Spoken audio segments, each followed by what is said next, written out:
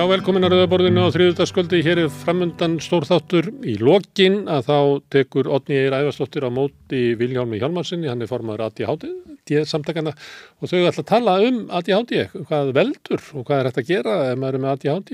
Það verður fróðulegt spjall þar.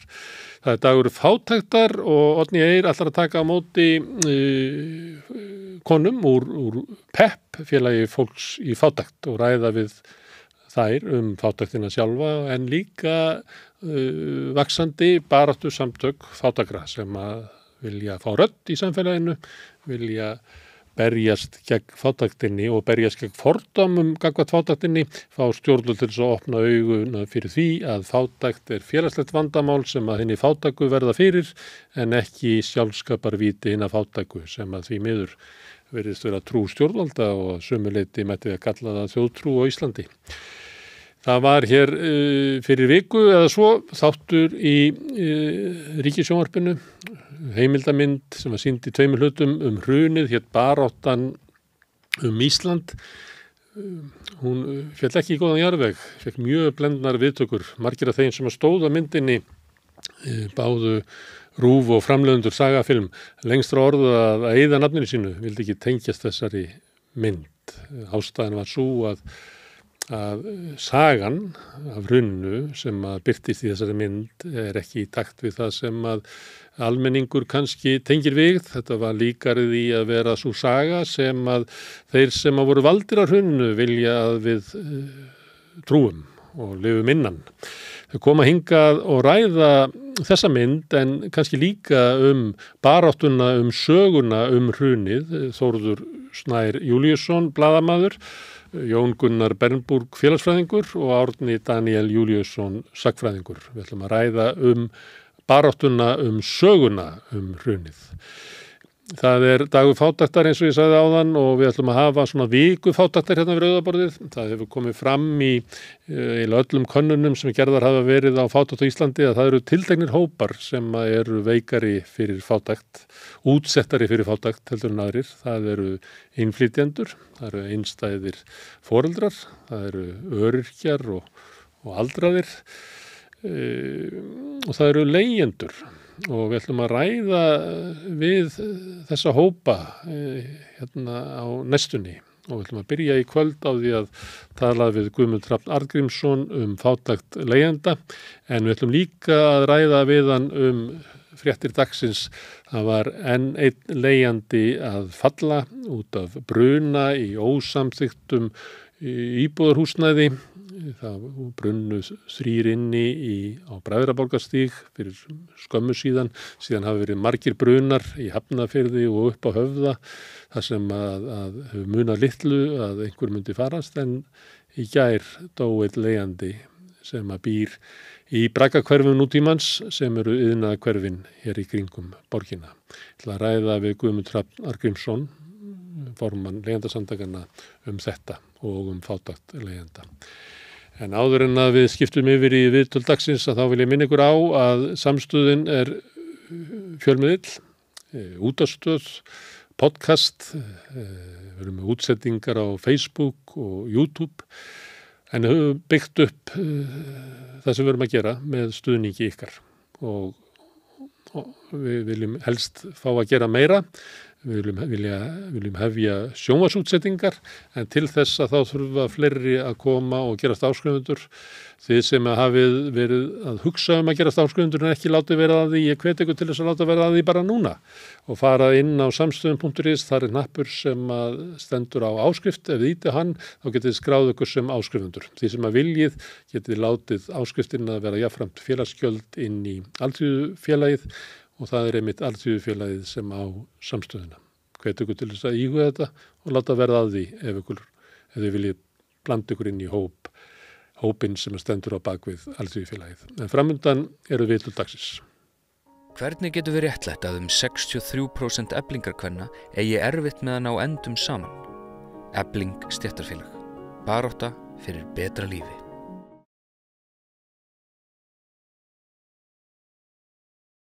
Já, við ætlum að, að fjalla um fátækt. Við gerðum það aðeins í, í, í gær. rættum um, um úttekt á fátekt á Íslandi og sem að snýrist að sömuleitum um það hvort það verið þjóðaslega hagkvæmt að, að vinna bug á fátekt og, og það var svo. En núna og næstu dag ætlum við að ræða við fulltrúa hópa sem að eru í aðstöðum sem að fátaktin nær og dregur niður. Við ræðum við öryrkja og einflýtjendur, einstæða fóreldra, fóreldra.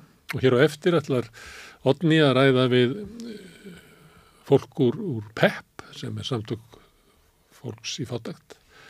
En einn af þessum hópum sem allar rannsónir benda til að, að lendi í fátakargildu eru leyendur og yngaði komundur Ragnar Argrímsson, formar leita samtakana.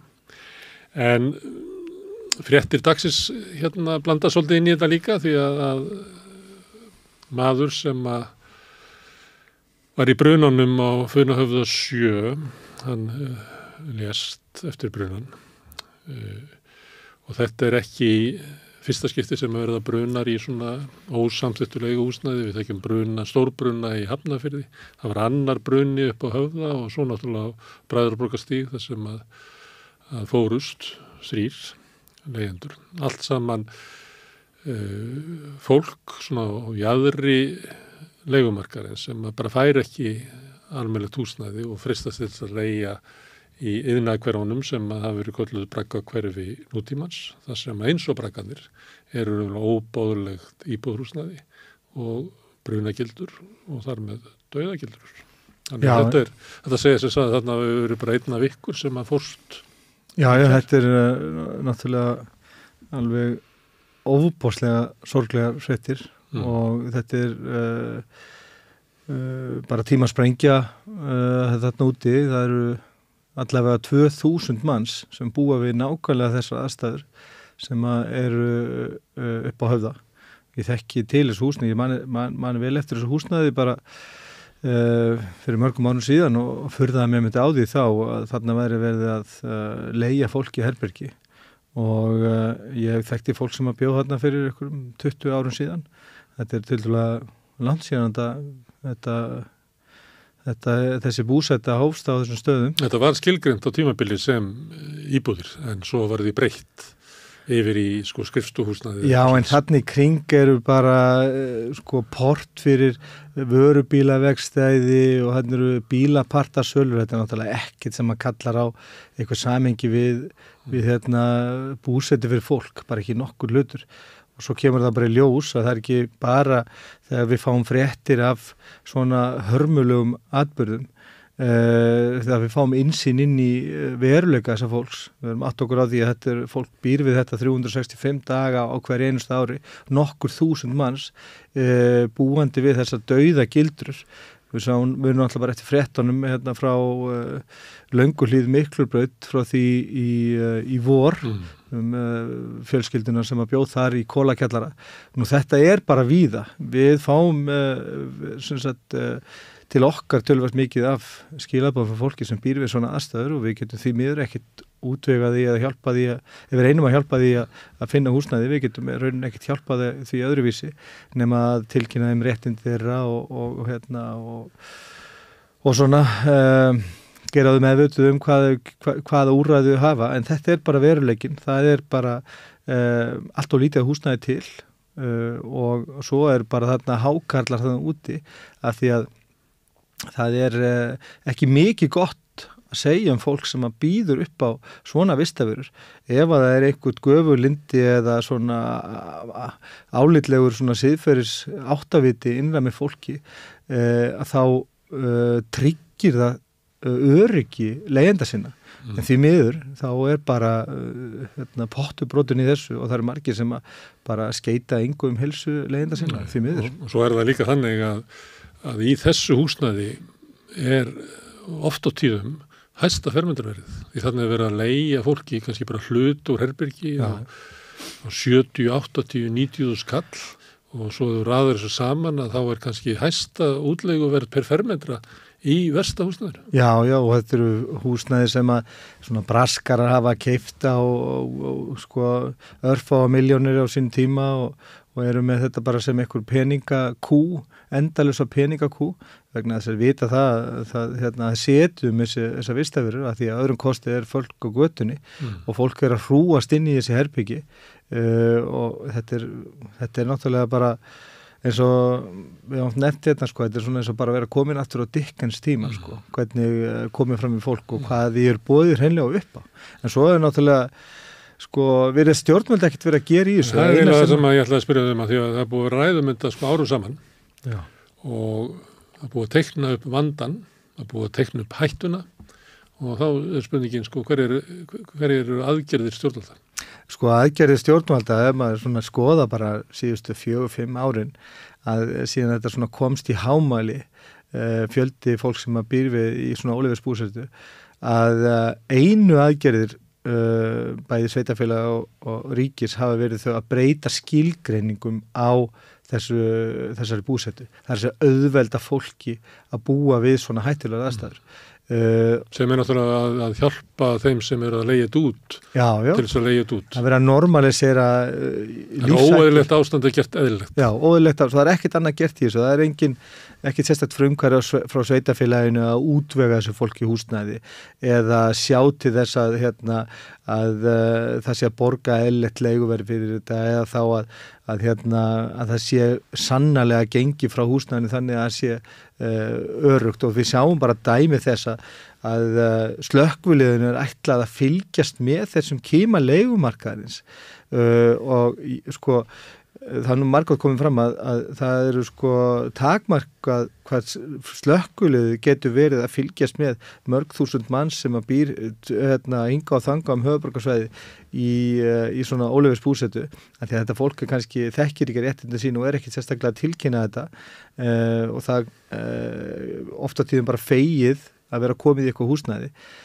En að það hefur komið svo fram að þrátt fyrir að slökkulið hafi farið vettfangsferðir og, og hafi tekið þessi húsnaði út að þá er þetta samt sem aður dauðagildur að uh, sko þetta hús sem að, að það sem að kvikna í í dag, að þar hafði slökkviliði bara farið úttækt fyrir ekkit svo lungu síðan mm. uh, þannig að sko að bara það að, að, að setja þetta fólk í þessa hættu þar sem að það er býr í svona þröngt í húsnæði sem er ekki gert fyrir búsetu kallar þetta bara yfir okkur mm. og, og það, farast fleiri í húsnæði slamlorda í Reykjavík heldur en að farast á sjó til dæmis það er ekki frá því að, branna á bræðarbrústignum og þá er þetta núna Já. að þá hefur ekki fjórir farist á sjó í Íslandi. Og ég kanna þetta líka í vor uh, hvernig er uh, sko, hvernig er uh, þetta er á hinnum Norðurlöndunum mm.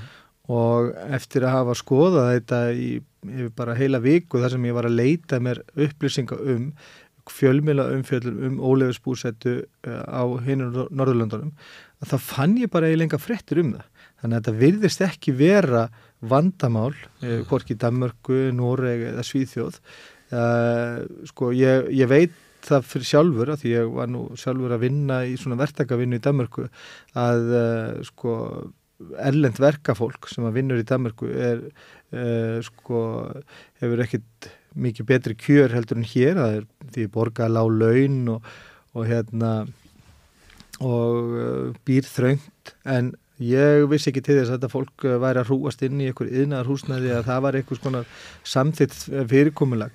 Þannig að sko við verðist verið búin að færa þessi, sko, þessi siðferðismörk okkar alveg út fyrir sko, eh, sko allan þjóðabólk bara. Þetta minnir á borgir í svo kallaða þriðja heimi eða í bandaríkjónum í þriðja heiminum að þá verða svona reysisbyggðir eins og krægi í kringum borginnar hér er að yðinnaðar húsnaði sem er svo krægi í kringum hérna bíbóðborg í bandaríkjónum þá eru það hérna trailerparks sem að ræða þessi svona. Já, og við vitum um það við vitum sangkvæmt sangkvæmt uh, nýjastu skýrslu uh, Reykjavíkborgar þá eru 2000 manns uh, eftir þessar nýju skilgreiningu þá eru 2000 manns sem er búa við í ólefisbúsetu þegar að fyrstu skýslunum komu fram hérna þá var nú að tala um millir 5 og 6 þúsund og allt upp í 7 þúsund mann sem að byggja við þessa aðstæður mm. svo að farið í að skilgreina þetta eitthvað öðruvísu þá gott er svona, þetta er svona þessi talna kunstum að Uh, sveitafélagi beitir oft eða það vil líta betur út af svona, í- hérna, út af við. Það er eins og með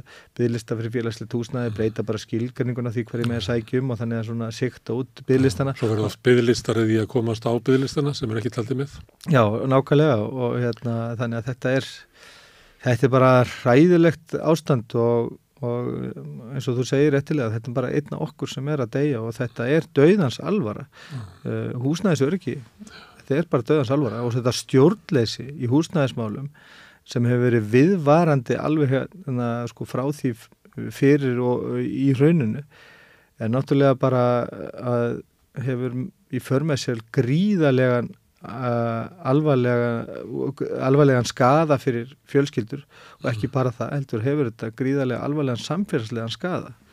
Erðu, það var ástæðan fyrir að ég fekk þingar að, okkur langar hérna við rauðaborðið að svona kortleggja fátakt. Það er dagur fátaktar í dag, alltaf dagur, en við ætlum að vera svona bæði dag og næstu daga að, að ræða, reyna að fá svona insýn inn í þá hópa sem að koma fram, kemur fram í öllum skýslum sem eru gerður um fátakt. Það er svona vissar aðstæð sem að draga fólk niður í fátakt. Það eru meiri líkur ert innflytjandi, það er meiri líkur ert öryrki það er meiri líkur ef að þú ert uh, aldraður, það er mjög skiptar, það er hópur aldraðara sem að býra við mikla fátækt, þeir sem ekki hafa mikil réttindi úr, úr, úr lífeyrissjóðum. Það eru einstæði fóreldrar að hérna, fólk á lágum tekjum sem að kannski getur framfleytt sér og börnum sínum í, í, í einhvers svona hjónabandi eða, eða sambúð að, að þegar fólk skilur að þá bara fellur það niður í, í fátækt og svo er það leyendur. Mm. Og þá langar mig að spyrja þig, hvað er það í aðstæðum leyenda sem að tógar þá niður í fátækt? Og það er fyrst og fremst uh, há húsalega. Uh, það hefur verið sínt uh, fram á það í skýslum velferðavaktarinnar sem var nú sam unnir svona á sam-evróskum vettfangi yfir nokkur ára tímanbill og kom út skýsla 2019 og svo aftur 2022 og þá kemur það bara í ljós að húsalega sem áhrifa þáttur í fátakt á Íslandi er þrefalt meiri heldur en að meðaltali annar staðar í Európu.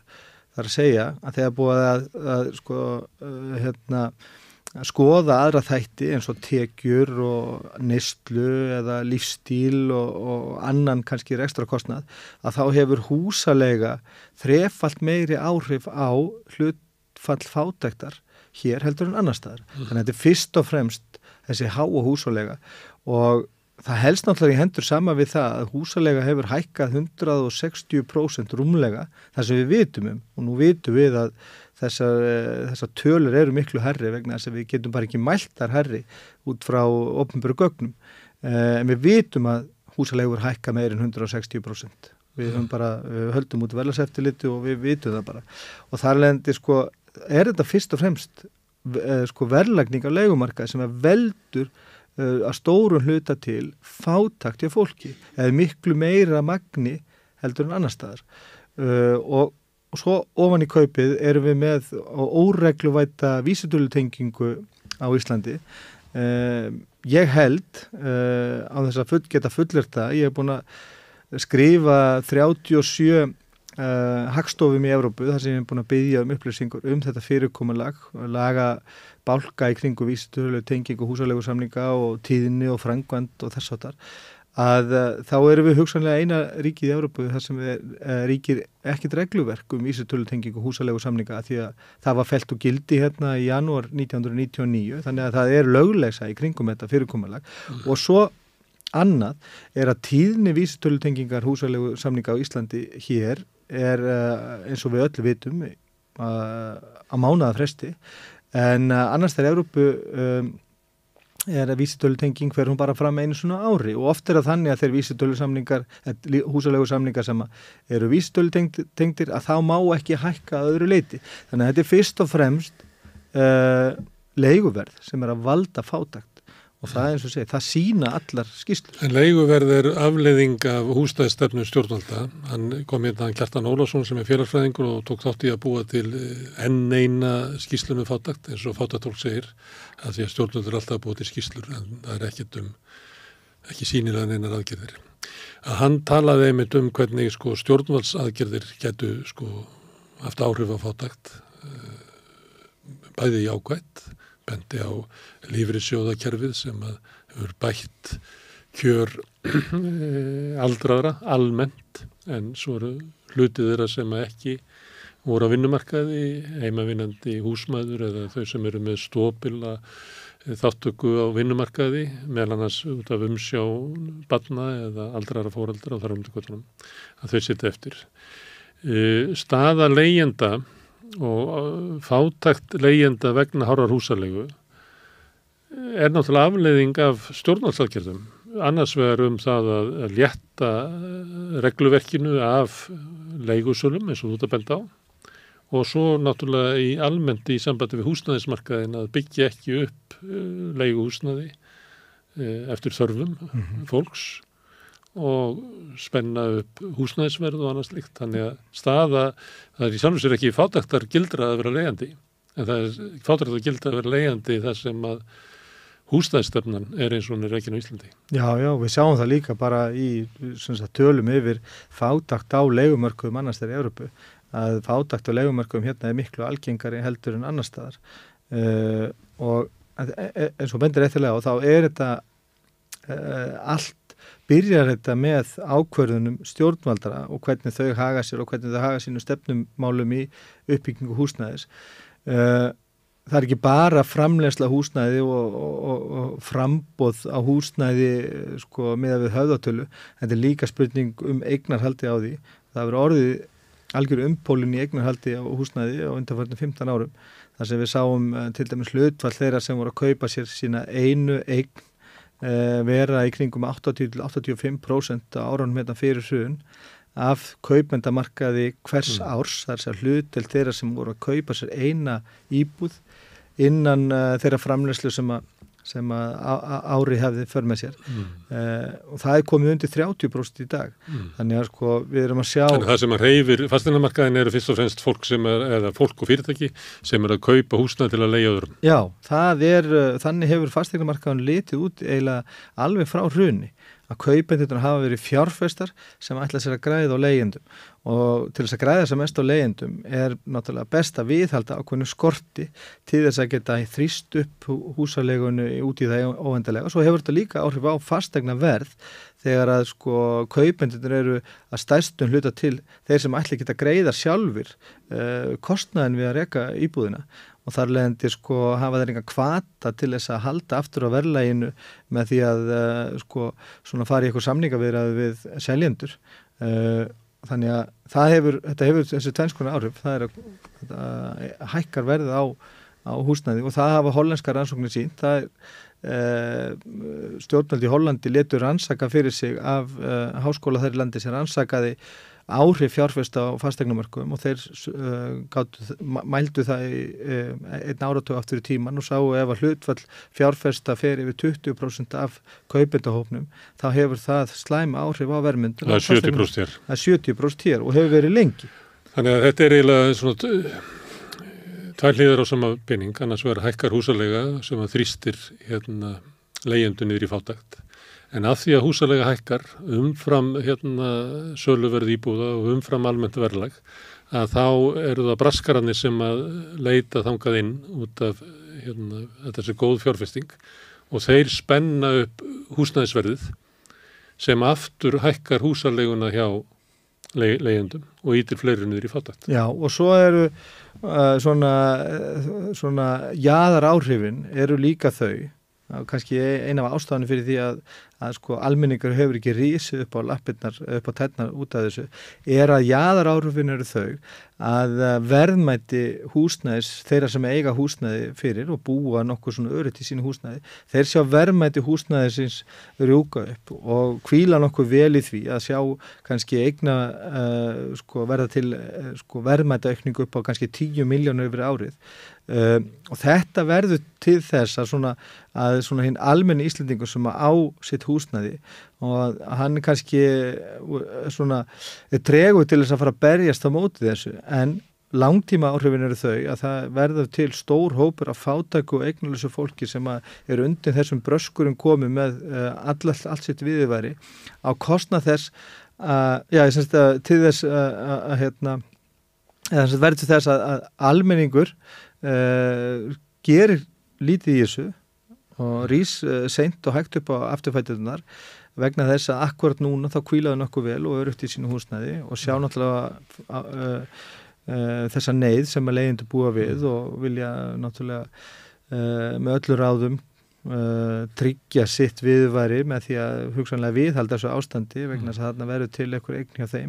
En þetta er náttúrulega bara svo lítið hluti af uh, Íslendingum, það eru bara þriðjungur Íslendingar sem að býri það er ekki lítið hlutur. Já, það er, er býri skuldlösu húsnæði og svo er þriðjungur Íslendingar sem er með húsnæðislán og, mm. og stór hlut af þeim uh, líður fyrir þetta en ekki allir. Þannig að sko það er svona en þetta er alltaf kostna leiðend mm. það er leigumarkaður sem er grunnur að hækkandi húsnæðisverði og þar lendir líka bara verbulgur sem að kemur svo neyra þeim sem hafa verið nýlega vera að kaupa sér húsnæði. Mm. En leyendur eru stór hópur. Þannig eru meðan leyendur eru náttúrulega fátat fólk hérna fólk á framfæstu sveitafélagana, öryrkjar, fátakir aldraðir, það er ungd fólk sem að er við nám og annað slíkt, en það er líka alls konar fólk, það er fólk sem hefur skilið og eign hérna hjónana sem er að skilja, dugar ekki til þess að bæði kaupi sér húsnæði og þau fara yfir á leikumarkað. Það eru alls konar fólk á leikumarkaði, ekki, en, en hins vegar, að því verðum að tala um fátakt, að þá er rödd hinn að fátöku oft veik vegna þess að, að fátaktinni finn, finn, fylgir skömm og það er, við getum sagt bara viðtekinn trú í samfélaginu, ríkjandi trú, að fátakt sé hinn um fátaka að kenna, ekki það að félagslegum aðstæðum hans. Mm -hmm.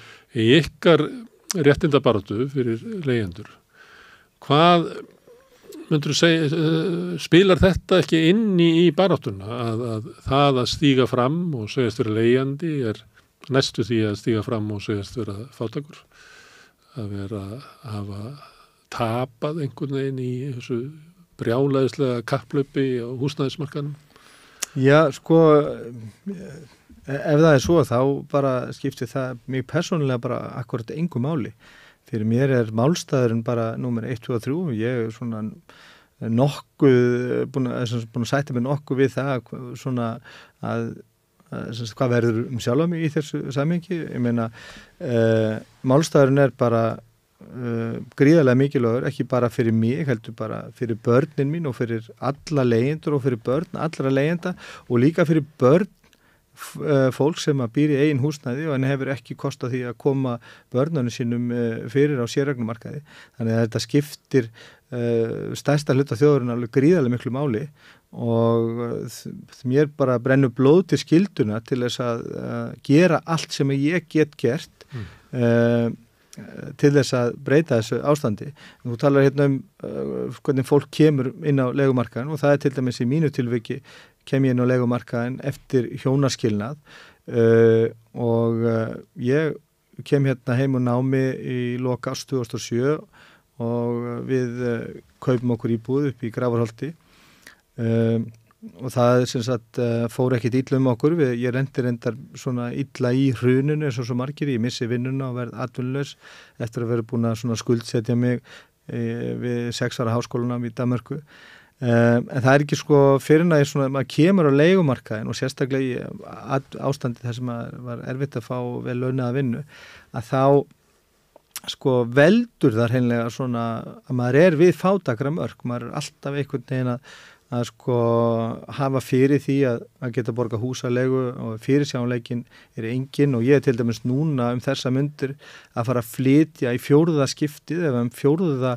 heimilisfangir sem ég mun hafa á fjögra ára tímanbili uh, ég er fimm barna fadir og ég verði reynd að halda heimili fyrir börn sem að ég og fyrirvendu kona mín eigum saman. Uh, og þetta er náttúrulega algjörlega ólíðandi ástand og það er líka mikill falin kostnaður í því að vera á þessum sífældu flutningum, þeir kosta mikið bara, uh, bara reyn fjárútland við flutning. Uh, þetta kostar oft líka mikið þegar maður þarf að skipta um húsgögn og losa sér við íminnslegt og kaupa annað. Og svo er þetta bara mikið vinnutab líka. Mér hefur svona talist til að þetta er svona nánast uh, mánadar ferli að pakka saman, flytja og koma sér fyrir. Og svona kemst voða lítið annað að á meðan með að maður er að koma sér fyrir og, og, hérna, og svo náttúrulega líka er eitt við þetta svona þessi fátakra gildra við þetta ótrúlega mikla húsnæðis óöryggi sem maður býr við að þetta hefur áhrif á alla starfsorku, getu og svona nánast á atkerfum hans að búa við svona óbáslega mikla óvissu vegna þess að það sem að veitir manni endurheimt, það er þessu hotlusta við heimilið, þessi fyrirsjánleiki uh, og þessi nöðsynlega endurheimti er einmitt það sem að fátakt fólk og fólk sem að e, kannski er að berist í bökkum þarf einna helst á að halda til þess að geta afla sér viðvaris. Það er endurheimt og endur nýja orkuna og, og hérna, til þess að reynlega hafa burði til þess að, að, e, hérna, að sko reyna allt sem það getur til þess að uh, sko afla sér viðværi svo jafnvel að reyna að breyta hérna, félagsleiri stöðu sinni en með því að halda fólki í svona mikill örvendingu og ángist og hafa það á sífældum flytningum það ná leyendur mjög sjaldan vopnum sínum uh, til þess einmitt að reyna að hafa áhrif á félagslega stöðu sína eða innkomu uh, og þetta er náttúrulega bara það sem að veldur hennilega fátagt. Fólk getur komið inn á legumarkaðin uh, í bærilega fjárvarslega start fólk sem að kannski rétt, náðu bara ekki rétt inn á sérregnamarkaðin en legumarkaður veldur því svo fátagt mm.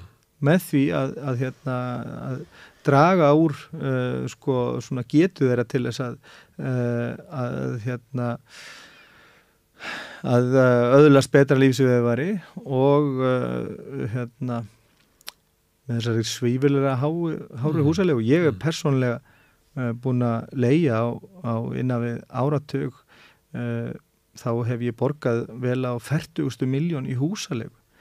Þannig að sko þetta er svona mm. bara kaupverð sæmilega íbúða fyrir nokkur ára síðan. Sko. En ég er að vitna til svona, uh, svona það sem að hangir í loftinu í Ísleikur samfélagi að, að fátakt sé hennu fátakt að kenna.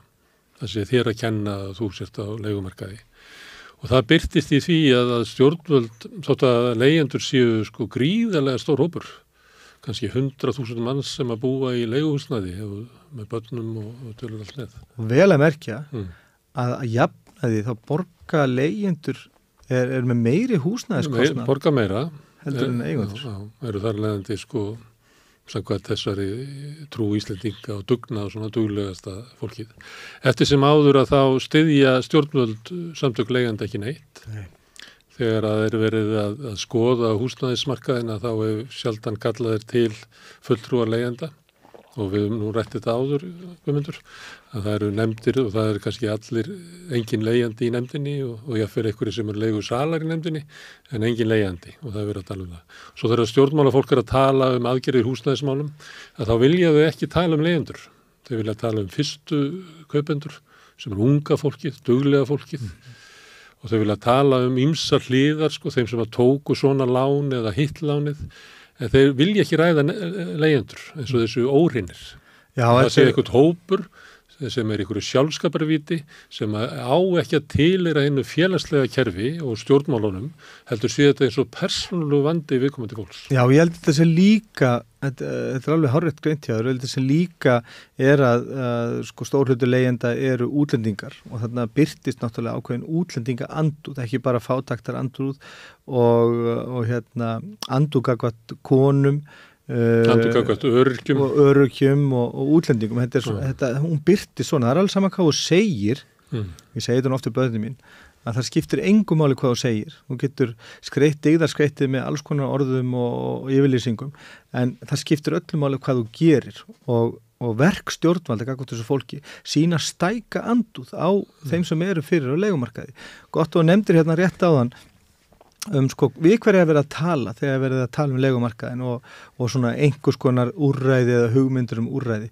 Uh, ég áttu símtal bara í morgunu við mann þar sem er að ræða um þetta að því að sko fyrir nokkur mánuði síðan þá svona skima í það svona eins yfir uh, hverju það eru sem hafa tekið þátt í samtölum uh, við ofnbera um hvernig fyrirkomalæðið á að vera legumarkaði. Mm. Og þetta eru svona í kringum 70-80 einstaklingar sem hafa komið inn í starfsópa, setið eins og nefndum ráðum á vegum stjórnmálaflokka og hagsmunarsamtaka.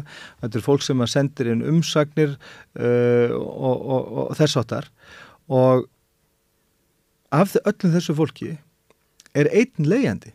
Það er að segja að 99% af þeim sem eru að skipta sér af því hvernig fyrirkomulegið á að vera á legumarkaði eru húseigundur og þetta er eigna fólk. Þetta er eh, ekkit ólíkt í ef að sko, ef að hérna Þetta er sveipað og hvennar ástöðuna í Sáti Arabíu, það sem að sitja bara kallar í salum. Já, þetta er nákvæmlega eins. Mm. Uh, fólk sem hefur enga einsinn í þetta uh, og, og hérna og þarf ekki að búa við þetta og þarf ekki að upplifa uh, þar aðstæði sem er legumarkaði. Það er það fólk sem verið að ræða við, uh, sem stjórnand ræði við og spurja hvernig við eigum að hafa ástandi hérna á legumarkaði, hvaða fyrirkomalegu við hafa á þessu, hvaða regluvert og vend og, og hvaða frambóð og svona, hvaða bjóður þessu fólki. Þá er ekki verið að spurja leyendur sem að búa við þetta, heldur þá sem að græða á því. Hmm. Þetta er náttúrulega bara, eh, sko, í, á 21. öldinni eh, er þetta náttúrulega bara íla, sko, já, maður á bara að valla lýsingur yfir þetta. Þetta er svona sveipaðu ef að bruggararnir eh, ættu að móta líðhelsustefnu í áfengismálum eða síkartu fyrirtækin. Að... En þetta er þessi, sko, þessi fyrring stjórnvalda og þetta, sko, andvaraleysi og skeitingaleysi gagvat uh, heilsu, heilsu fólks og, og, og lífskjörum á legumarkaði að það, því þetta er ekki huga að bjóða því samtalsum bara, hérna, og hvað er það sem við getum gert þetta betur? Heldur faraðir neyri í borgatún og tala við skugga stjórnaráði þar sem að í húsi atvinnulífsins og spurja hérna, hvað, hvað vil ég fá út úr þessu legumarkaði, hvað, hvernig er best fyrir ykkur að, að hérna, sjúa sem mest út úr þessu legumarkaði og viðhalda ángist og örvendingu og, og hérna, auðsöfnin fólk sem að starfa rauninni. Ég held að þessi afstöða sé mikilvægt að átta sig á henni ef við ætlum að að að þá eru átt og gráði að fátækt er afleiðinga stjórnastöfnunni og hugarfar þeirra sem að stjórna er svona að þeir hérna, sjá ekki og vil ekki sjá eina fátæku. En ef við tökum leikumarkaðin sem dæmi, að því að ég veit að þú hefur verið að skoða leikumarkaðin hér í samanburði við bara okkar næstan ákveðni, að það virðir sem að, að þetta hugafar sé miklu meira afgerand á Íslandi heldur en annar staðar því að í flestum löndum að þá eru þá er maður einhvern nátt reynd að verja leyendur, það er annarkótt regluvöldur leikumarkaður eða það er byggt þannig að það sé nægt húsnaði þannig að fólk þurfi ekki að vera út í eðinar húsnaðinu við, í brunagildru hvað, Já, sko, hvað veldur þessar mun á afstöðu ísletinga og okkar næstu nágranna? Ég veit ekki hvort þetta sé einhvers konar hérna hérkomi eða hvað sko, við höfum reykt okkur af hérna einhverju sérregna stefnu og verðum með hæsta. Hún er löngu fallin, sko, það, ég veit ekki alveg nákvæmlega hvaða, veist, hvaða hérna, hvernig þetta byrtist í þjóðarsálunni, en sko eins og þetta byrtist bara í tölum, uh, sko miða við aðra önnur lönd, að ég var nú bara að skoða það núna í vikunni í kringum verkefni sem ég er að vinna, að sko fluttningstíðinni leyenda á Íslandi uh, samkvæmt Júrostat er svo langhæsta í mm. Evrópu. Það eru yfir 90% leyenda árið 2014 og hefur þetta vestna mikið síðan. Það eru yfir 90% leyenda sem hafa þurft að flytja sig um sett á uh, undagegnum 5 árum. Uh, húsnæðar sem mannvíkjastofnun hefur verið að mæla þetta og við líka og þá sjáum við að, að það er svona cirka á 20 mánuða fresti sem að, að meðaltali sem að leyendur eru að flytja. Og þetta eru sko tölur sem að eru óhugsandi, algjörlega óhugsandi í öllum öðrum Európaríkjum uh, þetta, sko ástæðan er svo að þarna uh, er fyrst af næst verið að hugsa í öðrum löndum eins og bara í Skandinavíu, sko þar er uh, verið að hugsa um að, sagt, að þetta er grundvallar þörf Eh, fyrir bara alla framvindu manneskunar, það er að hafa örugt heimili og, það er líka á, litið á þannig að sem leiðjandi uh, sem að verður ekki fyrir neitni eignamyndu í gegnum allt, uh, allan þenn tíma sem leiðjandi að það óttu bara að borga mikið minna fyrir húsnaði. Það er að segja að uh, þetta er yfirlegt sko mörguleiti eins og í Danmarku þar er félagslega reikin húsnæðismarkaðu greiða stór, það er mikið leiguhúsnæði eða, eða sko 20% af öllu húsnæði og helmingurinn af leigumarkaðunum er reikin í samverðinfélagsformi þar sem að leiga er bara reikn út frá upphafnum byggingukostnæði og þar segja að það, það græðir engin á, á þessum, uh, þessu, þessu húsnæði. Hérna hefur orðið gríðarlega mikið svona fjármálavæðing á fastegnumarkaði og þetta er líka að gerast annar staðar en byrjunarstaða okkar í þessu málum er svo gríðarlega alvarleg að þar sem að sko fjármálavæðing er að eiga sér stað á fastegnumarkaðum eins og í Englandi og Meilandinu og í Skandinavíu þar er stert regluverk á legumarkaðum, þar er stór félagslega reikin húsnæðismarkaður, þar er uh, jafnbægi í frambóði eftirspurn og, og samninstöðu leyenda á almennu markaði. Við erum ekkert af þessu en... Ástæðan, Guðmundur, er svo að stjórnum þessu löndum hafa reynd að bæta aðstöðu leyenda og bæta öryggið þeirra. En stjórnum Íslandi hafa bara ekkert gert það. Nei. Við sjáum ekki tilgangi með því, finnst það ekki áriðandi Ekki aðkallandi, ekki mikilvægt. Ég held líka að þetta séu bara, sko, ég ofta er að velta fyrir mig bara hvað, hvað veldur þessu vegna þess að ég svona vonast til þess minnstakosti að mikið af þessu fólki sem að uh, situ við stjórnvölinu að þetta séu svona manneskjur sem að uh, þekkja leyendur úr kannski sínu, sínu umhverfi eða hafa verið á legumarkaði eða hafa bara samkjönd. Ég held stundum líka að, þetta sé samblanda því að þarna eru uh, gríðarlega sterkir hagsmunni aðeinar sem að fá sínu framgengt og þá er ég að fyrst og fremst að tala um samtöku aðlunlífsins, viðskiptur á samtöku einarinn, samtöku vestlunum og þjónustu, samtöku fyrirtæki í, í, fjármálu, hérna, í fjármálum og, og, og þessi aðeinar sem að græða á því að, að húsnæðisverð sé að hækka og þar leðandi leiguverð. Við sjáum bara hvernig fleiri og fleiri stóri fjárfestar eru að færa sín á fastegnumarkaðin mm. og sérstaklega á legumarkaðin. Uh, þetta, þetta væri óhugsandi í öðru löndum að, að sko að fyrir allra augum væru sko, grimmast, grimmasta kapitalið og, og hérna, gráðugustu fjárfæstatir að hérna, uh, koma inn á óregluvætan leg, legumarka sem býr við mikið skorta húsnæði á algjörlega á þess að stjórnveld myndu eitthvað grýpa inn í vegna þess að einn byrtingamindin er svo og þetta er bara svona nýjustu fréttinnar af, af hérna af reysastóru fjárfæstikafélagi sem er að kaupa hundruður íbúða hérna í, í vóakvarjunu að því að þeir sjá svo mikið tækja fyrir á legumarkaði. Nú, uh, þetta er bara einn byrtingamindin í hvernig stjórnveld hafa hagað uh, legu, svona regluverki fyrir legumarkaðin uppbyggingu húsnæði er að gráðugustu fjárfestar Íslandsins eh, hérna, eru allir að, að reyna að koma sér fyrir þarna. Við þekkjum reyndar menn sem er að reyna að græða á leyendum annars þar. Í bandaríkjunum verður kallaðir slumlords og þeir Trump-föðgar, eh, Donald Trump og pappansætin, að þeir voru mjög klókir í að fara fram hjá eh, reglu, reglunum sem voru inn á markanum. Þannig að þar voru reglur en, en þeir fóru fram hjá þeim með því að reykja fólk út úr húsnaði og Já, þetta er verið að gera hérna líka. Það eru ákveðna reglur sem gildar, lámarsréttindi, þó að við séum með, sangandi OECD, erum við fjórða lagasta regluverk á legumarkaði af öllum OECD-ríkjónum. Við erum bara með Ísrael, Nýjasjáland og Stórubreitant uh, fyrir aftan okkur og erum við svona fjögur ábyrjandi uh, lægst í þessum skala, mm. þessar einhvernugjöfi við regluverka. Þannig sem að fóru ítla út úr nýfrásíkinni. Já, já, og, og hérna að þá hérna e, sko, eru fjárfesta náttúrulega þeir eru að koma sér hérna, vel fyrir á, á, á legumarkaði í, í bandaríkjónum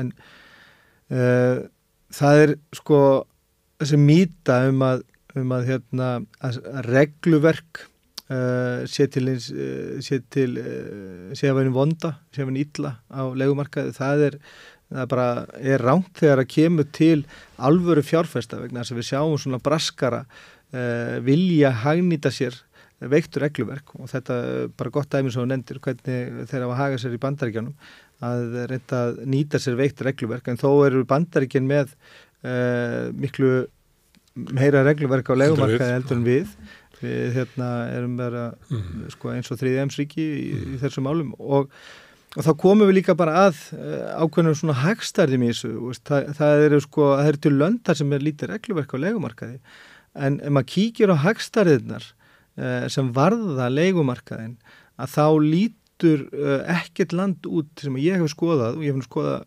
held ég bara öll lönd í Evrópu og skoðað Ástralju og Japan og, og Bandaríkin og Kanada og, og ég hef svona aðeins verið að líta yfir hérna í Suður Ameríku mm. að þá kemur bara í ljós að, sko hagstari sem að varða leyendur eins og með íbúa þéttni með eignarhald, uh, fluttningstíðni, uh, framlegsla húsnæði og, og hérna, stærð félagslegs leikumarkaðars og, og hérna, reglverki kringum leigufjaraðir að sko þá er ekkit land með allt þetta uh, í svona slæm uh, málum eins og hér. Að sko það er svona eins og eitthvað svona fullkominn stormur sem ríkir hérna uh, að því að við höfum ekkert að þessum ekki stóran félagslega reygin húsnæðismarkað. Við erum engin tækifæri fyrir fólk til þess að fara að byggja sjálft í, í samverðinfélagsformi. Við erum með sko fordæmalest hrun í uppbyggingu húsnæði uh, sko uh, yfirstandandi. Við erum með hæsta hlutvalli heimi af íbúðum í, í skamtímalegu. Við erum með sko 15% af öllu húsnæði þar sem er ekkert skráð lögheimili. Það er ekkert land í, í, í sko allavega í Evrópu þar sem er svona stórt hlut og alltaf öllu húsnæðir hefur, sko, það sem er ekkert skráðan til lögheimili. Uh, við erum með algjöru umpólun í eignarhald á fastegnumarkaði sem við höfum hverki séð. Við mann eftir fréttaflutningi frá bandarækjum held ég að það hefur verið frétti frá 2018-19 þar sem að, þar sem að sko hluteld uh, uh, fjárfesta inn á kaupendamarkaði í bandarækjum hafi aukist um 6% á milli ára. Þar að segja sko að hérna sem er þá lítið hlutveldi og ferði yfir sko, sko heldar eignar, uh, eignarhaldi á, á, á öllu húsnaði í bandaríkjanum en það færði þessum 6% á milli ára að það fó bara fyrir þingið. Það var talið ógna bara sko lífskjörma almennings að fjárfesta væri verið að auka svona hluteld sína á kaupitamarkaði við hefum búin að þetta hefur breyst um, um sko 70% hér. Uh, við erum talað um 6% innan eins, eins ársum að kannski 23% hlutdeild svona af heldinni þegar það var litið yfir sko hel, heldar eignan hlutan uh, sko 20-30 falt meira. Uh, við erum með langhæstu flutningstíðina eins og ég nefndi hérna á mm. við erum með lélegasta regluverkið og við erum með lang, langhæstu og mestu hækkun á húsalegu sem hefur sérst í henni vestrana heimur, erum með yfir 160% hækkun húsalegu á rúm áratug og meðan að meðaltals hækkun húsalegu e, á meilandi Európa á saman tíma er 18%. Þetta er nýfalt meira. Þannig að sko það ber alltaf saman brummi. Þetta er svona fullkominn storfur og þetta skapar gríðarlega mikil áföll fyrir fólk. Þetta veldur fátækt Þetta veldur andlegum erfileikum, þetta veldur alls konar tengslaröskun, þetta hefur áhrif á þroska og, og atgerfi barna, þetta veldur bara alls konar, eh, ekki bara erfileikum, þetta veldur veikindum í fólki og það er gríðalegu samfélagslegu skadið af þessu vegna þess að þetta endar allt uh, í fanginu á stjórnvöldum aftur og á velferðarkerfinu sem að það sem að þetta fólk er að leita sér eftir þjónustu sem er ekki til. Ég satt nú nýlega bara uh, farsældar þing í hörpu hérna upp af í byrjun september að þá var verið að tala um þennan gríðalegu aukningu á uh, ungmennu sem að þyrtu einhvers konar sálrana aðstóð Uh, og þá komur þetta bara berlega ljós bæði eftir uh, könnunum og meðal foreldra þessara barna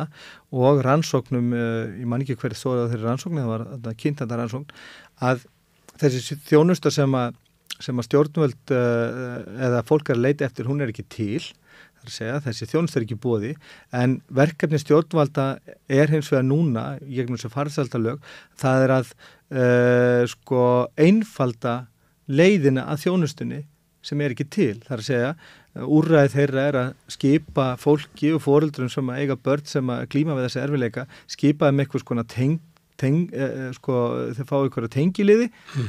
eh, en þjónustan er ekki til og það var ekki rætt um það hvernig getum bætt þess að þjónustu og að sjálfsög var ekki rætt um hvernig getum við komið í veg fyrir þessa flóðbylgu ungmenna sem að upplifa kvíða, vonleysi, deburð og örvendingu heldur Við ætlum að, að búa til tengilið fyrir þessar foreldra sem eru í nákvæmlega mm. sömu örvendingu og vanlíðan yfir, yfir hvernig börnunum uh, þeirra vegnar að við ætlum að búa til tengilið í þjónustu sem við getum heldur ekki veitt. Mm.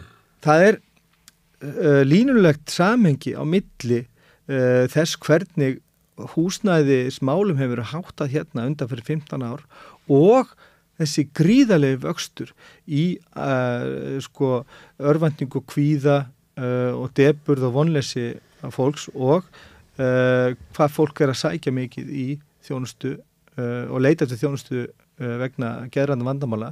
Þetta er lílinlega samengi. Það verður engin almennilega rannsakað hvort að orsökin líki beint þarna í, í, í hérna, þessu gríðarlega mikla húsnæðsóryggi sem hefur ríkt hérna alveg frá hrunni.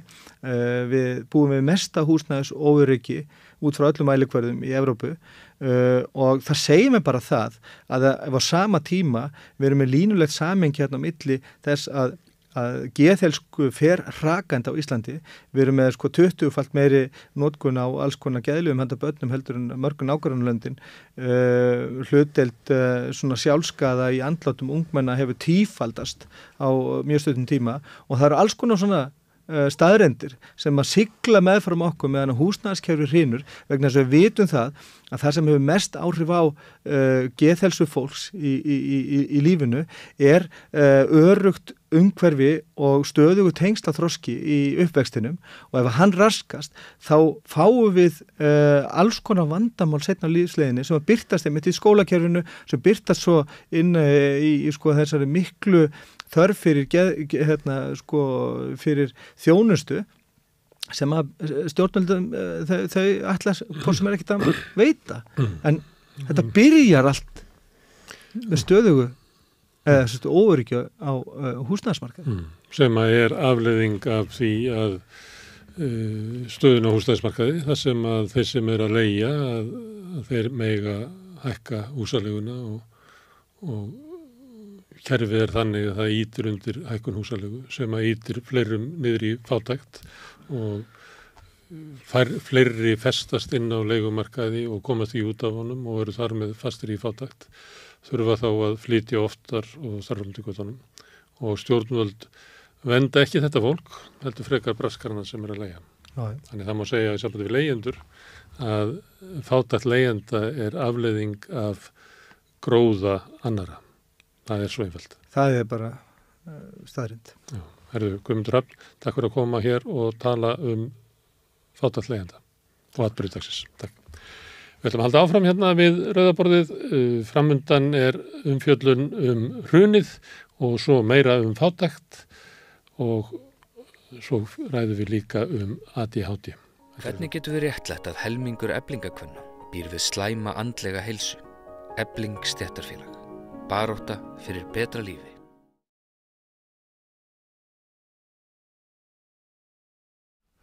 Já, nú ætlum við að ræða um hrunið. Tilefnið að svona sumuleiti er uh, heimildamind sem að Ríkisúldarfi síndi í tveimur hlutum um síðustu helgi. Uh, Baráttanum Ísland hétt svo mynd og viðbröðin við henni voru mjög blendin, svo vakt sér til orða tekið. Uh, margir af þeim sem tóku þátt í framleyslunni sögðu sér frá henni, vildi ekki tengja nafsitt við þessa mynd.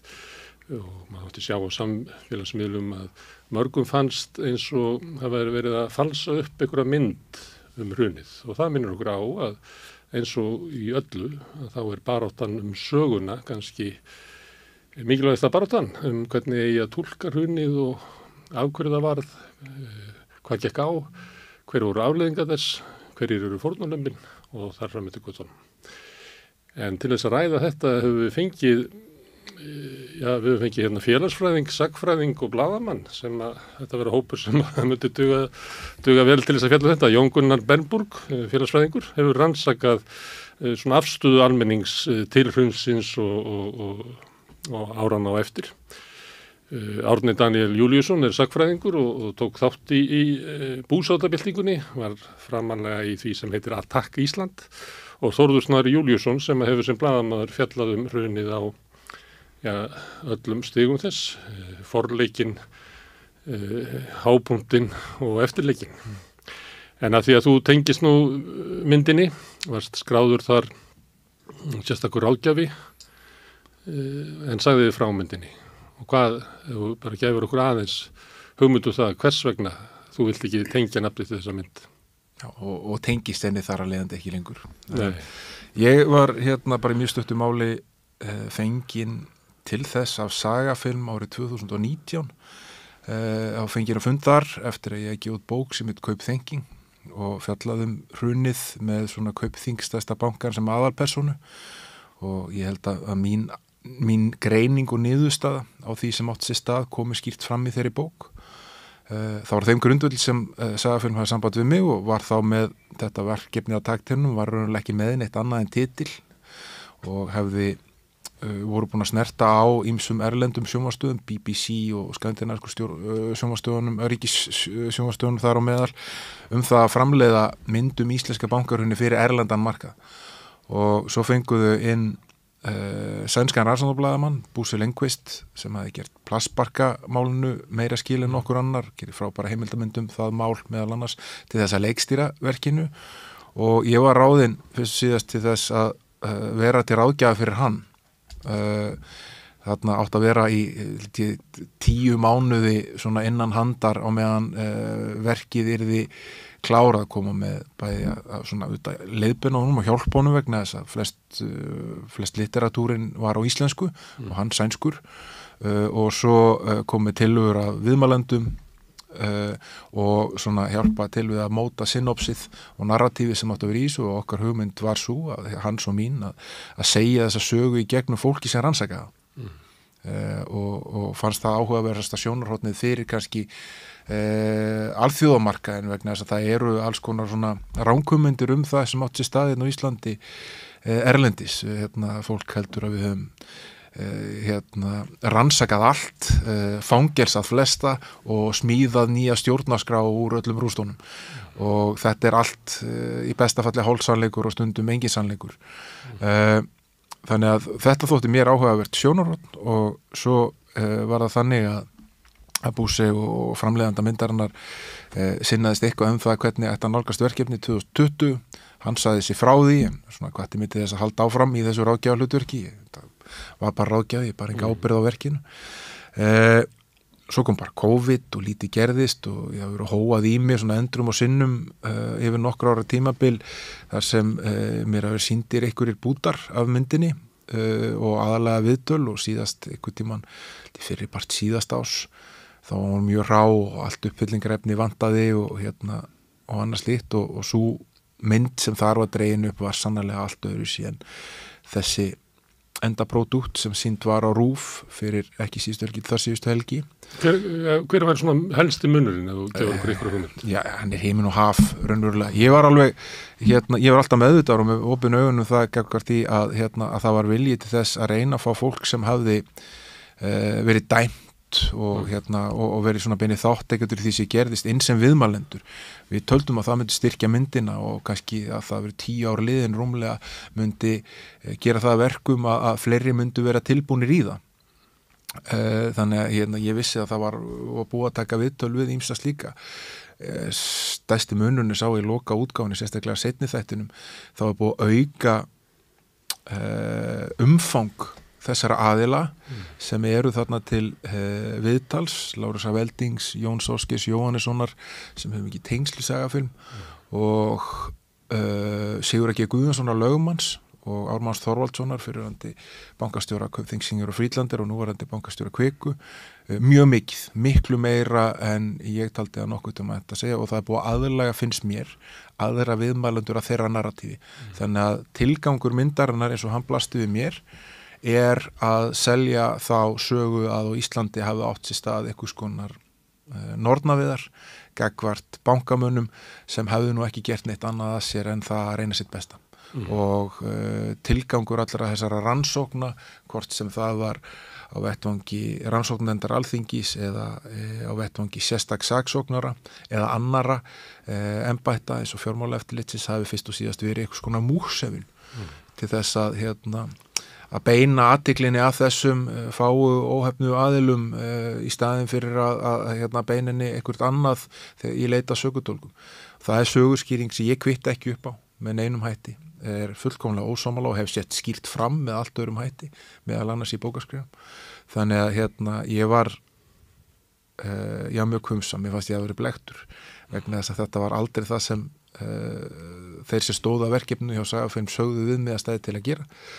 Og uh, kreditlistin var ekki byrjar að rúla þegar ég sendi skilabóð og baði um að fjarlæga mig að þessu verkefni samstundis. Og síðan hafa fleiri gert það meðal annars Búsi Lingvist sem, sem segir að, að sko hann er svo ósáttur við á stefnu sem verkefni tók af hálfu framlustufyrirtækins og sagafilm hafið sveikt verkefni eitthvað allt annað en hann vildi fram með það. Já, það er miklu alvarlegra sem er gert gagvart honum en mm. gert gagvart mig. Ég bara er aftur ykkur ótindur ráðgjafar hlutverki mm. uh, og uh, hef ekkert uh, að segja um hver hver end próduktið er, ber ekki ábyrðaði hvort sem framleiðandin er leikstjóri. Hann er tittlaðu leikstjóri þrátt fyrir að hafa ekkit komið af verkefninu frá því 2020. Það eru viðtöl sem eru nótuð sem hann og ekkur leiti ég þau milligungum á að koma á mm. uh, þar sem er lagt upp ekkert viðmælandunum uh, allt annað upplegg en uh, á endanu verður. Þannig að hérna, það er svona virðist vera eins og þetta hefða einhvern veginn átt að nota okkar trúveruleika gagvert einhverju fólki til þess að dragast það á og síðan nota það með þessum hætti. Uh, það sem er gert kakvar tónum, hann hafði ekki hugmyndum að myndin hafi verið sínd fyrir en að það var eitt samband við hann daginn eftir setni þáttinn og hann er sagt frá því. Og þá er hann enþá aftur sko uh, skráður einn leikstjóra myndarinnar og það er verið að nota hans trúveruleika til þess að gefa henni eitthvað trúveruleika. Og hann auðvitað eðlega mjög ósátt við það og hefur látið fjalla þessi verkinu. Jón Gunnar, þú rendir yfir myndina. Já, já, Hvernig slóðum þig? Hvernig slóðu þessi myndið? Sko það sem að þessi mynd aðalega gerði var að minna mig á mjög mikilvægt aðrið og það er það að hrunið sko það hvernig við skilgjörnum en ótrúlega flókna atbyrð og þess að löngu atbyrðarás e, það er bara veist, það er bara opið, veist, við getum skilgjörnda á svo ótrúlega marga vegu og það hefur verið gert og baróttan um það hvernig á að skilgjörnum en atbyrð, hún byrjaði í seinastala í 5. oktober 2008 þegar Geir Horti heldur þessa frægu þetta fræga ávarp þar sem hann eh, er að segja, er, er að skilgjörna hruni sem sko alþjóðlegan storm mm. og eh, einhvern atbyrg sem á að þjappa okkur saman, við höfum að slýra sverðin, þannig að sko þar byrjar hérna baráttan um skilgjörningu hrunsins strax þarna og Geir Horti er greinilega í ræðinu mjög meðvitaður um það að þetta verða átök, mm. það verða átök um þennan atbyrg og þessa atbyrðar ás. Þannig að myndin setur setur, finnst mér setur málið í það samhengi og í myndinu þetta heyru við sko þessar, þessar rattir sem að koma þessar rattir sem er í ákveðinu ágætu samrami við það hvernig Geir Horti vildi ramma inn hrunið sem eitthvað svona alþjóðlegan storm þar sem að allir sem eru þarna akta inn í þessum stopnunum þeir eru að gera sitt besta en þeir bara ráði ekki við aðstæðunar vegna þess að það, er, það eru stærri öll að gangi að verki. Mm. Þannig að ég sé myndina aðalega svona, þú veist, hvaða rættir... Svo heldur myndina áfram með því að segja að þá var almenningur rosalega reyður Já. og stopnari samfélagsins eins og saksóknari og domskerfið beigðu þessu undir hinn reyða almenning og dæmdu þá sem voru bara að reyna sitt besta, voru að reyna að bjerga því sem hægt var að bjerga.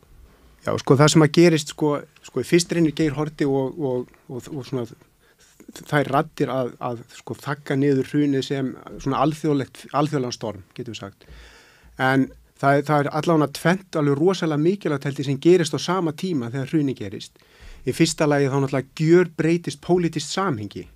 Þú veist, það er bara, þú veist, stjórnvöld líta alveg hræðilega illa út. Þau, þú veist, það voru hérna kvítar legar, það var búið að segja okkur að bankanir væru að fara að lifa þetta af og fyrr, fyrr ég minnir í janúar, februar 2008 þá kemur yfirlýsingum að, veist, að það sé ykkur annarlega öfla verki að fara, þú veist, efast um lánsæfismat bankana og, og, ríkisins og svona. E, þetta voru auðvitað sömu stjórnvöldu höfðu leitt engavæðingu bankana sko fram að hruni. Það, það er ofsa, og Ísland er auðvitað fyrsta svona fórnalampið, veist, það er rosa margt sem kemur saman sem að lætu stjórnvöld líta mjög illa út af þessu augnabliki. Síðan er annað sem að gerist sem að er líka rosalega mikilvægt að það verður róf í hinnum sjálfgefna veruleika hjá almenningi. Veist, samfélagi gengur á uh, endutekningum og vana. Veist, við, við erum vön að gera hlutina svona, við erum vön að vera þessum hlutverkum, við erum vön veist, þessu og hinnu skipulagi og þessna efist við að sjaldan um af hverju þessi ræður og af hverju þessu og svona mikla peninga. Vegna þess að við erum bara vön því, þetta er sjálfgefið. En þegar það verður svona óbærslega stórt róf og þú veist hlutverkinn farið skorðum, við fyrir að hafa áhugir að því að lífi sé að fara að breyta stofslega mikið, að þá rofnar þessi sjálfgerðni veruleiki og það í sjálfu sér, þetta er bara mjög vel þekkt úr sko, félagsfæði hérna mótmálarhefinga, mm. býr til alveg rosalega stórt tækifæri fyrir andof og fyrir sko fólk að sapna saman og, og, og mótmæla og þjappa saman fólki á bakvið ykkur aðra orðræði heldur en er ríkjandi. Og það er það sem að gerist. Það eru okkur aktivistar, þeir hlaupa á tækifærið mm. og, í, og það stækkar skindilega hópur þeirra sem að efast um óbreytt ástand hann stækkar, hann stækkar á svona kannski einum og halvum mánuði hann mm. byrja mjög lítið sko, alveg upp af hrunsist, þá erum við bara eitt stort spurningamerki það er bara, veist, þessi frægi frasi helvitis fokking fokk mm. við erum bara í einhverju svona frustration við veitum ekki hvernig við erum að skilgarna þetta og fólk er að leita svörum og þú veist og það eru aktivistar sem að halda fundi og þanga fyrir fólk að leita svörum. Þetta er mjög skýrt í öllum mínum viðtalskögnum til dæmis, hvernig fólk upplifar þessa fundi bara sem, veist, bara við verðum að fá okkar samiðlega sín á hlutina. Og stjórnvöld líta ítl út og þannig og þannig að sko mótmæli verða og, og öllu umræði tengslu við þau verða svona, hvað var að segja, svona kjarni þess að það verður til svona alternativ sjónarhort á þennan alþjóðlega fjármálastorm. Og þetta sjónarhort og sko það verður, og svo eftir því sem að mæta flera mótmala, því sko hraðar stækkar svo tilfinning að við séum öll að evast, að við séum öll sko, þú veist að hínir séu líka að evast, ekki bara ég, heldur allir hínir sko. Já. Og síðan endar þetta þannig eftir öll mótmælinu og eftir kostningarnar, ég er nú með tölurnar hérna hjá mig, ég fann það hérna fyrir viðtali, að, að ég held að séu 90%, með rúmlega 90% þjóðarinnar sem að, kendi, sem að var á þeirri skoðun að ríkistjórn Geirs Horti væri um að kenna mm. allavega hluta til. Og 98% töldu að bankunum var um að kenna en, en yfir 90% töldu að ríkistjórnir var um að kenna. Þannig að svo innrömmun voru 2009 vann, skilur, í þeim skilningi. Já, en síðan var reynd að snúa ofan af þeir, þeirri tólkun þjóðurinnar Já, því. Já, það er náttúrulega, það er náttúrulega alltaf bara átt að um þessa tólkun, held ég alla, allan söguna mm. en ég menna við sjáum hvernig veist, stjórnvöld bregðast við þessi nýja, nýja stjórnvöld bregst við með því að setja á stofn rannsóknar nefnd og, og hérna stjórna setja á stað þetta stjórnarskráferli og, og sérstakar saksóknar og þetta er allt leiði til þess að reyna endur heimta tröst mm. og, og svona mm. að því að, veit, ég held að stengurum sé að segja rétt að hlutin þegar við urðum að gera eitthvað í þessu vantrösti sem myndaðist í þessum atbyrði en veist, þetta er ótrúlega stóra flókin atbyrður og það skiptir alltaf máli bara hvaða rattir heyrast rattir það sem heyrast það er skilgerina atbyrðin, hann er oflókin hann talar ekki fyrir sig sjálfur sko. mm. Átnin Daniel, hvernig náður að renniðu myndina? Já og hvernig fannst þér? Uh, hún var mjög skrítinn uh, eitt auknarbleik standa upp úr svolítið þannig að Gimur Guðni T.H og er að afsaka geir á horti og hérna, vorkina honum sko. Og ég skil ekki, þú veist, það er svona svolítið dæmigert fyrir myndin að draga hann inn þennan fórsetta okkar sem að nýtu nú talsverða vinningar en hann var einmitt uh, viðstættur þarna í, uh, í hruninu. Við vorum uh, í Reykjavíkur Akademíun, hann var í Reykjavíkur Akademíun þá. Og hérna og eins og, og Jón Gunnar segir sko, var það að gera eitthvað við ætlum að gera eitthvað og hérna, það var ákveðið að, að blása til fundar í Háskóla Bjó og tíu fræðimenn fengnið til að tala og hérna og Gunni var fyrstur Gunni tíu á og svo kom ég og svo voru fleiri Þorflur Mattíasson mann ég og, og, og Haugur Már Helgarsson og fleiri og fleiri. Og uh, og hérna þar var Guðinni að tala um einmitt hvernig er þið farið með hrunið af hálfu sakfræðinga sko. en sem sagt já það er, það er svolítið myndin í í nóskun þetta var mjög fyndi í rauninni. Þetta endaði bara að vera með sprengklægilegt hvernig allir voru orðnið saklausir undir lokin sko. Og hérna já ég, ég eftir að hafa hert söguna tilur myndverðinar þá hérna skilji þetta betur, betur svona, hvernig, þetta er svona, þetta er svona einhver, einhver, einhver sko svona illa gerð blanda af einhverju raunverulegu sem að, sem að svona var eitthvað svipað eins og, eins og Þórður Snær lýsir uppalegri hugmynd svona að, að fjalla um rannsóknina, þá sem mm. gerður rannsóknina og síðan sko kemur hann einn element sem að greinlega hefur bara stækkað og stækkað og allt í enn er þetta orðin sko afsökun fyrir og einhvern tilrönd til að sko fyrir sagt, þessa, þessi 2% eða 10% sem voru ósamála þessari tólkun sem að Jón Gunnar eh, bara á borð hér eða semst talaði um hérna áðan semst að fólk, fólk að bankarnir bæri sökina og svo ríkistjónin núna á að reyna að blása til sóknar fyrir þessi eh, 2 og 10% eða eitthvað svo leiðis Með svona, hvað er ekki sagt eitthvað, hálfsannleikur er sterkasta lígin eða eitthvað. Þú til að lýsa því þannig eitthvað. Já, Þannig að, að þú upplifir að mynd, það sem verið að ljúa með myndinni. Stildu okkur upp. já, bara þetta er mjög förulegt og, og, eins og ég segi þetta er fyrst og fyrst hlægilegt sko. Já, en sannleikurinn er náttúrulega margskunar. Það er ekki eignarittur á honum.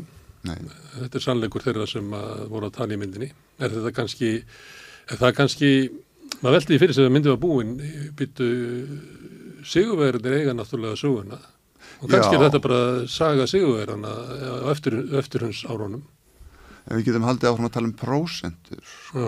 í hruninu þá eða í Occupy, Occupy Wall Street sem að var nú partur af uh, þessari bylgi sem fór um heiminn og íslenska hreyfingin var partur af því þá var talað um eina prósentið kannski er eina prósentið að tala hér gegnum þess, þennar samsning Já. Þú hefur, skrifað um eftir hrunsárin. Er það ekki svolítið til í þessu að að þeir sem að, eða, sem myndin er málsvari fyrir, að sömuliti hafa þeir unnið eh, eftir hrunsárin? um, ég- sko ég er ósamála því að þeir hafi unnið en þeir hafa hins vegar reynt mjög mikið uh, og það fannst alveg á fyrstu metrónum eftir bankarhunnið að það var svona, það voru útbúnar strategíur um það hvernig uh, ætti að útskýra það sem hafði átt að eiga sér stað. Uh, ein var svo sem við fórum yfir hérna áðan sem var sett fram í ræðu þá verandi fórstisráðura þegar hann var að kynna, tilkynna þjóðin um þetta, um þessi stormur hafði geisað. Og hún hefur síðan fengið uh, svona uh, áframhald í meðal hans skýslum sem hafi verið gerðar fyrir skatt fyrir okkar og, og fólk eins og Hannes Solstedt Gissurason og fleiri hafa verið fengnir til þess að gera. En, en leikendurni sjálfur uh, svona þessir kaupjæðinar og, og bankamenn uh, þeir sjálfur voru mjög fljótir að átta sig á því að þeir þyrtu að fara í mikla barátt um almenningsáliti og uh, það fundust uh, við húsleitir hjá, hjá embati sérstak saksóknara uh, strategíur sem voru teiknaðar upp mjög snemma árinu 2009 af þekktum almannatenglum um það hvernig ætti að gera það með því að grafa undan hérna, þeim sem voru gaggrinendur með því að auðvitað, halda út í vettvöngum sem hefðu eitthvað trúveruleika yfirbræð og það var gert meðal annars með því að að setja peninga í, í, í fjölmila uh, bakkavarabræður sem voru uh, stærstu eigundur kaupþings settu til að mynda mest allra af peningum inn í uh, fjölmili sem heit Pressan og styrta bytningarhapsinni og þar var málstaður þeirra sem voru til rannsóknar hún var gert mjög hátt undir höfði. Gerur þetta 8365 og ég vann þarna um tíma á þessu tíma og það var alveg augljóst að hann hafði áhrif og hans fólk hafði áhrif á það, reynda hafa áhrif á það hvernig var fjallað um hinn ímsu mál. Uh, Mið, miðlarnir voru notaðir og það kom líka í ljós þegar rittstjórar fréttablasis, Mikael Tórósson og Ólaf Steffensen hættu, þá sögðu þeir bara beinins frá því. Ólaf er í leiðara að, hérna, að þarna hafði verið óeðlega afskipti af því hvernig fjalla var um þeirra eigin mál. Eh, það er að halda svona áfram. Kaupþingsmenn heldu úti réður ágjaf og heldu úti heimasíðum. Það voru borgað fyrir alls konar samantektir og rannsóknir. Ólafur Ólafsson setti á fót sín eigin heimasíðu og held hérna auðvitað mjög eftirminnlegt ávarp til þjóðarinnar þegar uh, upp komst um það hvernig þeir hafðu raunverulega eignast búnaðabankan á sínum tíma. Uh, Þetta er baróta sem er búið að há og það var mín álíktun þegar ég skrifaði síðast bókum þetta að sko að þeim hafði ekki orðið nægilega ágengt meðal annars vegna þess að hérna að þetta skýringarna voru marga hverjar fjastæðukendar og ofsin í því að koma þessu framfari var svo mikill. Það er margt mjög sambarilegt við þessari aðferðafræði sem var beitt og til dæmis þeirri sem er beitt núna í tengslu við öll mál sem tengja samherja. Mm.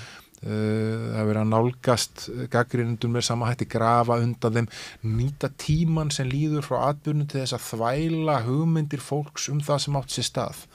Uh, selja bara, nei þú ert ekki að muni þetta rétt. Þetta var ekki svona, þetta var aðeins öðruvísi uh, og hérna, og í endanum þú veist, þá gerðu við ekkit ránt, þú veist, það er ekkit ólöglegt að vera, vera slæmur bankamæður, en uh, ef maður horfi bara á staðirendir málsins, þá er það þannig að niðurstaðan verður að málin enda hér upp í hæstarétti, við fáum fullt af sagkveillingum sem eru fordæmalösar í heiminum í efnaðsbrótamálum meðal annars fyrir skipulega markasmisnokun uh, sem er þess eðlis að hún er til þess gerð að ble, blekja markaðin, hún er að blekja almenning, hún er að blekja fjölmjöla, hún er að blekja stjórnvöld til þess að sína fram á heilbriði fyrirtækja sem eru löngu dáin. Mm.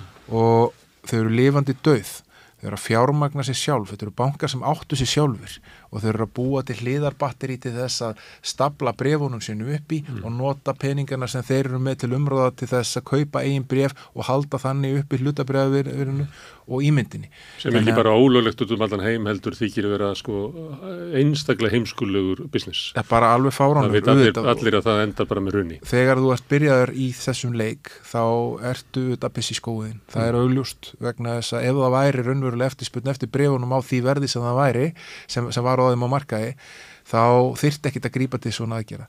Þannig að hérna, þú veist, fyrir mér er þetta alveg klappað og klort hvað gerðist. Það voru framinn Uh, lögbrót og ef þetta voru ekki lögbrót samkvæmt lögum sem hæstir þetta eru auðvitað staðfest og endur upptökust domstólinn og mannrindóstól hefur ekki efnislega felt og gildi þrátt fyrir að mál hafi rata þangað vegna þess að einhverju dómarar sem áttu í böngum töldu sér hæfa til þess að setja mm. í dómum yfir þessum mönnum sem eru alveg galinn afstafa hjá þessum dómurum uh, þetta er bara niðurstaðan, hún er svona afleggingarnar voru þær að þetta er gríðarlega áhrif á fólk, mm. fengum 80% pluss verðbólgu, yfir 80% stýrivexti, allir með verðtrið lán og neikvaði eigin fjárstöðu og og í mörg ára ganga í gegnum alls konar eitthvað ný úrræði, greiðslu aðlugun, 110% leiðir og endar með því að, að setja á fót eitthvað svona populísk leiðritting sem gengur út á það að borga fólki eh, aðalega efri millistjett og, og ríku fólki skadabætur fyrir það að þau hafa tapað eitthvað vergildi tímabundi í húsnæðin sin. Mm. Þannig að veist, þetta er alveg... Það sem ég átti við með sigurvera ef maður skoða til dæmis eh, stærstu eigundur hérna, skráður af félag í kaupallinni að þá eru það hérna, sömu menn og stjórnum íslensku viðskiptalífi fyrir hrun. Já, ég held að það sé engin vafi að uh, flestir þessara leikenda komust mjög vel frá uh, þessum atbyrði fjárhagslega mm. og fundu sig aftur. Þeir fjármálastofnunir aðlugur sem mjög fljóta þeim aftur, tókuðu peningunum þeirra, eru búin að hjálpa þeim á fætur og þeir eru mjög umsjöðameklir í íslensku atvinnlífi í dag. Mm. Það er kannski líka eina ástafanum fyrir því að þeir sé að sækja helbriðisvottor fyrir fortíðina eh, að þeir vilja kvítþó sig vegna þess að framundan eru mikla rendingar í íslensku aðunlifi meðal annars í eign og fjármálufyrirtækjum og þeir vilja mögulega vera í stakk búnir til þess að geta stíið þar inn eh, en um, þetta er fyrir mér þetta ekki sérstaklega trúverðugt. Mm. Eh, það er margt sem allan hefur ofnberað í fjölmjölum og, ég hef tekið þátt í að ofnbera um það hvernig þessir aðeila komu sér í þessari stöðu meðal hans með því að ferja peninga gegnum Sælabankan hérna inn í landi og tímum hafta án þess að nokkur aðtöða með upprunna þeirra mm. peninga sem ekki voru greiti kannski rétti skattarað eða hefðu átt með rétt að vera eigin ykkur að kröfu hafa Eh, það eru þetta fullt af eiginkonum manna sem voru fyrirferðarmerklir hér fyrir hrun sem eru skindilega orðan mjög fyrirferðarmerkli í íslensku aðunlífi og svo framvegs mm. Þetta, ég held að sé rétt hjá þér að, hérna, að það má líta á, á þessu sigurverða út frá þessu en þetta er svo sem alveg blasa við held ég í lengri tíma mm. uh, að þeir hafa mikið á milli handana og geta verið fyrirferðarmerklir í íslensku fákittsungurfi Eh, það sagan sem ég er að tala um kannski fyrst og síðast um það hvað gerðist mm. þeir sem eiga peningana eru venjulega naskari í að halda þeim en, en hinnir sem vilja taka á aðeim mm. Jón Gunnar, þú var svolítið að, að byrjaði að tala út frá svona barátunum söguna já, mm -hmm. í ávarpi í GIS og það er sigurverðin sem að hefur tök á sögunni, er það ekki þannig?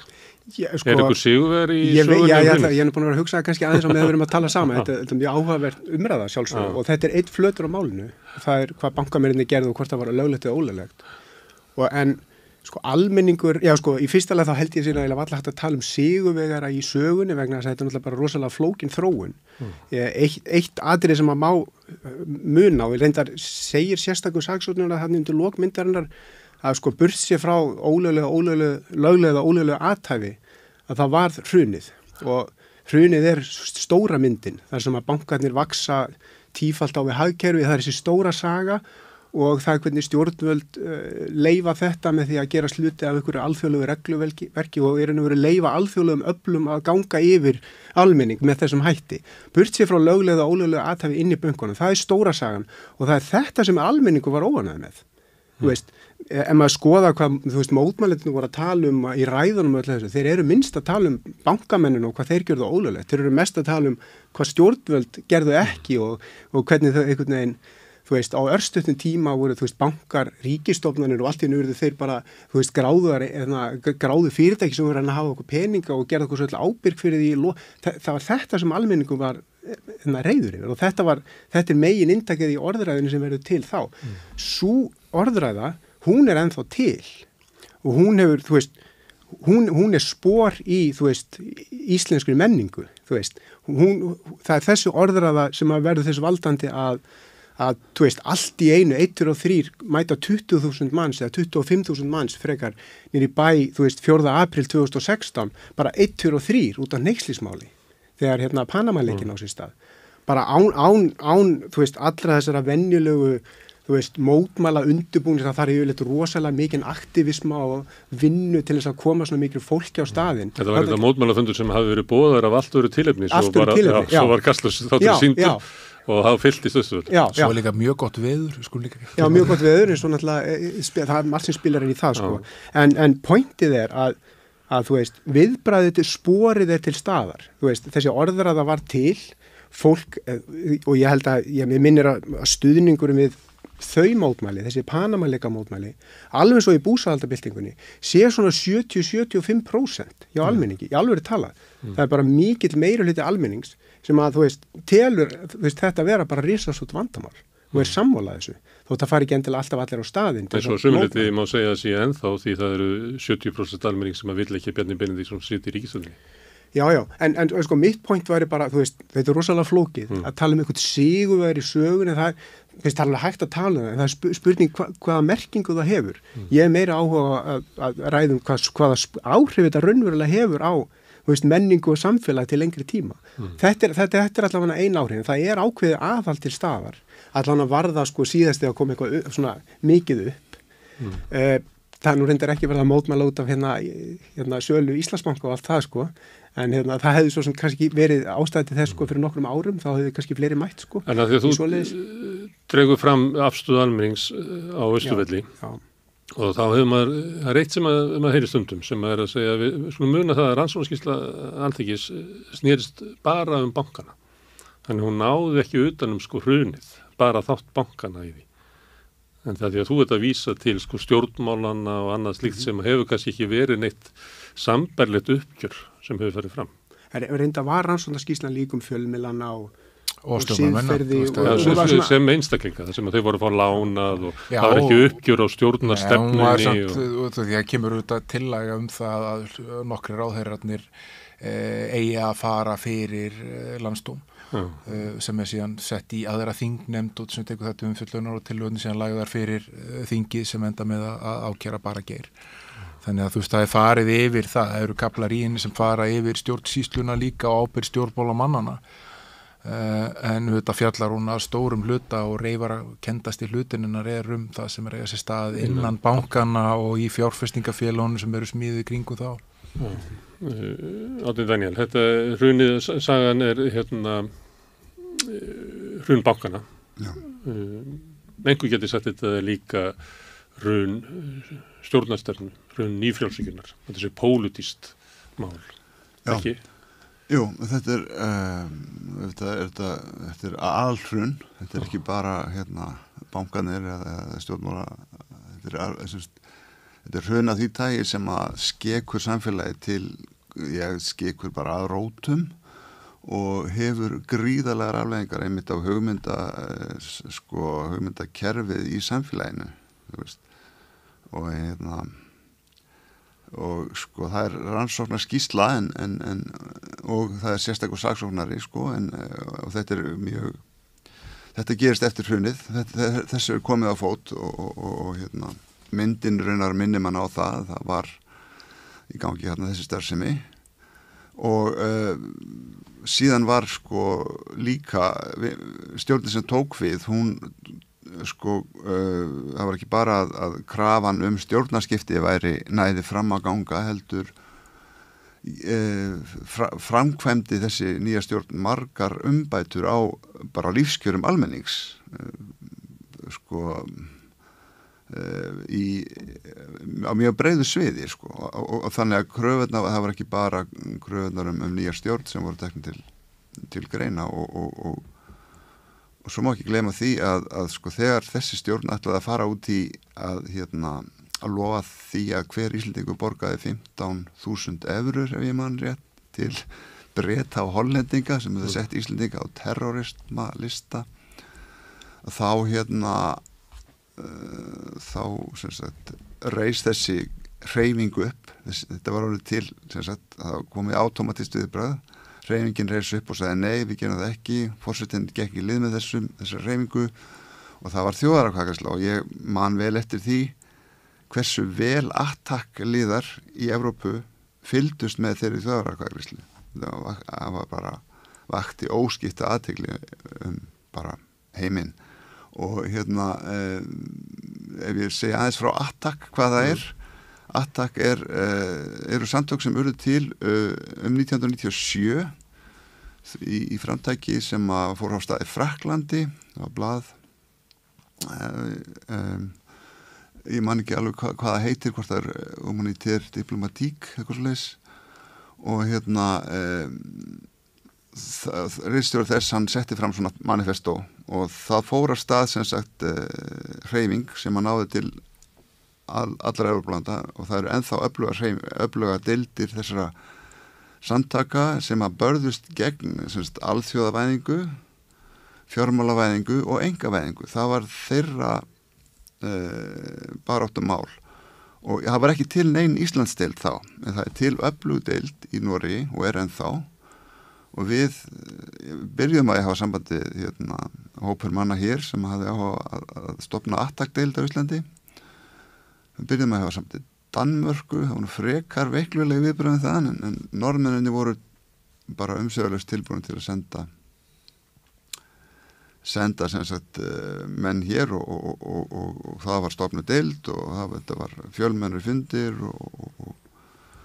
og hérna þessi samtök þau störfuð að krafti svona fram til svona 1914 þegar gríska eh, grísku eh, semst, 2015 eh, semst, við höfðum farið á Európaþing attacksamtakana í París sömurinn 2014 og þar var greinlegt að það var mjög hort til Gríkja, hvernig sagt, þar, þar var öflugur flokkur komin, vinstir flokkur sem heit Sirisa og sagðist ætla að snúast gegn um, ofurvaldi nýfrálsíkjunar í uh, Evrópu.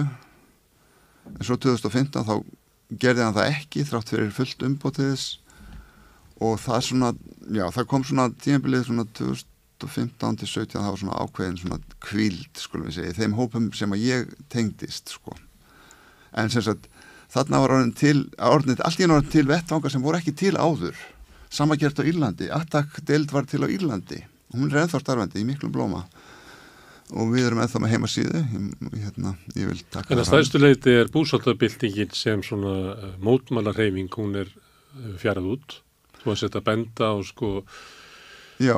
áhrif hennar víða. Það má til dæmis rekja breytingar í verkefnisreifingunni til fólk sem að tók þátt í búsaltabildingunni bæði í harsjónsendugum heimilanna og, og aðtak Sko, ég, mér langar að setja sko, búsaltabildinguna í svolítið stærra samingi sko það hafa verið að koma upp núna undanfarið uh, rannsóknir á, á hérna kallum uh, uh, urban sieges sagt, borgar umsátrum eða og sagt, sá sem að er svona með þessar rannsóknir forvegismæður það hann heitir Mark Basinger hann er um, professor við Princeton háskóla og hann hefur rannsakað allar bildingar síðustu 130 ára og hérna hann semst sér ákveðnar uh, negðir sko og hérna hann, hann er uh, greinlega lærisveit félagsfræðing sem að ég las hér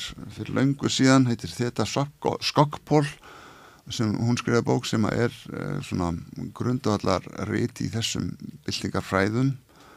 Heitir States and Social Revolutions og um, sem sagt Basinger segir í, ég las viðtaliðan í, í Jakobin eh, sem er ritt bandarískunistir manna uh, segir að, að sko þessir að, að, að það hefði það hefði breyst sem sagt byltingar ástand þegar að verði byltingar ástand þá er það öðruvísi heldur en þegar rúsneska byltingin, þegar kýmerska byltingin varð þar var uh, svona hljómgrunni byltingana var sko einhvers konar uppgjöru við uh, aðalstjætt í sveitum gerðegenda uh, og það voru bændur sem voru hreyfi af breytingana miklu leiti, kannski ekki alveg í Rúslandi og í, um, í Þískalandi varð byltingar hreyfing árið um, árið 1918 og 19 sem að var fullkomlega svona kerð af verkefliðstéttinni og mm. flokkum þeirra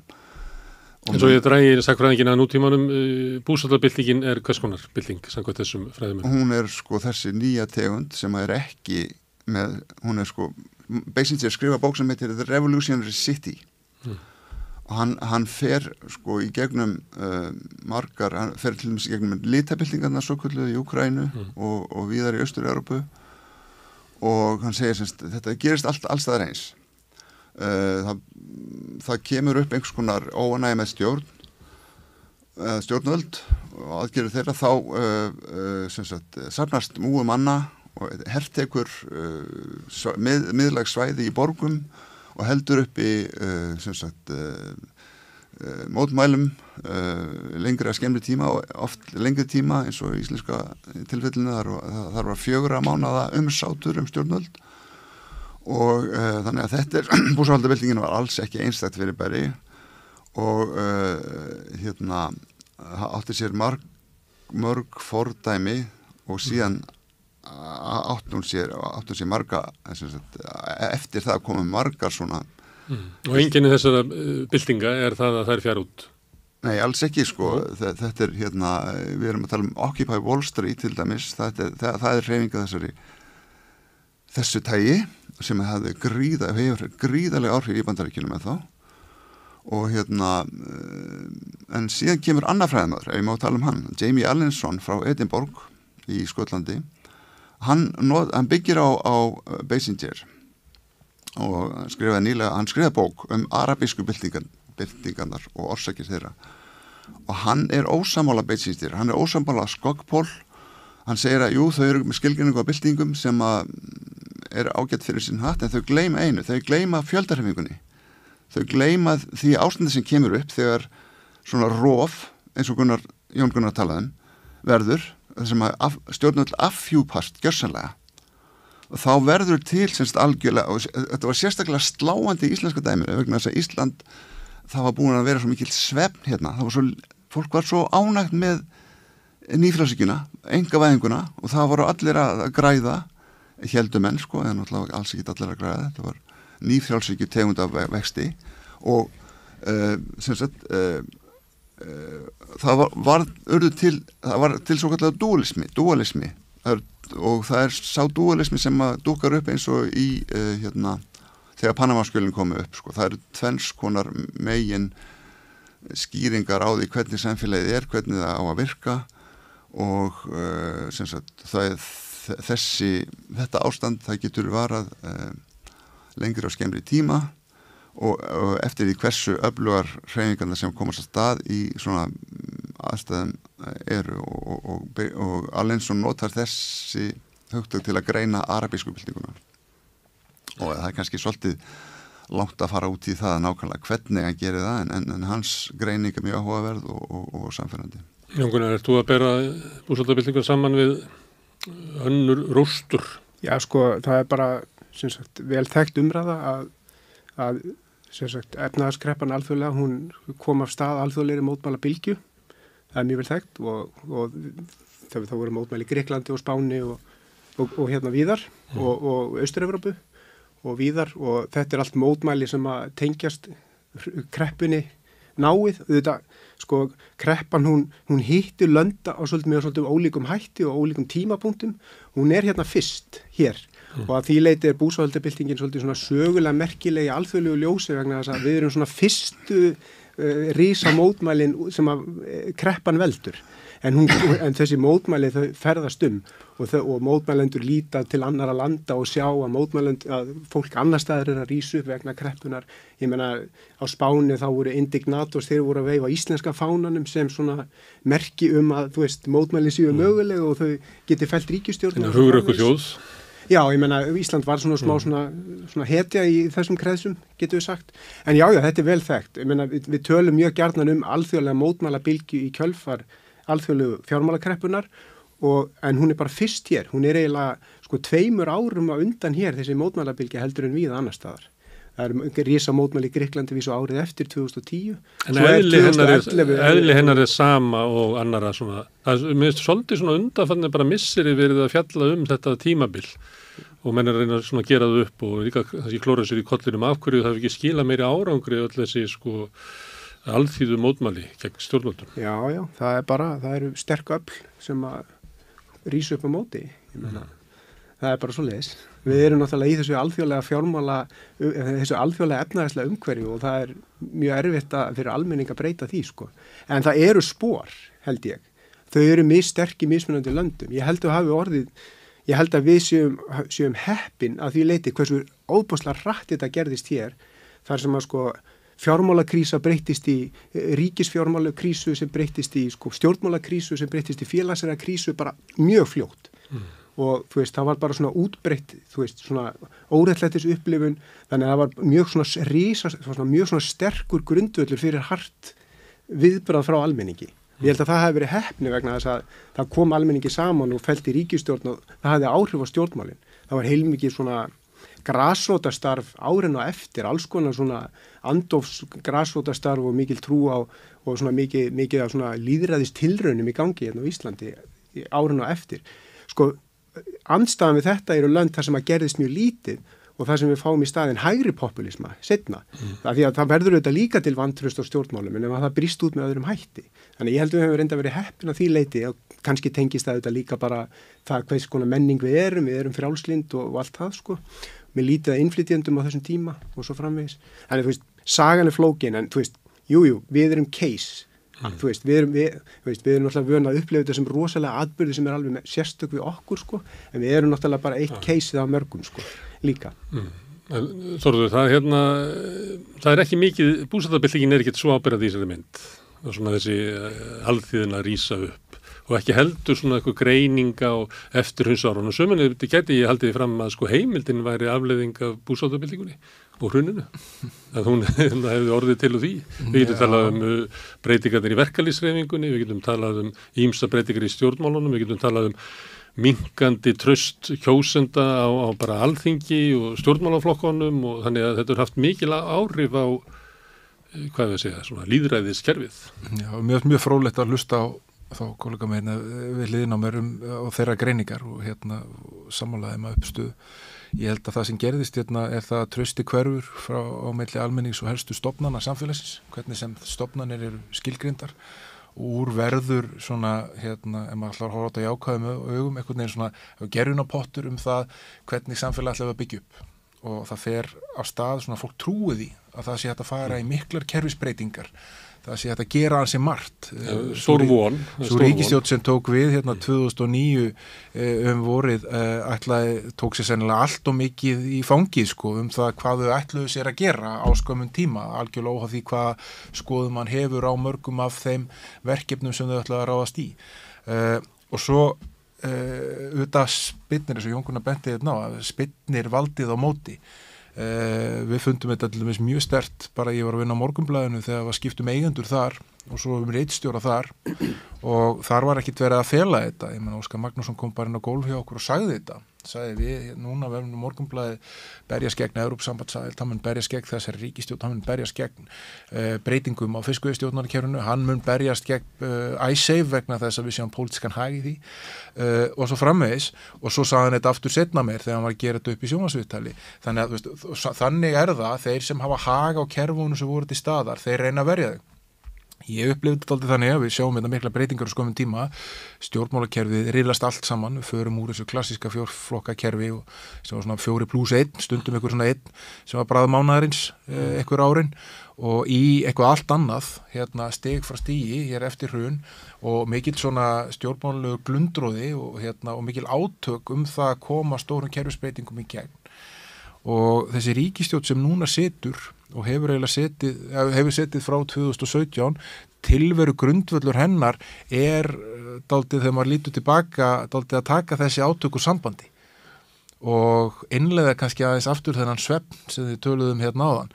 Uh, eru við ekki búin að uh, rífast nóg, er ekki búin að hérna, takast of mikið á, þurfum við ekki bara einhvern veginn að, hérna, að kæla þetta og, og gera sem minnst í smá tíma?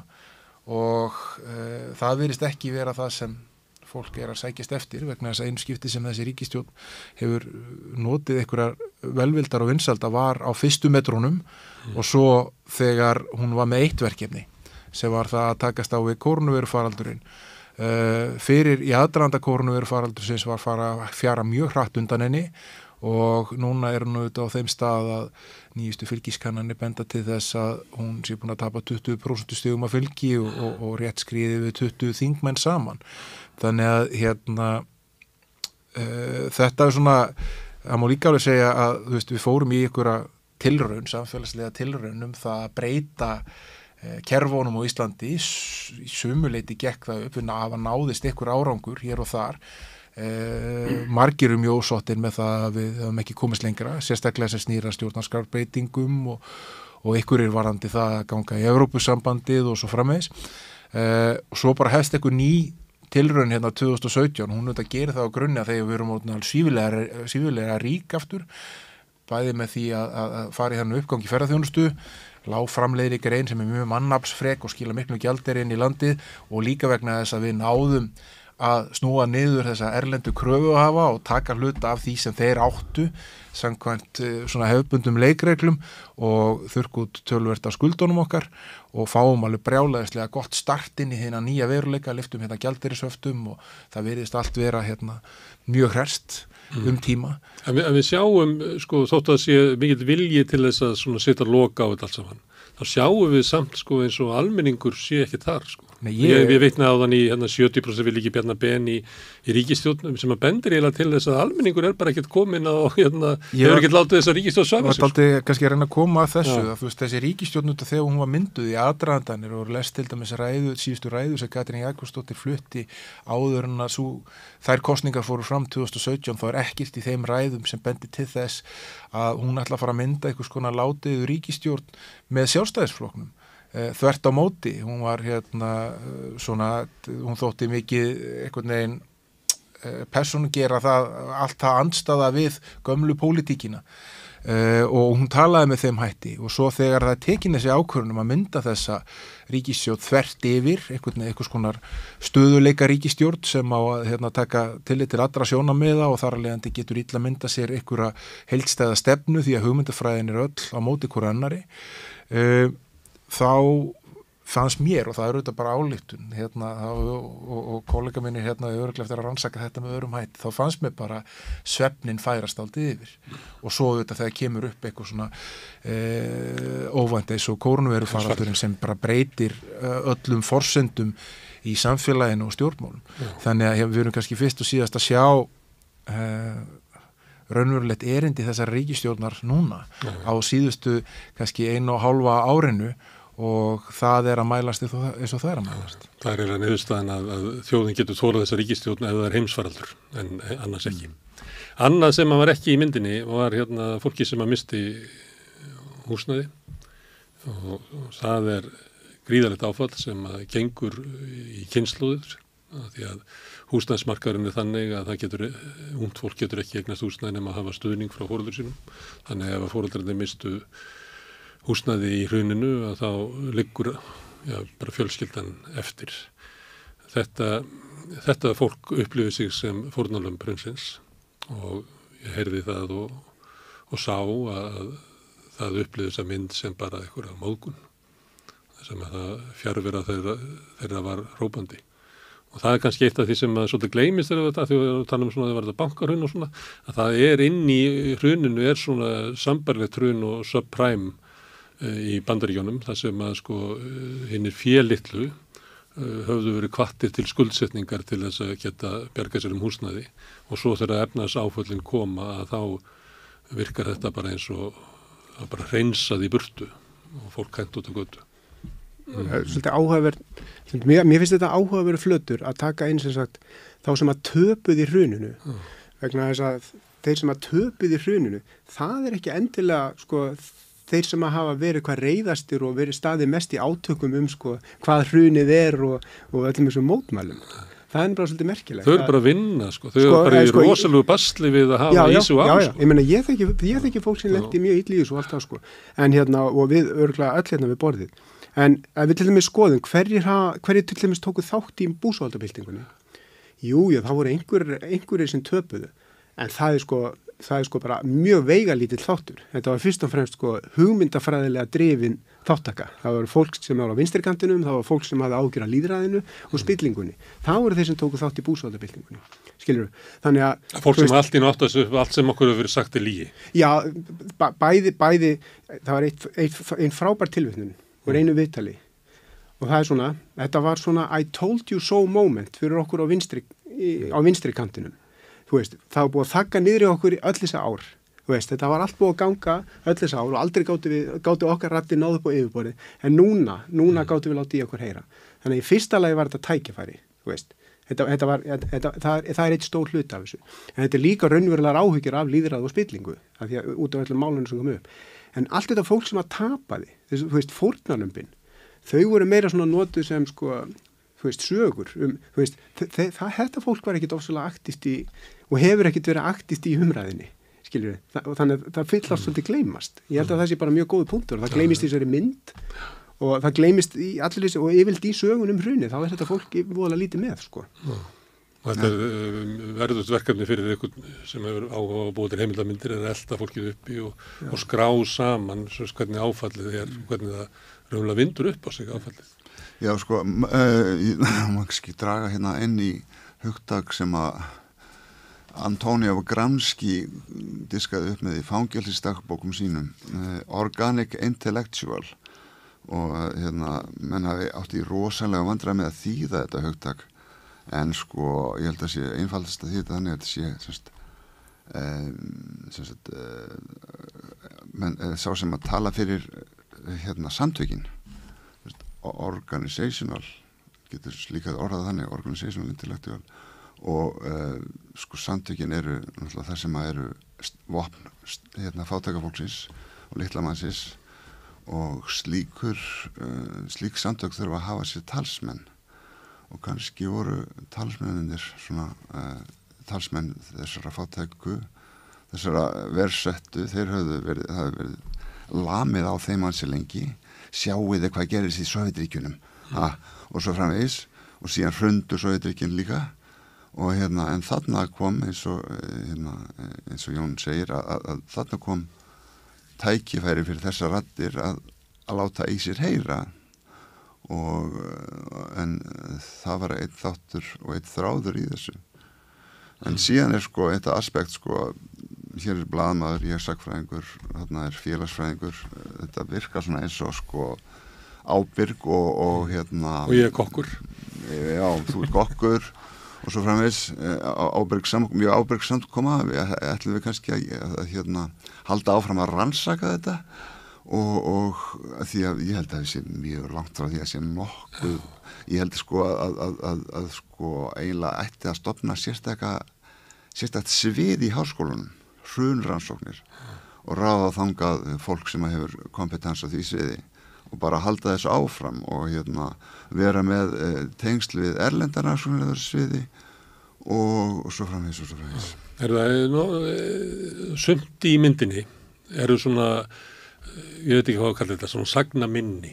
Það er að, að réttarhöldin yfir Geir Horti hafi verið pólitísk réttarhöld hemd, pólitíska anstæðinga sem voru sárir eftir átökum við hann og hafi nota tækifæri til að hefna sín.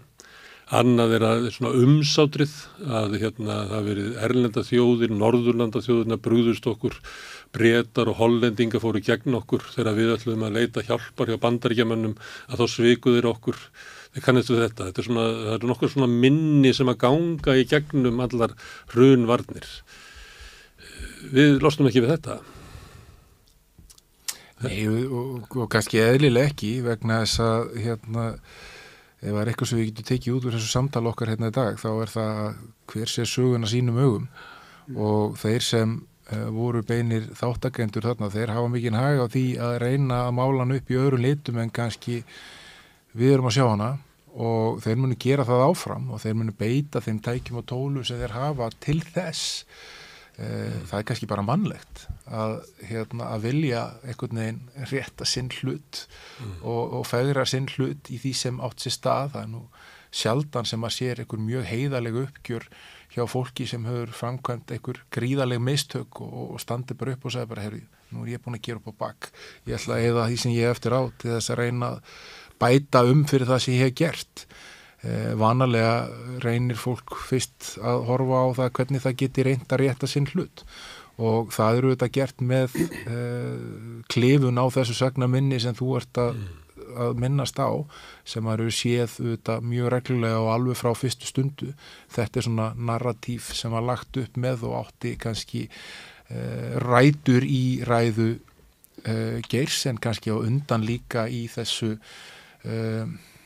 þessari skoðunum það að uh, hafa komið þannig fyrir böngunum fyrra árunu 2008 vegna þess að óbylgjarnir útlýtingar væri einhvern veginn að bregða fyrir okkur fæti vegna þess að við höfum náð svo miklum árangri. Mm. uh, að, hérna, að danir væru öfundsjúkir vegna þess að við höfum keft illum og eitthvað svo leiðis og var þess valdandi að, að fósfarsmenn þá verandi ríkistjórnar fóru í bara bladamannafundaferð um, um heimindi þess að tala máli bankana sem er ótrúlur atbúrur e, í sérstaklega ljósa þess að maður sá eftir á hvernig ástandi á þessum bönkum var á þeim tíma að þeir hafi ekki kynnt sér það betur á þenn að þeir fóru og töluðu því máli.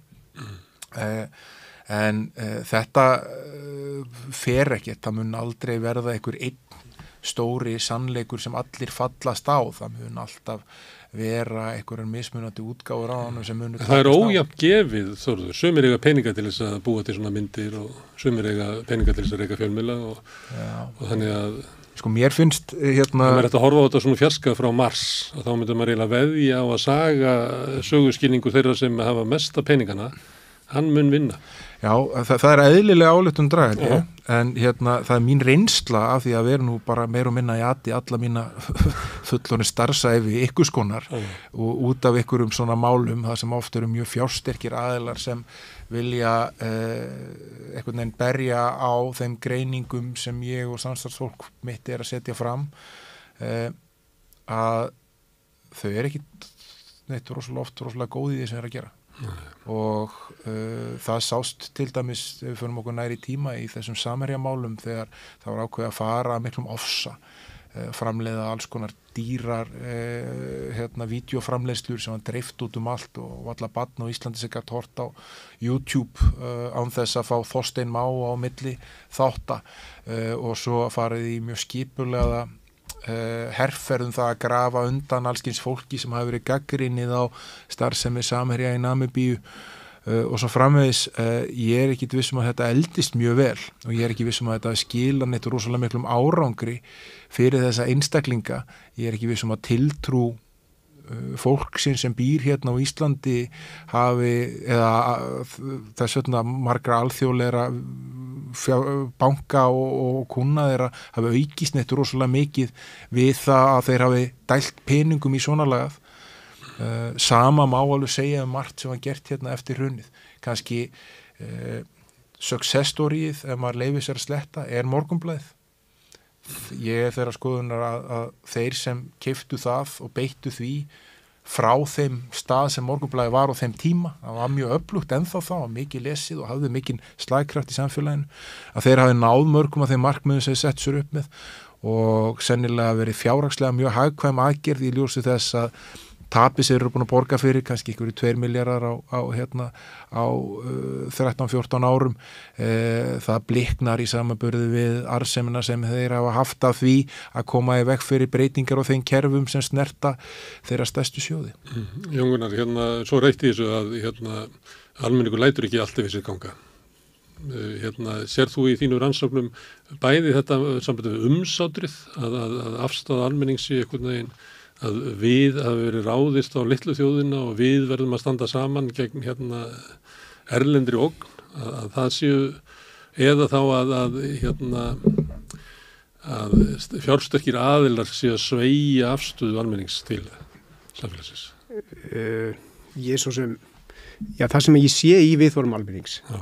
og það sem að er það sem að þessi sí endutekni stuðningur við þessa típu af mótmælum sem við erum búin að vera að tala um er að mjög stór hluti almennings eh, veist, hefur áhyggjur af þessari veist, líðra, þessi, þessi, þessum líðræðis vanda þar sem að veist, auðmagn og völd þjapast saman og þar sem að líðræðirinn verið býður skarðan hluti í alþjóðavæðingunni.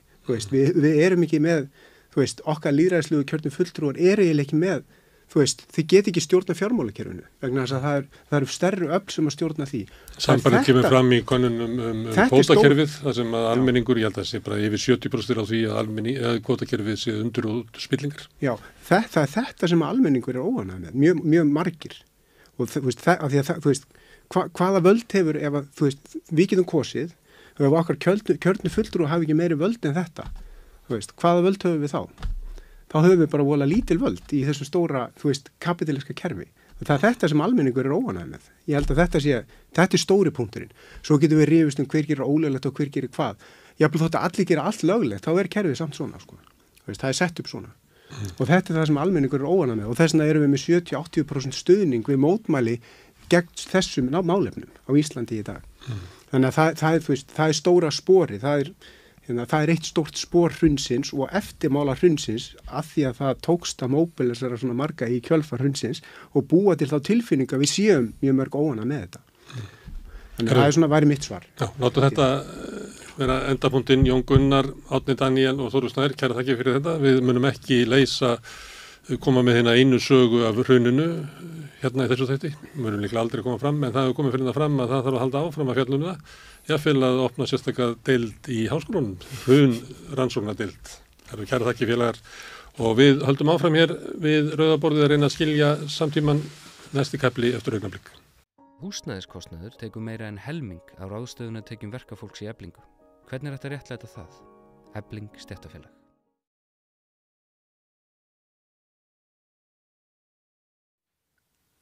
Komið sæl, uh, í dag er alþjóðulegur baráttudagur gegn fátækt og við hefum fengið til okkar þrjár uh, magnaðar konur sem vinna græsrótastarf í félagi sem heitir PEP Ísland og er eiginlega um og fyrir fólk í fátækt. Getið, ég ætla nú bara hérna kynni ykkur það er Ásta Þórdís, Skjaldal Guðjónsdóttir og Laufey Líndal Ólafsdóttir og Elisabeth Haugstóttir. Verðið velkomnar. Takk fyrir að koma til okkar í dag. Þetta er ekki beint svona hát, þetta er ekki beint hátíðisdagur en þetta er baráttudagur og á að hérna blása fólki baráttu andaði brjóst. Þannig að mér langaði bara til að byrja á að byrja ykkur um að segja okkur aðeins frá þessu fyrirbæri, PEP. Hva, hvað eru þau að gera? sko, hérna PEP byrjar sem græsrótastarf í, í stærri samtökum sem að vinna á Evrópugrundvelli. Og hérna síðan gerist það að, að hérna það verður svona ákveðið misræmi í, í þessu öllu saman. Og við lutum áður stjórn fólk sem ekki þekkir fátækt á eigin skinni. Mm. og til þess að, að hérna halda okkar baráttu sagt á grás rótar levuli bara semst á, á því stígi að þá stigum við út úr því samstarfi og hérna sóttum við megin kennitölu og, og erum í dag með stjórn fólk sem að þekkir fátækt á eiginskinni því að hérna baráttan snýst uh, gegn fátækt og félagsleiri einangrun. Mm. Mér langar einmitt að fá að byggja ykkur um að segja, segja okkur ykkar eigin sögu hérna á eftir en, en byrja kannski svona á Þessar eiginlega reynslu ykkar núna á Íslandi, hvað eru þið búin að sjá, hvað eru þið búin að vera að gera og hvað eru þið búin að sjá? Ástandi er, ástandi hefur vestnað á Íslandi, er það ekki svo? Jú, ef að ég byrja mm. þá hérna, eh, sem sagt, er ég ekki, hérna, bý ekki við fátætt í dag, þannig að staða mín hefur breyst og, og hérna, það að búa ekki lengur við fátat í dag gerir mér kleift að segja ímislegt sem að þær eru kannski erfiðara með að segja af því þær búa ennþá við fátatina og af því að þær eru ennþá svolítið já, þvingar af því að geta sótt sér um aðstóð á ymsum stöðum. Það má ekki rugga bátnum á mikið því að þegar maður er háður því að fá aðstóð fyrir einhverjum að þá getur hann móðgæðast eða orðið ósáttur. Þannig að það er ansi margt þarna sem að gera mér kleift að segja það sem er byrjið brjósti út frá minni reynslu af því að ég bý ekki lengur við aðstæðunar. Já, þú ert komin í gegnum þennan eh, erfiða dal eins og í ævindýrum, þú ert komin í gegnum þrautirnar og, og hérna... Ég búin að skila skömminni, Já. fjölskylda mín þekkir þetta, þau skamma sín ekki fyrir það þó að ég standi upp og segi hvernig hlutinu hafa verið mm. og ástríðan mín kemur út frá því að hérna, ég er búin að gangi gegnum mest allt sem að þær er að tala um og er að gangi í gegnum. Og ég brenn fyrir því að við getum á einhvern hátt breytt stöðunni þannig að það þurfi ekki fleiri að fara í gegnum þetta og reyka sig á alla steinana í veginum sem að ég ragn í. Og líka má segja þið séuð að berjast gegn því í raunverulega e, e, e, eigin starfi þar að segja að það væri æskilegt að það þyrti engin að tala fyrir aðra. Og þú lístir því Elisabeth að að þú hefði fengið svona einhvern veginn kraft með því að vinna í, í þessum samtökum með því að eiginlega segja þína sögu sjálf.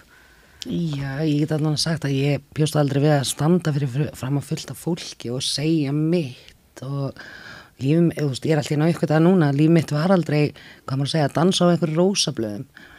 Ég bjóst aldrei við að ég myndi að hafa einmitt röttin á þóra að segja bara, heyrðu, það bara, vá, ég er búin að gangi gegnum ímislegt og jú þau hafa gefið mér rosalega rödd og munu gefið mér áframröddina. Og ég mun ekki að hægt að berjast fyrir þó ég sé kannski ekki eins og ástofar að segja veist, alveg ennþá ég fáta til fáta þenni, ég get alveg en ég get ekkert leift mér allt eins og margir. Og að heyra mitt eins og börni mín bara en þessi, já ástaf mín ég þarf aðeins að hægra það, þú veist.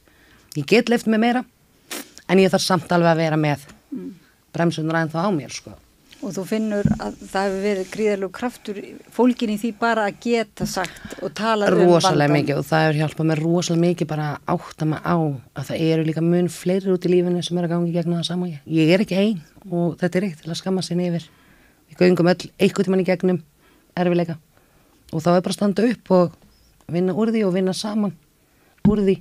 Ekki að vera einn út í hotni, þú veist, og ég er einn sem að lifi í eitthvað svona, nei, við erum rosalega mörg og ef við stöndum saman þá er verið miklu meira úr verkunum. Mm. Þú hefur verið að hjálpa, að, þú ert sjálfbúðalið og hjálpar öðrum að finna sína rödd og segja sína sög og koma fram, leita sér hjálpar. Já.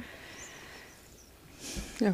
Þannig er það svona kjarnin í starfseminni, það er þetta raunverulega að, að, að vera vettfangur þar sem hægt er að tala um hlutina og, og losna við þessa skömm. Já, sko hérna, svo ég grípi boltan frá þeim hérna félögum mínum hérna þá hérna sagt, þegar við byrjuðum peppið í upphæðu sem var eiginlega bara ég og Óstadís sem fengu það í hendurnar það var held í 2012 eða 13 Ég byrja 2012 og svo, já, já í lokast 2011 byrja ég og svo já, kemur þú inn á árunum 2012. 2012. Já, emitt og þá sem sagt fórum við uh, fyrir hönd eða pjann á ráðstefnu sem er haldinn árlega í Brussel sem að hérna ber nafnið PEP, PEP mm. um, sem að stendur fyrir People Experiencing Poverty ég man ekki hvort ástafa búin að útskýra það mm. en þetta er sagt, eh, svona nafn sem að hérna EAPN eh, e í Brussel hefur notað yfir fólk sem að er sem sagt, sérfræðingar í fátækt sem er sem sagt, bara fólk sem hefur reynslu af því að búa við fátækt Um, og EAPN það er skamstöðum fyrir það European Anti-Poverty Network. Já, já, já. þannig að þetta er svona það, þetta er svolítið svona Európusambands hérna, að það er rosalega mikið af hérna, skamstöðunum fyrir alls konar hluti. Og hérna þannig að þetta er svolítið litað af því.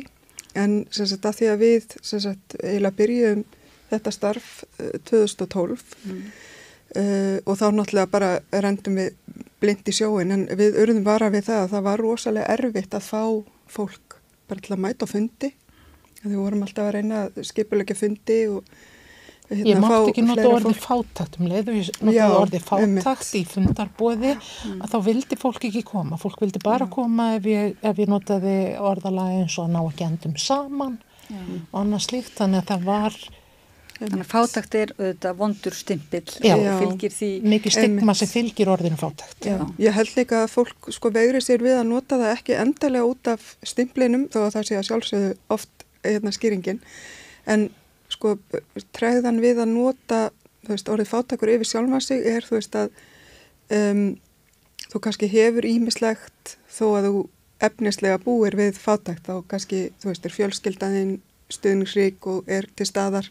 En þú veist þú sjálfur þú veist ferð ekki gegnum greiðslumat til þess að kaupa þér íbúð eða þú veist og ert alltaf að telja hverja krónu og svona þarft að maður tengir umverulega fátakt bara við sko fátakt fólk Emilsson, einhver, eitthvað sem áður Íslendinga, eitthvað eitthvað gamla daga. já.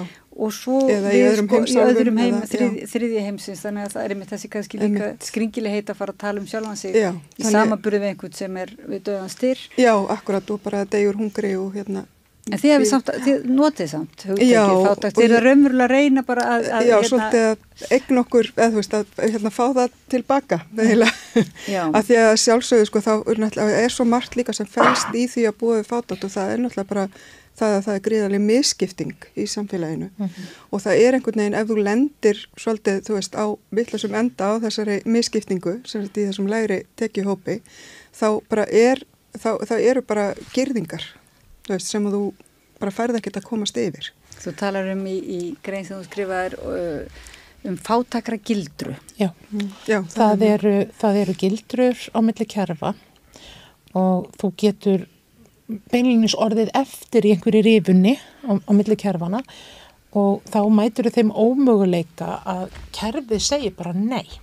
Þú getur ekki fengið aðstóð hér af því að þú ert ekki komin þangað að, að þessi tilbúinur að segja en þú getur ekki fengið úr gamla kerfin heldur af því að hérna þú ert komin út úr því. Þannig að þú, þú lendir á milli skips og átt þá hvergi rétt á að sækja um aðstofn einstæðar og þá stendur þú frammi fyrir því að hérna, eina leiðin er að, er að hérna, finna einhver staðar ölmusu eða, eða fá tíma hjá félagsrákjafa og sem betur fyrir að þá er nú komið betra kerfi núna að sækja um slíka aðstof þú getur sótt um rafrænt því að, að hérna á meðan að fólk varð að fá tíma hjá félagsrákjafa til þess að geta sótt um að þá var það oft uh, sko eitthvað sem tók nokkra vikur að, að ná inn og fá þann tíma. Þannig að hérna Svo það fólk náttúrulega að vita að það eigi kost á því og, og það er náttúrulega augljóst í, til, í tilfelli innflytjanda sem kannski tala ekki málið og átta sér ekki á grunnreglum samfélagsins en svo reynist uh, staðan vera svo, svo í sko um bara okkur mörg í samfélaginu. Við, það er svo við áttum ekki, okkur ekki alls ekki á því við fáum ekki beint mentun í því hvernig uh, kerfið virkar eða sko ég lendi mitt í því að lenda í raun og vera á milli í kerfinu á tímabili og ég, ég vissi prívat persónulega ekki allan rétt sem ég átti. Þú veist, ég, ég sótti bara um það sem að þú veist, þessi einstaklingur sagði mér að gera þetta og ég gerði það. Og svo, þú veist, sagði einstaklingurinn kannski á hinuborðinu, bara eitthvað, nei, þú ert ekki rétt þessu. Og maður var orðin, þú veist, á tímundabilið þá var ég orðin bara eitthvað, já, en hverju á ég þá rétt á? En svo kemur svona, eins og maður segir, manneskja sem að kann á kerfi og, og þekkir það og grípur mann og þá var maður bara eitthvað, já, ok, þá átti ég alveg rétt á þessum, en ég bara sagði kannski ekki akkurat þetta á blaðinu eða þetta á blaðinu eða glemd að segja frá einhverjum einu litlum hlut. Ég sagði ekki að þú veist, já, ég get ekki keft um skó líka í hvern mánu, þá hefði ég strax komist inn. Og ég er mitt, eins og ég segi, ég þvældist held ég á milli í kerfinu sko, ég held að vera hálft ár eða ár. Þá er allt fór svolítið svona að, rúla. Já. Þetta er yfirleitt ekki byggt upp þannig að það liggi alveg ljóst fyrir hverju þú áttur rétt á og, og hvað þú getur, getur farið og sótt um. Þannig að þarna kemur jafningafræðslan rosalega stertinn og ef að þú sagt, ert að vi- vinna með fólki eins og, eins og hérna alla var að gera sem að, sem að er búið að reyka sig á, á þessa mannkanta og þessa steina í kerfinu að þá er hægt að benda á farðu og talaði við þennan og byttum þetta. Þannig að þessar upplýsingar liggja ekkert á lausu. Já, það er vandið Það er náttúrulega líka dýrt að vera fátækur að menn geta náttúrulega ekki ráðið sér lögfræðing eða, eða einhver, einhvers konar fengið. Eða endurskoðanda Eða eða- endurskoðanda kannski sem að setur, tekur þeirra mál virkilega fyrir. Já og af því, einmitt af því að segja þetta, það er dýrt að vera fátækur, að það er hérna mjög algengt að þú getur sótt um endurgreislu á einhverju, en til þess að fá endurgreisluna það þarf þú fyrst að leggja út fyrir því, síðan skila gögnum og fá endurgreitt. Og það ef þú átt tíma. ekki upphæðina til þess að leggja út þá ertu bara í djúpum skýt svo ég segi það bara reynd út. Og það er, það er nokkuð sem okkar fólki reykur sig reglulega á. Já, því að það, það, það er svona eins og bara gott dæmi um að þú veist, ef þú á félagslega bótum það áttu rétt á, þú veist endur greiðslu með leikskóla þú veist, uh, aðstof með mat í skólum og ekkert vandamál. En alltaf í byrjun hvers mánar þá þarf þú mynd eins og ástofur að segja að borga þetta og þetta er ekki lág uppátt og ekkert mál, þú borgar þetta.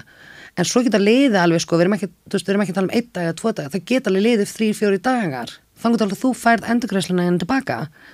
Og þá ertu, þá ertu strax komin í bara út af því að þú tókst þennan pening sem er, er hérna þá ertu strax komin í vanda. Og þá ertu komin aftur í ringjaveitlusuna með allt sem þú ert með. Þú ert farin að skulda þessum, ok, svo þegar þú borgar honum hvað gerist þá? Þá ertu aftur komin í skuld, þú veist þú, þú fæstist bara. Þetta er vítaringur, þessi gildra er eins konar vítaringur og svo eru nú hérna Gunnar Smári tók við til við Kjartan Ólafsson í gær sem var að tala um nýja rannsóknir um fátækt á Íslandi og hvað er umverulega, það er ekki bara dýrt fyrir hvern einstakling að vera fátækur, heldur er það mjög dýrt fyrir samfélagið að, að, að raunverulega að svo margir lendi í þessari fátækra gildru og, uh, og, og kannski von til þess að búa til einhvers konar mæli stiku á fátækt og fara að tala um þetta sem samfélagslegt fyrirbæri í stað þess að hver og einn þurfi einhvern veginn að sitja uppi með það uh, sjálfur. Og það sem ég bara aðeins að hugsa um í, eins og í heilbriðskerfinu, ég hef aldrei orðið vörfið það að það sé einhvers konar eigi sér stað einhvers konar skimun uh, varandi fátækt og það sé þá hægt að, að hérna, einmitt veita upplýsingar eða koma mm. mótsvið. Það er náttúrulega verið að skima fyrir alls konar uh, öðru, geðrænum kvillum, en fátæktin verður, er ekki einhvers konar tvískinnugsháttur á Íslandi varðandi fátækt? Það er svona eins og við tölum ekki, tölum, við tölum ekki um fátækt við börn til dæmis, þótt að þau skinnja auðvitað að það er mjög misskipt. Já, með mitt. Ég held að, veist, þetta er mjög, mjög, mjög góðu punktur. Hérna, uh, ég, ég man eitthvað tíman þegar að, hérna, ég var, semst að því ég, semst kem inn, ég var semst félag, hérna, uh, formaður félagseinstar og fóreldra í nokkur ár og ég svona svolítið kem inn í peppið þaðan. Uh, en hérna, ég man semst að þegar ég var ung einsta móður og reyndar þegar ég átti bara eitt barn, uh, semst, um, og ég hafði semst flutt, ég bjóði í Breitlandi og flutti til Íslands sagt með barni mitt. Og hérna ég, ég man bara hvað mér brá þegar ég kom heim, veist, heim. Það sem ég átti að ganga í öll kerfi. En sko í raun og veru hérna, ég fann svo mikið sett, í Breitlandi þá sko þú þurftir ekki að borga allega að hitta heimilisleikni þú veist uh, og þú veist allt, uh, svona flest svona þjónusta var einmitt frí. Og mér brá svo þegar ég kom heim einmitt og þurfti að fara að leggja út veist, bara alltaf að hitta heimilisleikni til að, veist, ef maður þurfti að hitta sérfræðing þá var það ennþá meira og svo frammiðis og svo frammiðis um, þannig, og, og ég mani mitt að ég hérna, þegar ég kom inn sem sagt, uh, einhver tíma þegar ég var á fjárhagsaðstóð þá fekk ég líka sem sagt hérna einhverja tíma hjá sálfræðingi. Af því að ég hafði lent í sem sagt basmissi áður en ég kom aftur til Íslands og sem sagt hérna, já, hafði fengið þessa sálfræði tíma sem svona hluta af aðstóðinni og hérna ég, ég man að sálfræðingurinn hún var að taka einhver svona próf eh, hérna á mér, svona eitthvað hvort að ég, ég skiminn fyrir þunglindi og einhverju fleira. Og hérna ég man um þetta að ég hérna hristi svo mikið hausinn yfir þessu prófi vegna þess að ég sagði við hana, þú veist, þú veist allt þetta hérna sem að er á þessum lista er í raun og veru tengt fjárhastöðunum minni þú veist. Og hérna og hún, sag, hún er mitt leita á listan og hún sagði bara já ég sé það. Þú veist, ef að ég geti núna afhengt þér, þú veist, hérna allt sem þú þart fjárhastlega svo er þér fjárhastlega örug þá væri ekkert af þessu vandamál. Mm. og hérna og ég held að þetta sé mjög lýsandi veist, og ég hef emitt eftir þetta heyrt fleiri tala um þetta, en þetta er emitt sko að sko, svo aðstóð sem þú raun og veru þart sem er bara aðstóðin við að geta staðið og einn fótum, geta hérna, lifa með reist uh, er svolítið lausna vandamálinu en það er engin að veita þá aðstóð Og þessi af, afkomu kvíði náttúrulega, hann smítast yfir til barna já, já, og, og hérna börn sko. finna fyrir og þess vegna talaðum um er það ekki langvarandi fátakt sem er erfist um, Jú, og en... það er þá ekki bara efnæðslegt eða hvað? Ná, en það er hérna, sko stundum er tilneying að tala um fátakt börn, börn hafa náttúrulega ekki tekjur, þannig að það er ekki hægt að segja þessi skortur og tekjum, það er ekki hægt að segja fátakt börn, börn koma sannsagt frá fátakum heimilum eða úr fátakum fjölskyldum mm -hmm. því að hérna það, það er ekki negar tekjur fyrir nöðsinum á, á því heimili. En sko ég hef svolítið orðið vörfið það í mínu starfi að fólk heldur að það nái að hlýfa börnunum sínum svo vel að barni finn ekki fyrir því að það sé fátækt á heimilinu. Og það er góðviðljaður miskilingur vegna þess að börn eru alveg mjög velvakandi og skins, skinsum og þau ósjálfrætt bera sig við aðra og þau sjá alveg munin, þau upplifa alveg. Þannig að, hérna, ég held að það sé bara hægt að fullir það ekkert barn í fátækt sko er með eitthvað miskinning með það. Vandin er sá að það er ekki talað um þetta ofinbeglega, þetta verður svona fjölskyldu lendarmálið mm. sem að, sem að, þú veist, bleiki fyllin í stofunni sem er ekki talað um að barni lærir mjög fljótt að, að fara ekki til mömmu eða pappa, ég meina, föður eru líka einstæðir. Og hérna og byggja um peninga fyrir bíó með það því að, allir í begnum að fara í bíó þannig að þetta er eitthvað sem lærist mjög snemma, þú vilt ekki, þú finnur hvernig svona væntingastjórnum já, þú, já. þú finnur að fórildurinn fyrir að líða illa og, og, og þá ferður bara að beðast afsökunar. Þú veist, ég tók eftir því til með sem með, ég er með þrjástraka og ég fór að taka eftir því að þú veist, eins og að það var bóðið í ammali þú veist, á tímblei að þá kom svona afsökunin þú veist, æg mamma, ég, ég þarf ekki að fara þú veist, eða uh, æg mamma, þú veist, þetta er alltaf lægi, ég hérna ég talaði um að, þú veist, ég myndi ekki geta komið, þau voru líka farin að tala um og vissu það að það væri líklegt að mamman myndi vera svona, að ah, hvað segir ég, að panta pítsu frekar, þú veist, því það var kannski þetta, eins og í mín til ekki þá var ég rosalega dölur við það að strákunum mínum var búið jamalega eitthvað og sérstaklega eins og það er oft gert daginn dag að það er haldið svona fleiri en eitt bann, heldur amali mm. það er verið að fara í bíó eða eitthvað svona.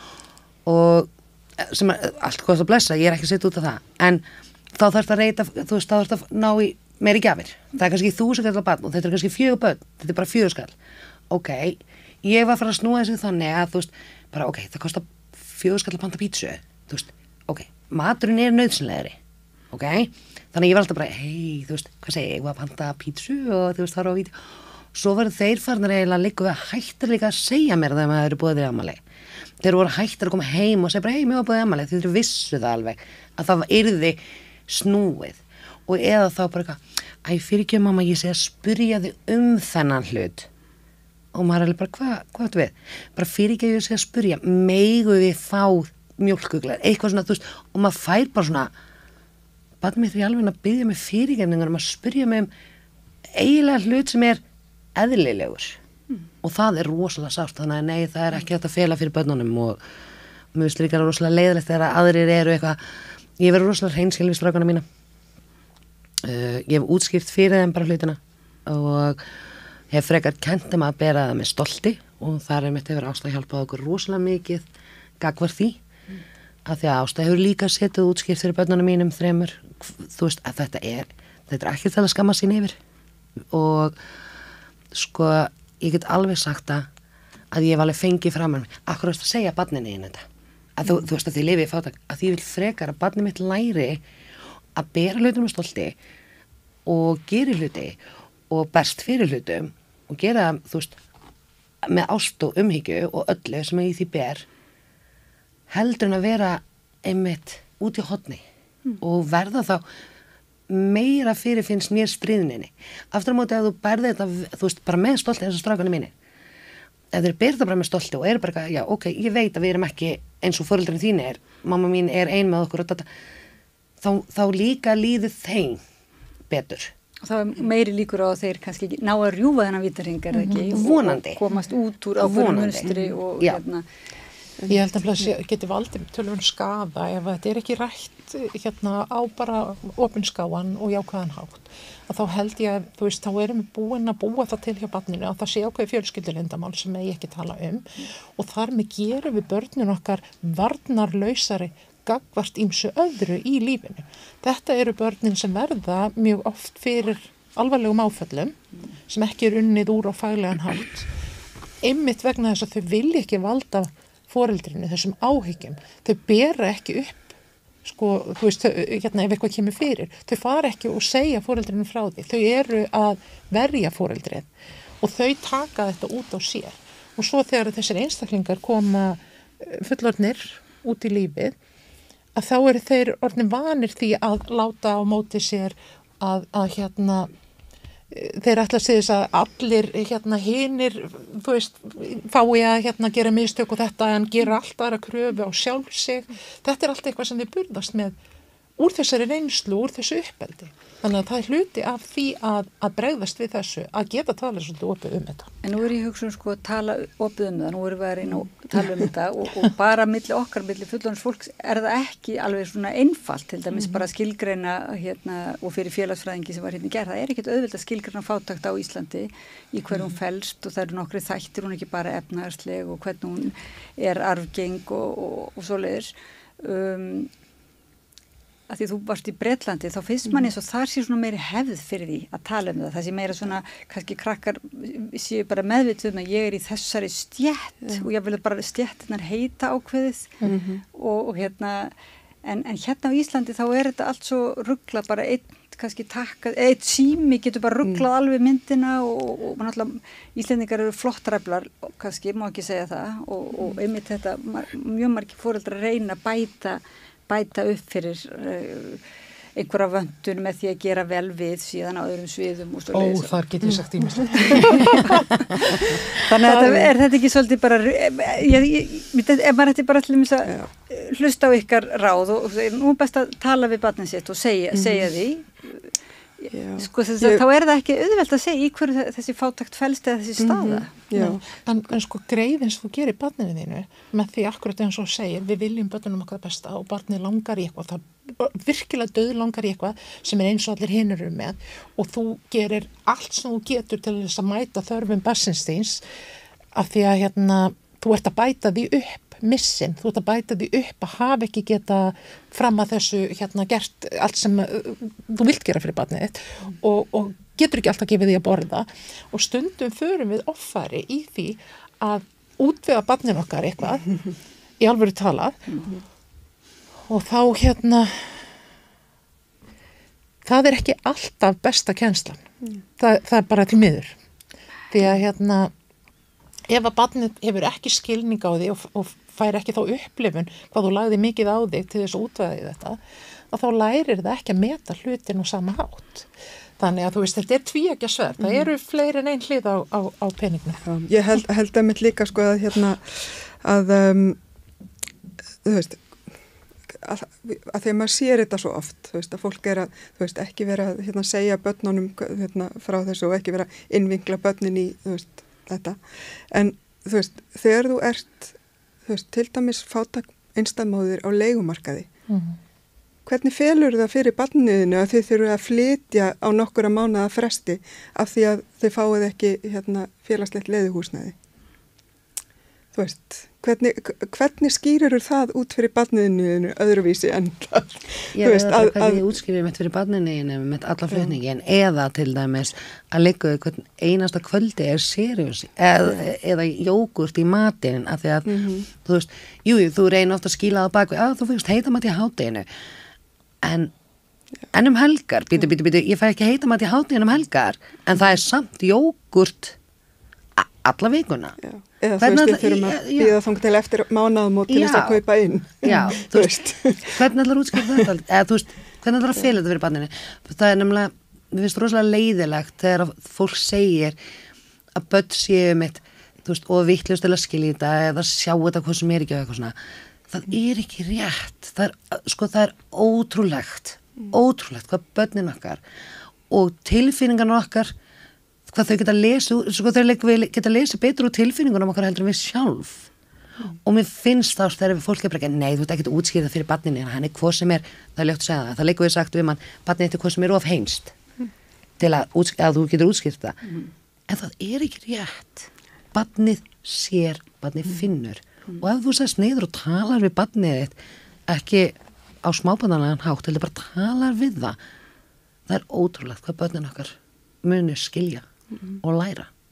Þannig að ef, þau, ef það er ekki útskýrt fyrir þeim að hérna þá hafa þau kannski ekki þroska til þess að draga réttar álöktanir en börn eru mikla tilfinningaverur og þau stjórnast af tilfinningun, þau skinnja hvernig okkur líður þannig að hérna þegar að það er farið að stjórna þeim og hvað þau er að gera dagstælega þá er þetta farið að hafa of mikið lári. En þau náttúrulega verða líka hljóta heyra mm -hmm gaggrinnisrættir frá öðrum beinar og óbeinar mm. uh, aðtúasemdir þar sem að ríkir náttúrulega uh, ríkir náttúrulega fordómar á Íslandi gagvart fátækt það er þessi hugsun um að uh, einhver hafi nú komið úr fátækt og, og, og, og rifið sér upp og fengið sér almennilega vinnu og þetta sé bara sagt, fólk sem lifa á kerfinu og sé veiklundað og í leti og veikjaði og allt þetta þetta er mhm. náttúrulega sko lifir, er það ekki svona já. sterkur lífi? Talið um jötuna Já, ummitt, já, akkurat. Að, maður, að fólk nenn ekki að vinna og sé bara hanga Já, vilji bara vera á jötunni sko, af, því, af því að það já. er svo skemmtilegt líf. Og svo svakalega mikil, miklir Hver, Hverju svarið því hérna, sko, ef einhverja skildu vera slíka rættur ef, bara, bara, veist, ef við ætlum að vera þess aftan þá vil ég byrja á því að segja að hérna mentunastíð hérna, það er alltaf, er alltaf talað eins og mentun sé ávísun út úr fátakt mm. eh, vissulega er það rétt að meirlutin á okkar fátakafólki er ekki með mikla mentun en það, skólakerfið hérna er ekki aðgengilegt mm. ekki nema þú sért ungur og helst með bara peningana beint úr, vasanum á pappiða mömmu mm. Þannig að hérna, þeir sem að missa af lestinni, veit ekki hérna, hvað er, veist, bara höndleggja að leggja það á fórildra sína því að staðan er staðin þar að fara í nám og fer út á vinnumarkaðan að leiðin inn í náma nýju er mjög erfið mm. og hérna svo skoða maður í öðrum löndum þar er mentunasteg hjá fólki í fátætt of mjög hátt. Mm. Þannig að við erum ekki að bera okkur saman á, á réttum grundvelli. En nú er þetta eitthvað að breytast á Íslandi. Raunverulega eru fleiri kannski á undarferðum misserum sem eru með mentun og sem hafa ekki kannski geta flokkast sem uh, fátækir eru núna að færast niður um flokk eða færast niður í mm. fátækt eða er, er það ekki svo?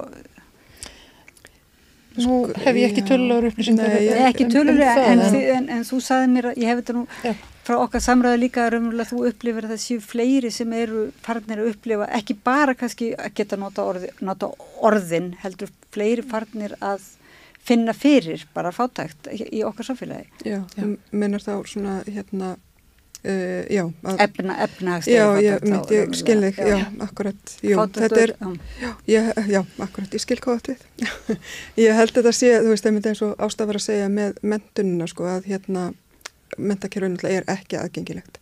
Og við höfum alveg séð það undanfarið og hérna uh, og í okkar hópi. Já, já, og í okkar hópi. Ég menna það eru hérna konur hjá okkur sem hafa gengið mentabröðina og ég er sjálf með háskóla próf um, en þú veist þetta eitt og sér liftir þér ekki upp úr fátakt vegna þess að þú veist, í fyrsta lagi þá hérna erum við mjög ofta ment okkur í fögum sem eru ekki endilega hérna hraðbraut inn í hérna mjög vel launustörf uh, ég held, veit allavega margar af okkar félögum sko sem að hafa farið þessa braut eru að menta sig í heilbriðisgeiranum í hérna uh, mentavísinda geiranum uh, og félag, félagsrákjöf og, og fleiri svoleiðis þáttum og við vitum að störfin sem að þessi mennur býður upp á er ekki hálunastörf þetta er kannski einn þáttur.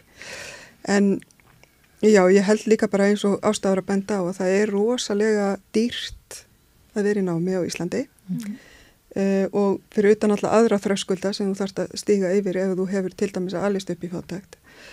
Um, og kannski mentakapitalið í þinni fjölskyldu er kannski ekki endilega hátt. Þá er það ennþá fleiri hérna, þröskuldar sem þú þarfst að fara yfir. Um, þannig að já, ég held einmitt að hérna, þetta að menta sig út úr fátækt, þetta er náttúrulega rosalega viðtekin mýta. Og einmitt þetta sem þú varst að segja um áðan um svona hérna, fyrirmyndir, svona já, hún gati þetta, þú veist, akkur gerur þetta ekki bara? Mm. þú veist, en þetta er náttúrulega bara þetta er svo fáranlega mikil gaslýsing Já. að hérna um mitt endalust vera að benda á sagt, hérna svona uh, farsaldarsögur farsaldarsögur sem enda geti, við ævintir enda vel og svo bara taka já, verða allir bara að upplifa þeir séu undantekningin en ég held einmitt að þetta hafi líka svolítið að gera með eins og ég var að benda á áðan sko þegar ég kom heim til Íslands. Veist að það er þessi endalösa sko gjaldtaka allstaðar mm -hmm. og eins og við erum líka einmitt að tala um veist bara að leita sér hjálpar kostar peninga veist, að það er ekkit allra að vera í einhverju sálfræði meðferðum Nei líka og, þú, þú, þú veist, ok, þú færð eins og, þú veist eða þú veist, í vissu prógram og svona, það færðu mm. sálfræðingarna og alltaf, en þetta eru svo þetta eru svo, þetta eru svo fáir tímar mm -hmm. við erum að tala um, þú veist, þú færði eitthvað fjóra, fimm tíma mm -hmm. eftir langverandi veikindi við langverandi hluti þá duga ekki einhverjir sex tímar eða sálfræðingi. Og þá sækjur um fleiri já. tíma og þá, og þá kannski færðu hérna nokkra tíma til viðbútar en ekki hjá samanleikni hjá okkur um öðrum. og þá þarf, þarf aftur að mynda tröst og tekur aftur svolítið tíma Já og þú þarf alltaf að endur taka söguna hérna. Þetta er eins og, eins og við vorum að tala um mentadótið, þú veist. Nú er ég alveg með gruninni þjóni, bakstri og kokki. Ok, já, ég útskrifast af sérbröð í MK uh, ég er er útskrifað sem ferðunafræðingur vinn ég við eitthvað þessu? Nei, út af bæði skólaganga mín var í fyrstulega ekki auðveld út af líka út af því ég er með lesblindu, skrifblindu og tölblindu og því veru meður þá grýpur kerfið hérna á Íslandi skólakerfið ekki svona einstaklinga. Þú veist það er, jú ég fekk alveg hlust, eða þú veist ég fekk alveg aðstofana en það var samt ekkit aðstofan aðstofan uh, aðið hátibönd þau lenda rosalega mikið á milli mm.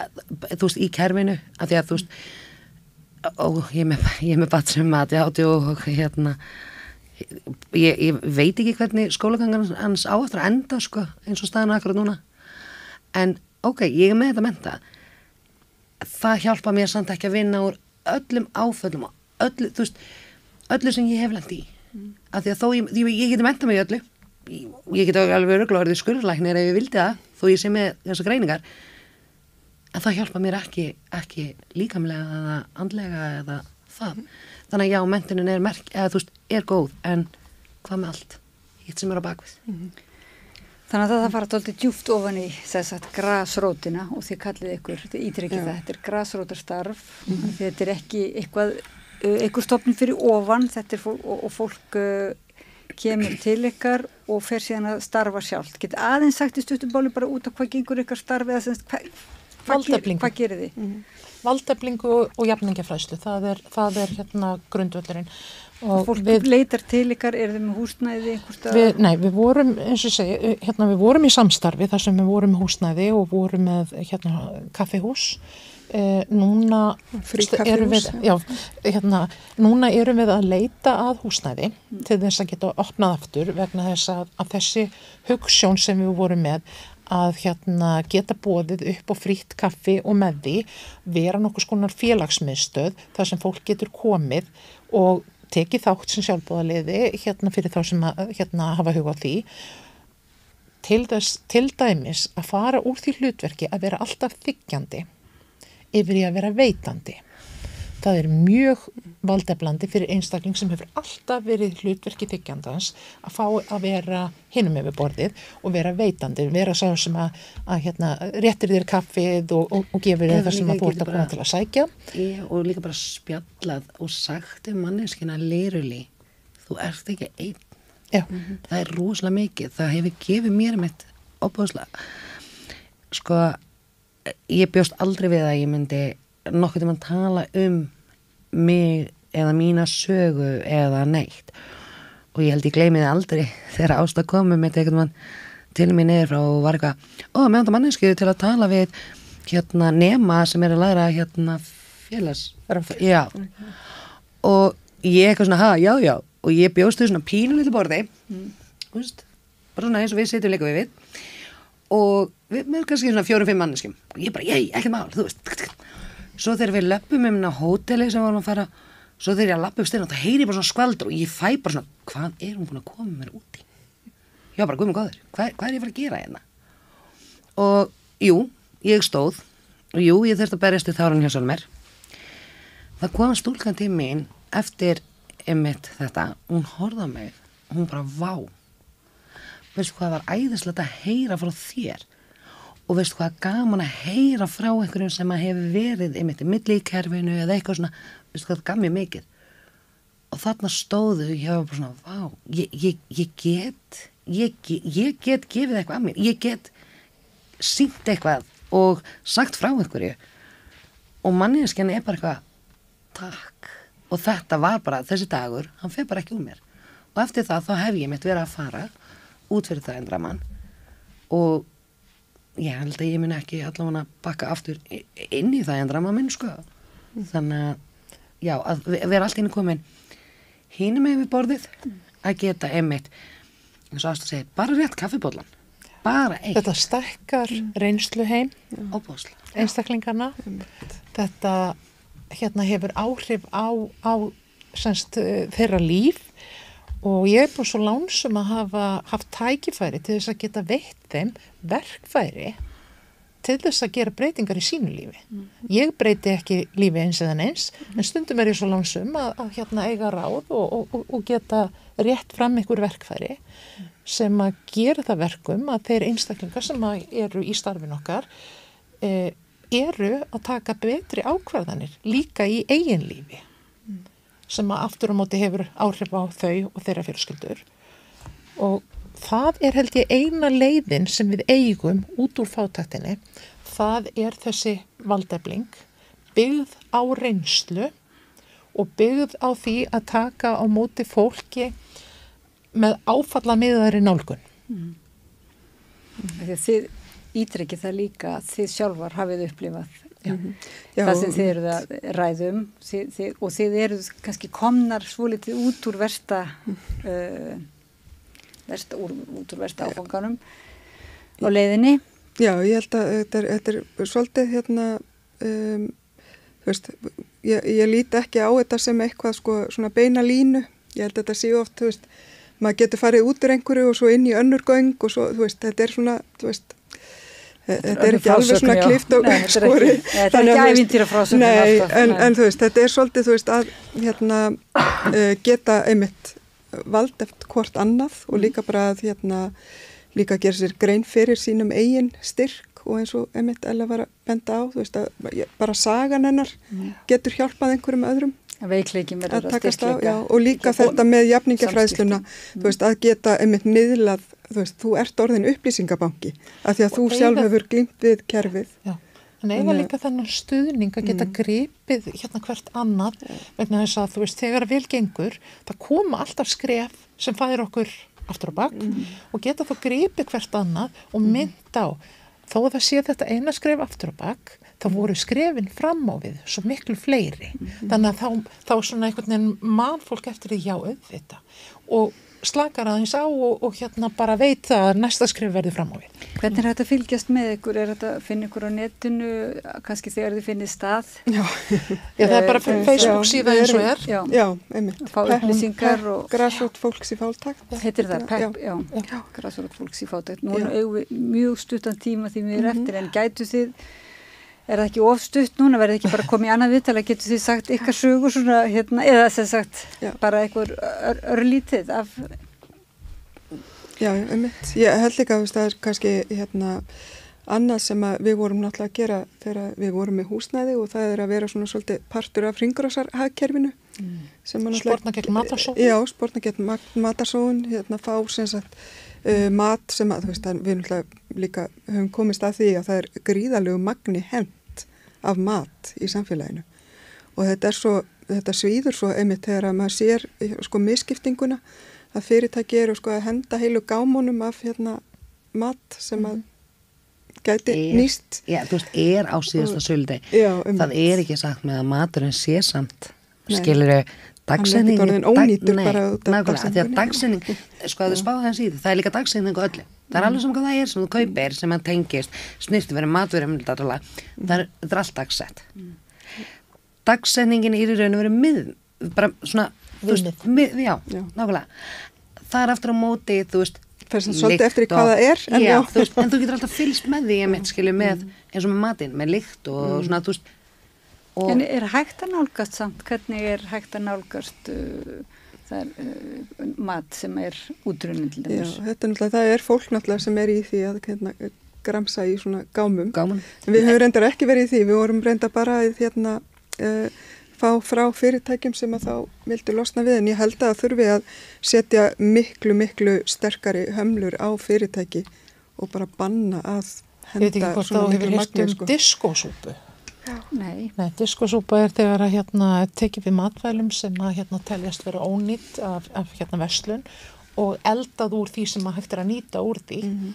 Og hérna til dæmis hefur hérna fundur fólksins hefur oft verið með diskosúpu og þá er, er einhverju sem koma og elda svona úr afgöngunum Mhm. Já. og, og bjóða fólki og það er oft bara mjög góðar súpur Já. og þetta er svolítið sveipað og, og hérna við vorum að gera Mhm. við vorum að taka við matvælum og elda úr þeim og, og gefa fólki að borða Ítla Og- svo til að þetta er bara líka náttúrulega gott fyrir plánutuna Já, og, og er í takt við tímana þannig séð, þannig að Já. þetta er svona Það er þess sem ég vildi nefna þetta sko, því að þetta er svolítið svona uh, eitthvað sem að, hérna, já, sem okkar hópur getur tekið þátt í að gera og verið svona partur af lausninni á hérna ymsum vandamálum sem við og eitt af því sem að hérna stöndum frammi fyrir sem samfélag. þarf ekki að vera með, fátat fólk þarf ekki að vera með kannski svo mikið saminskupið yfir því að vera mestu neytundunir og, hérna, Nei, ég held mestu- líka þú veist að við erum hópurinn sem að, hérna, sem að því miður sko fær að ke- kenna mest á því sem að hérna, já, á hérna afleðingum afleiðingum jarðar sko. hérna, já. en, en höf, berum minnsta ábyrð nei, berum minnsta sem sagt, erum þau sem erum ekki hérna að valdónum sem sagt. þannig að það En- er þetta misvægi og óréttlæti sem tengist uh, náttúru. Já, en, Já. en það bytnar alltaf sem sagt á okkur allar aðgerðir sem að hérna er farið í til þess að en En þetta er að eitthvað sem við hérna gerðum mjög vel í mjóttinni þegar við vorum með rýmið þar. Þar vorum við með þetta elda úr svona og fengum til okkar fólk eiginlega úr flestum svona hérna marginalized, týndi í orðinu, Já, svona hérna hópunum. hópum, Já, sem að hérna komi til okkar og meiri segja hópar sem að hérna oft er allt gegn hver öðrum í ofnbæru umræðu. Þetta er fólk sem kom og satt hlið við hlið í, í góðu bróðurni hjá okkur. Nú er verið etja saman einmitt íslenskum öryrkjum, íslenskum innfætum öryrkjum og svo hælisleitendum.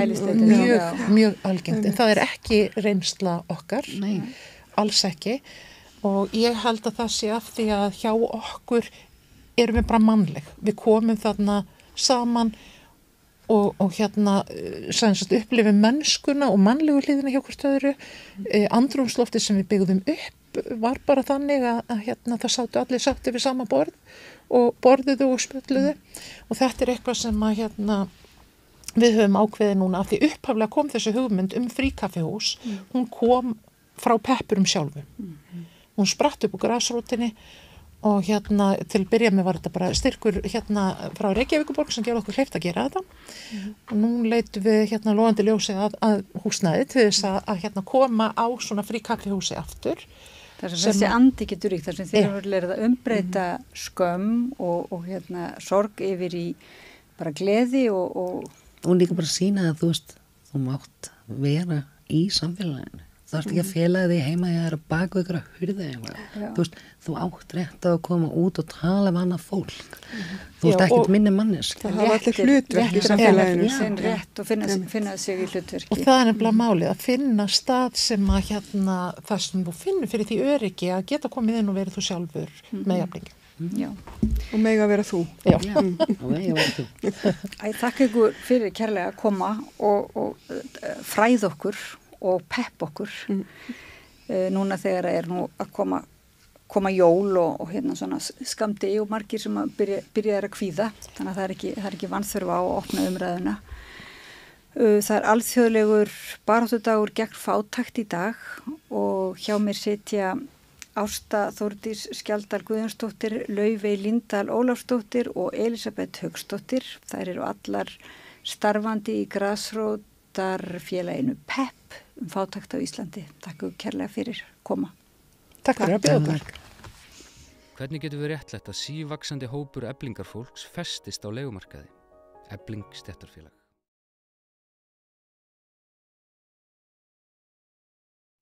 Komið sæl og verið velkomin að Rauðaborðinu. Ég heiti Otni Eyr og til minn er komin góður gestur Vilhjálmur Hjálmarsson, formaður ATHT samtakana og heilbriðishóps ÖBI.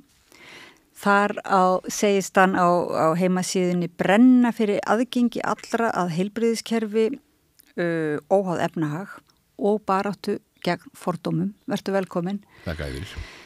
Í, dag, í oktober er nú, er það ekki mánuður ATHT? Alþjóðlegur vitundamannur ATHT. Já, og í lok mánaðarins er þið búin að skipulegja Stóra tveggja daga alþjóðlega rástefni. Við Já. erum 35 ára amæli og gert þetta undarfærið á 5 ára fresti.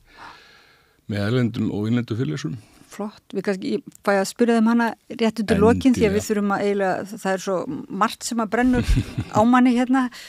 Maður er búin að fá því í stúdióið að um, kannski uh, þú sagði mig líka já að það væri mikil áhersla börn á þessari ráðstöfnu Börn, og og... konur, konur, já, og við erum samband. með áherslu á börn hérna á samstöðinni á líðan barna Mhm. þetta misserið og þú talar þarna um að þetta hátti sé tauga Taugaþroskaröskun. röskun og sé gjöf eða getur verið gjöf einstaklingsins, Guðs gjöf ef, ef það eigi sér stað uh, snemtæk í hlutun er, er þetta rétt skilja hjá mér? já, ég skal þess að, uh, hvernig maður að segja þetta? ATHT, sko, þrjá, þrjár helstu byrtingamyndunar, aðtæklusbestur, uh, kvatvísi og ávirkni, sem þarf ekki bara að vera líkanleg, hún getur verið, ég get setið grafkjörjan, hausun og fullu, en þetta og reyndar fleiri hlutir, þetta eru byrtingamyndir. Ég tengi þetta við hluti sem að á góðum degi leifa mér ekki að gera hluti sem aðri bara get ekki en á vondum degi þá þælist allt fyrir mér. Vegna þess að ég er alltaf að taka allar upplýsingar inn og ef hausin er ekki að flokka það og vinna með það þá fer bara allt í rugl. En eins og segja, á góðum degi. Þetta eru eiginleikar sem að uh, já geta bæði verið góðs og íls og það er mitt hlutverk í mínu lífi að skilja hvað áhrif þetta hefur á mitt líf hvað ég get nota til að vinna með þessu, það er struktúr það er að sofa, nærast mögulega líf, uh, samtalsmeðferð ham, ímist þetta annað Mm. og bara svo er það bara lífið sjálf svona eins og að færa eins og hringdans, tvö skrif til hægri og eitt til vinstri endur takist En, en þú fær greiningu seint Já, 33 ára. og, já, og, og það er margir sem er mitt læra bara þennan dans og læra sjálf á sig en, en þú eiginlega brennur fyrir því að hjálpa börnum sem sagt þetta að þetta reynist það erfitt Bæði börnum vegna þess að leiði til bæði bönnum og fullum, það skiptir Já. svo miklu máli að grípa inn í fyrir en ella og svo þetta þróist ekki endilega út í eitthvað vandamál. Ég segi oft sko hausun á mér, veist, það er ekkert að mér hausun á mér hann bara fungur að svona en ekki hins einn. Mm. Það vil svo til ég fættum að ég, ég vil ekkert öðru þessu vera. Hefði ég viljað vita þetta fyrr? Já, líklega hef ég aldrei þurft að fara á líf personlega uh, sérstaklega náttúrulega ég er bara típiskur svona klár fullorinn einstaklingur sem að næja berjast í gegnum og stætt mig vel í, í námi og, og vinnu og annar nefnum hvað ég skipt alltaf um vinnu þannig til að vera ykkur mm. mestalega áttið mánuði.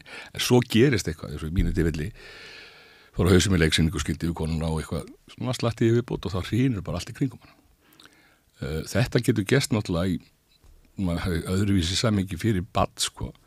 Og badd sem er að þroskast þetta getur bara flækjast fyrir sko andlegum þroska uh, félagslegum þroska og annað. Og ef það færi ekki tækifæri til þess að skilja og náttúrulega fólki í kringu það, bönnin, kennararnir og annað, ei, fórlarnir, kennararnir og annað að þá sko, þá veikst bara vandin og þarna þurfum við að gera miklu betur. Veita betra aðgengja sálfræðingum og sálfræðingum fyrir bönn nýðugreina fyrir fullóna og hérna reyna að koma í þannig fyrir þessi hægt að fá greiningar mun fyrir, ég meina batse þarf að býða í kannski tvö ár, það getur verið eitt fjóruði af, af lífaldrinum. Þetta er ekkit smáraði á tíma þar sem að heilin og allt sem er að þroskast. Akkurat og þannig náttúrulega kemur líka þetta hérna efnahagslega inn þar að segja að það er hægt að fara fram fyrir rauðin og leita til enga aðila en, en meirins að það er erfitt þó ekki bara dýrt, þetta er bara reynilega að komast að. Já, þannig að þá mynda strax eitthvað svona stjætta, stjættaskipt uh, mótel Ég held ég að heitt síðast sko tölu frá einni af þessum sjálfstáðu stóru stóðum sem er með gæleikna líka. Ég voru að tala um allavega tólmánuðin uh, bílistarnir hjá, hjá nýju hérna BGM-barna eða Geðhilsumiðstu-barna GBM GMB Geðhilsumiðstu-barna þar uh, hafaði bara verið að tvöfaldast undan fyrir ár og komin örglega yfir 800 núna mm. það er bara eitthvað stopp þarna. Maður skilur þetta ekki. Hvað, af hverju er ekki hægt að brjóta þetta aðeins upp? Það er vísu ekki bara aðtíðháttíðar og þess að þurfa lengstan tíma í greiningu er að þá að greinast með, með einhverju eða, eða fleira og samþætt. En greiningar skipta svo miklu máli hvort sem þetta er barnað fullaninn bara að gefa í stuðana þá veistu mögulega hvort það sé aðtíðháttið ekki. Hvort það sé eitthvað annað. Eða bara ekki neitt. Mm -hmm. og það er bara fínt Nú segir sögumir að eiginlega allir sem færi greiningu fái greiningu, það er eitt af Já, já, það er, sem að er gætnan er sagt. svona út úr sér. Var þetta ekki hann hérna geðleiknir sem, neða, jú, geðleiknir sem skrifar. Já, það eru heldur bara margir sem að Já, já, fleiri. um en, en, en sko, svo leiðis fullurningar standast ekki. Þetta er meira og minna unnið af fagfólki og hérna og gera sumtaði betur, já, mögulega. Er einhverja greiningar þetta sem ekki áttur rétt á sér já, en það er ekki meirulutin það er sko öruglega minnuluti mm. En það er náttúrulega bara eins og er í öllum greiningum og Já. það er ekki auðvelt að greina það er ekki Nei. auðvelt að greina í sundur til dæmis kvíða, hvers konar kvíði er upprunnin sko- í, í þessari tauga þroska röskun og hva, Já, hvað, sko, hvenær er gengur upprunnin í mikið út af félags því að útloka aðra hluti sjúkdóma, áfallastreitu og, og svo frammeðis uh, það er náttúrulega löngu hægt sem betur fyrir að ég er svona ekki landfræði landsefa hægt í Þýskalanda að þunglindi sko útlokaði ADHD greiningu það stendst ekki skoðun vegna þess að kvíði og þunglindi er mjög algeng sko afleiðing af ógrindu eða, eða hérna ómeðhendlu ADHD eða vanmeðhendlu og vissulega getur þunglindi og eða kvíði verði staðar á eigin klínisku fósendum en bara eins og mínu tilvilli, ég meina minn heimilistæknir, 33 ára hann gafst bara upp á að reyna fleiri þunglindslip þau virkuðu svona á þrjá, fjóra mánuði og svo bara, nei Mm. og ég bara lendi óvart hjá geðleikni sem að hlustaði á mig fimm minútur og sagði, heyrðu, byrjuðu á að ég hafði greiningu Mhm. og það bara var mín, mín sko náður gjöf þá hefur púslið smollið saman einhvern þá fór ég að skilja Já, og svo í framhaldinu talan ekki um því að ég var komin í hérna, mestranám hann að 10-12 ára setna þá var ég byrjaði að skilja sko af hverju ákveðin trikk hafði virkað fyrir mig gegnum tíðina í, í allavega gaggo og, mento og áfram og ég var að skilja það vel, ég gæti fara að tálka þau til og nota þau mjög vel já Það En það er svolítið aðteklusvist, við tjók kannski um þess að sérstaklega um livja Mhm. umræðan á eftir, en, en við er svolítið merkilt þegar að segja þetta, þegar að þú færð greiningu, þá getur þú betur dílað við kvíðan, sem er umverulega þýðir það að við erum líka með betri greiningum Mm. og auknum, þá er líka verður umverulega að, að hérna, uh, minka þessa rosalegu kvíðalifja nótkun og þunglindislifja nótkun Já. á Íslandi, þannig að manni finnst um þessi á umræða þunglyndislyfjunum er miklu verið heldur en nokkuð tíma þess að menn lenda í ADHD-lyfjum nema þeir sem að fá sko upplefa mjög stert Já, en vegna þess að þú ert meira með, ef þú færði þessa greiningu, þá færðu líka einhvern skilning, einhvern sjálfskilning sem hjálpar þér að díla með án, díla við þetta. Annars ertu einhvern veginn í vittlisu, er það ekki? fyrsta lagi fyrir skilning svo er alltaf þitt verkefni að sækja í þekkingu. Uh, lif mjög gætman uh, hjálpa fólki bara að ná landi geta byrjað að byggja upp. Gera svo svona ekki endalega allt. Þú kannski veist á hæfu til þess að halda rútinunni og hérna og, og svo byggir bara hægt og rólega upp. Þú fyrir að vera skilja betur. Og börn sko er ekkit mér börn til dæmis með aðtíhátti uh, er gjörn á að laða að sér að lenda í einhelti uh, þú veist, þeir eru kvartvís og fljótværi og allt það en þau eru ekkit vitlis þau geta árið setna og orða vestu gerindur en þau skilja alveg hvað er í gangi. Þannig að það en er gortu mikið- framkvæmdi Já. litinni hittir En, en það er náttúrulega að tala um að, að hérna, menn hiki við að, að senda börnin sín í greiningu vegna þess að þá fáuðu á sig þessa stimplun að, og, og þennan merkimiða sem kannski fer aldrei af þeim út lífið, en það er spurning líka um, hvort þau fá ekki á sig ímsa aðra vonda stimpla ef þau fá ekki aðstofina. alveg segi- sína, þá rekju, eða einelti Já, eða, já, og, hérna, og, og verða af í raun og veru til dæmis sko, félagslega þróska og andlega þróska bara samskiptum við aðra það er alveg, alveg á hreinu ég er ekkert að grípa þetta úr hérna, lausu lofti þannig að uh, sko stimplun, þetta er fordómar Mm. og þetta er náttúrulega byggir bara á fáfræði já, óta, bara ekki, þessum gamla Já. óta við stimplunum. og líka hjá fóröldum stundum sko, þetta er mér að kenna, þú veist, var ég að bræðast ég menna ATHT er ekki út af uppeldi, ekki einhverja heldur. Og allir þessi hlýðar hlutir eins og hérna e, mótrú og þröskur þar er mjög mikilvægt að vita til dæmis hvort að það sé líka bak við ATHT og eða einhverja eða annað. Vegna þess að svoleiðis hegðun hún vindur bara mjög hrætt upp á sig og þú verður að bregðast við því á réttan máta Mm. alveg og hérna það líki latrið í uppelda á bönnum ADHD að sko ekki skammaðu fyrir það sem að þau ráðu ekki við en hrósaðu fyrir það sem ég gera rétt en þegar þú komið ball sem að er að þróa með sér mótrið og þrjóskuröskun aftur, barni veit oftast þegar það fer í svona kast getur verið sko öskra og berja sjálfa sig eða, eða hurðir eða hólk eða hvað sem er algjörlega þvert það veit yfirlega að þetta er ekki rétt en það getur ekki stoppa sig þegar þessi spíðal fyrir gang. Þannig að það er svona þarf að, að, að sko, grípa inn í eins fljótt og hægt er. Og náttúrulega sko þetta á að vera í skólakerfinu strax. Takmarkaðu leikskólum, ég syns þetta leikskóldur ótt verið að gera góðu liti en, en, en strax koma inn í barnaskólan að þá séu hérna kennarar og aðri starfsmenn með einhver verkvar í höndunum til þess að geta sko aðlaga sig að þörfum hvers og eins bans að ég hátt ég ekki. Þetta stendur í, í lögum um, um nám. Mm. og í hérna heitan ekki kennarskólinleikur, nú heitir þetta menta vísindarsvið HÍ og, og, og örgulega fyrir norðan líka svipað.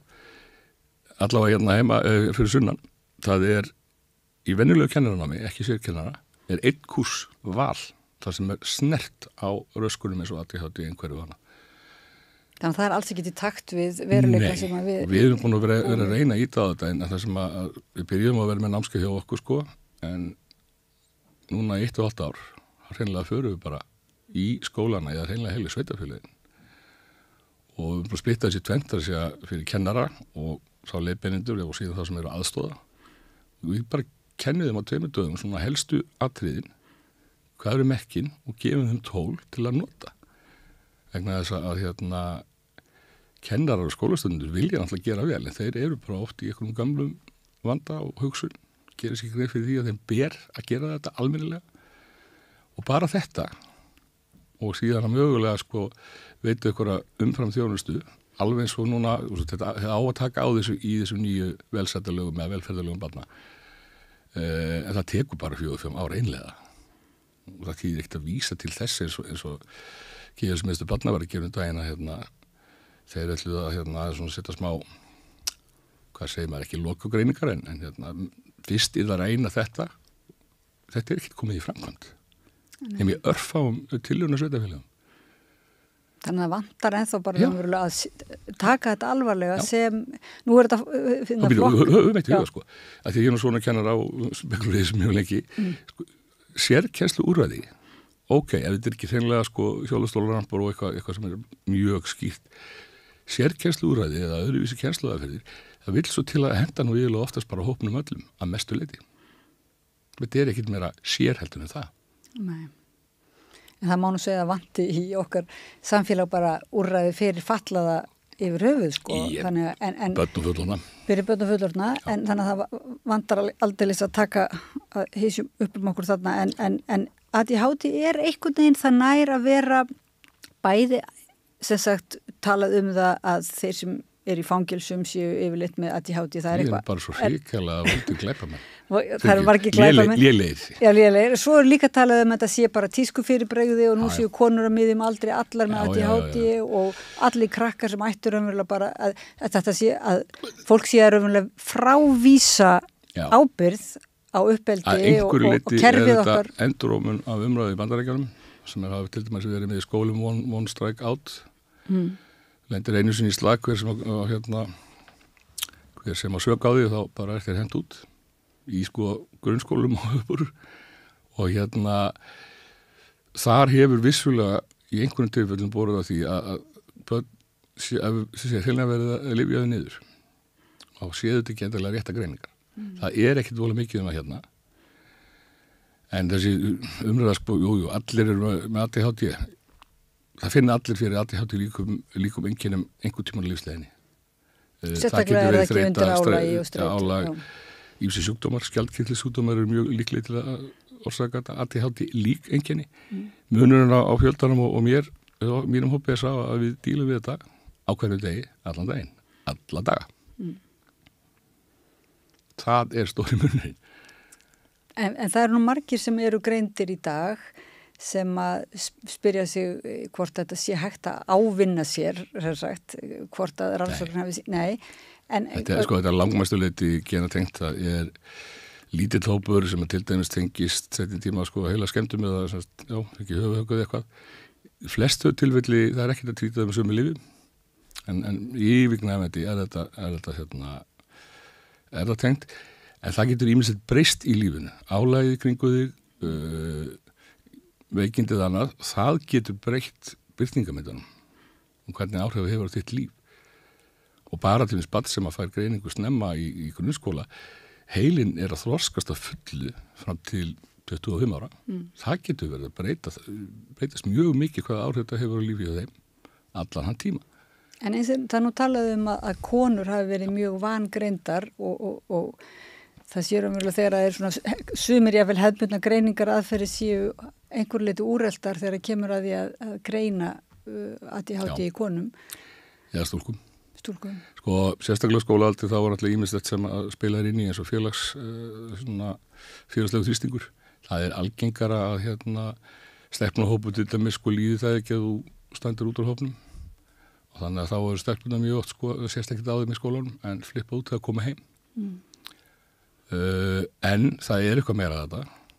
Er búið að sína fram á stelpur er ekkert síðu sko ávirkar með við vorum bara alltaf að horfa á sko reyfi ávirknina og gleyma því að eitthvað helt aftur af kannski þessum hópi eins og stólkum en svo er það líka hormónar. Það er að koma mikið upp núna síðustu bara ég veit ekki fjögur, fimm árin. Það er reitt fyrir lesari okkur sem að fer í þetta og það hefur þá bæði sko alveg frá því að hérna, stúlkur byrja gækjunni og síðan gerast ákveðin hlutir í hérna hvað köllum við þetta að? Ekki, ekki tíða Já, körfin já, hérna, jú, Breytingaskeiðið? breytingaskeiðinu, Já. já. breytingaskeiði sjálft er sko mikil breyting það er ákveðin sko, mikla breytingar á hormónum ekki bara þessu aðal og svo enn annað eftir að því líkur menn eru kannski fyrst núna á síðustu árum að átta sig almennilega á hvað þetta getur haft mikil áhrif bæði á stúlkum og fullandi konum Mm. En svo er það líka kannski samfélagi, nú er talað um að þeir sem eru kannski, það er hægt að horfa að greina einstaklinga frá, frá æsku með ákveðin enginni en síðan komaðu ekki beinlinis kannski fram hjá sumum fyrir eins og þú segir undir miklu álægi eða þegar hormónin eða eitthvað í hormona lífinu samsetning breytist. breytist eða, eða, eða, áf, eða áföll tökum bara konurnar og já, mér náttúrulega líka en hérna ákveðin hluti bara hóps sem að nær, ekki að fela þetta heldur, nær að díla við þetta ómeðvitað eða meðvitað en svo þau komum, komum með sko börn og burur og úsnæðislán og ég veit ekki hvað hérna Mm. þegar eitthvað gerist sko og þú missir tökinn, þá fer svo margt sem fer Mm. og þá kemur hann aftur að konunum þær uh, taka miklu meiri ábyrð beinlínis og inn á sig það að geta ekki sko haldið almennilega utan um uppeldið og börnin og heimilið Mm. Þetta, þetta er alltaf kallar í okkur köllunum en hérna, þetta er bara starrið Mm.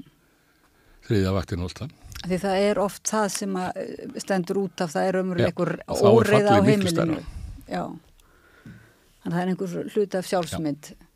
þú sér þetta líka í sko konum sem var í fangelsi uh, það er upplöðu miklu meiri skömm til dæmis ef það er eitthvað barn og annað því hann líkt Já. það er miklu sko verð í andlega hlutunum. Það er nú bara annað dæmi, ekki bara skólaði, það á að fara með sko almennilega sálfræði og gæleikna þjónustu inn í fangilsin bara fyrsta stíi. Það er ekkit, ekkit sko... Er það ekki til staðar? Jú, en það er bara að gera, að grípa miklu fyrir inn í. Það er ekkit, sko, ekkit óvart sem að, ég veit ekki hvað talan verður á endanum, 75-85% fanga eru með ADHD. Eða þá, og eða einhverju rófið eitthvað leys. Það er ekkit óvart. Ég sagði við erum lélið hérna, þjóðar, sko, við löpum inn í bænstöðu og sem einhverju, nei, ég ætla ekki að stela henni núna. Svo maður óvart búin að setja hérna breynsbóla í vasa, sko, þó maður sé búin að horfa á kameruna fimm minútum áður.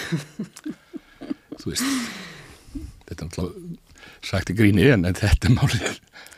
En, hva, en, en ef að þetta hérna ykst, það er allir þessir utan, allir þessir þættir sem að, sem að hérna, raunverulega auka þessi áhrif eða þessi, þessi áhrif, en hvað þá með sko samfélagsgerðina þetta er sjálfa, hvað, sko. hvað með skólakerfið og, og, hérna, og samfélag, samfélagið sjálft ef það eru komin svona margir kannski og, sem líður illa í þessu kerfi Við náttúrulega, sko, áraður en ég kemur í stjórnuna 2010 að þá sagði það náttúrulega formaður við ætlum að breyta orðræðinni. Við ætlum að gera sama og uh, uh, lesblindu samfélagi gerði á nýjunda áratögnum. Ætlum að breyta orðræðinni, við ætlum að tala um jákvæðu hlutina, við ætlum að mæta fordómum og, og hérna neikvæður um líf og svona með staðrindum, fræðslu og það mun taka okkur 20 ár. Núna erum við rúmið áhrunið og allt í unni fyrir snjóboltan rúla. Við erum að breyta miklu um það hvernig almúin, almenningur hvaða veit, hvaðan veit og hvaðan heldur um að til háti. Mm. Og í leiðinni óbeint erum við að draga aðra hópa miklu stærri vagn. Þú varst mjög reyður við Óta Guðmundsson geðlækning þegar hann kom fram að, því fannst þið svo einmitt þessi árangur því að verið búin að stefna þessu að breyta og svo kæmi hann svona eins og bara Sko, í þessari viku kom, í þessari viku kom upp mjög ljótt málvarandi hérna að tjátti líf og akstur hjón í hverja geði. Mm. Það var líka fréttarindar af öðrum manni en hérna, það var heldur mísnúskun. En þetta er ekki nýtt, þetta er búið að vera aukast varandi ákveðinni líf síðan að umfyrirlegunum var breytt uh, 2019 þar sem að vantar reglugerð og þau eru ekki alveg lagi. Óta Guðmundsson kemur og ská inn í þá umræðu án þess að sko átt skilja um hvað var verið að tala sem sagt, gall og lögum það virka ekki undan þá sem eiga verið staðar framkvæmdin er ekki í lægi en hann kemur þannig algjörlega að ská inn í þetta og fyrir að tala um sinn stærsta sjúklingahóp sem eru sko einstaklingar í mjög miklu vanda og oft út af fíkni efnum að annarkvæmt virkið og virki fíklar Jújú, jú, þetta er hópur sem maður þarf að huga sérstaklega að, en það kom bara þessu máli nákvæmlega ekkert við. Já, komið kannski eitthvað við vegna þess að Já. einhver lif eru náttúrulega hann, hann var að segja Já, það er já. eitthvað skrítið hvað er Já, já. mikið af lifi ávísunum bara yfir höfuð á Íslandi líka á kvíðalifjum og, og, og hérna ópjóðum og öllu það Já. er náttúrulega íslenski læknar virðast vera svolítið lifja glaðir Það er stundum að því að það er ekkert annað í búði. Nei, Það er ekki niðurgrænt sjálfsvæða þjónastöður fullóta. Þú getur fengið hóphamnámskeið ef þú kemst að hjá helsugjæslunni, e, börn, eiga fá fríja sjálfsvæða þjónustu en það verðist vera eitthvað frekar. Svona trekt, ég var að heyra einum um daginn sem að hérna fær aðti hátu greiningu öruglega í byrjun uh, kakko og fekk 12 tíma hjá sálfræðingi megna þess að veitir til þess að vinna úr einmitt kvíðanum og öllu hinnu svo eru þeir búinir og bara, nei, það er ekki meira það sem að þú Þetta er bara það miklu meira ég ætla nú ekki að sko gera lítið úr því að óttar að, að, en mér fannst þessu sko, mér fannst bara að hann komandi og hann með kastljósi, þetta var eitthvað, maður fann alveg enn eitt skiptu í Já. Íslandi að umræðan var eitthvað skökk, hann, það var eins og hann var í var einhver boðið annar í Kastljósið. samræðu Hann var í annar samræðu Já, en, en eins og þú segir síðan í grein sem að f- f- fylgir á eftir það er að vissulega sé ákveðin hópur á Íslandi sem mistnoti þessi líf en það sé bara svo opáslega ósangjart að, að hérna láta hina sem þurfa á þessum að lifjum að halda já, sem, að, að láta þá raunverulega þjást Já. og, og taka, taka skellin og nótubenni sumar þessum aðalum sem eru þá sko óvirki fíklar. Það getur hjálpað þeim að fá að vera á þessu lifjum á réttan máta og taka þessu læknisaði það getur, það getur verið ástæði þess að þeir haldi sér þurrum Já. ekki að því þeir eru að fá efnið eins og fíkil en þetta hefur ekkert með það að gera áhrifin sem að við, sko, nýtast okkur eru það svo mjög bara pínu lítið magn Mm. og, og það kemur ekkert náður þessum örfandi áhrifu sem að fíkillin er að sækjast eftir og, og það sem að gerist er í hausnum að að þessar framheilastöðar það fara að virka þessum var óvastu Er það þannig að sá sem er með ADHD, hann tekur þennan smáskamt og, og, og smáskamturinn fyllir svona upp í hólu einhverja í heilanum, en sá sem er ekki með ADHD og tækir þennan smáskamt, myndi hann finna eitthvað fyrir því öðruvísi? Ef þetta verið rannsakað? Mm, ekki í þessar litlu, litlu magni það eru til rannsóknum þetta núna af uh, ykkurlega menta háskóla nefendum svo sem ekki tekt sér yfir í, yfir í hérna, viðskipta hlutan en, en, en stratunlífið en þetta ásist að þar. Einstaklingar er að taka þetta til þess að geta þú veist, lært, lært hraðar undir próf til dæmis. Og það sem kemur í ljós þegar fara að skoða þetta betur í fyrsta lagi þá ertu ekkit að vinna hraðar. Þér finnst það bara.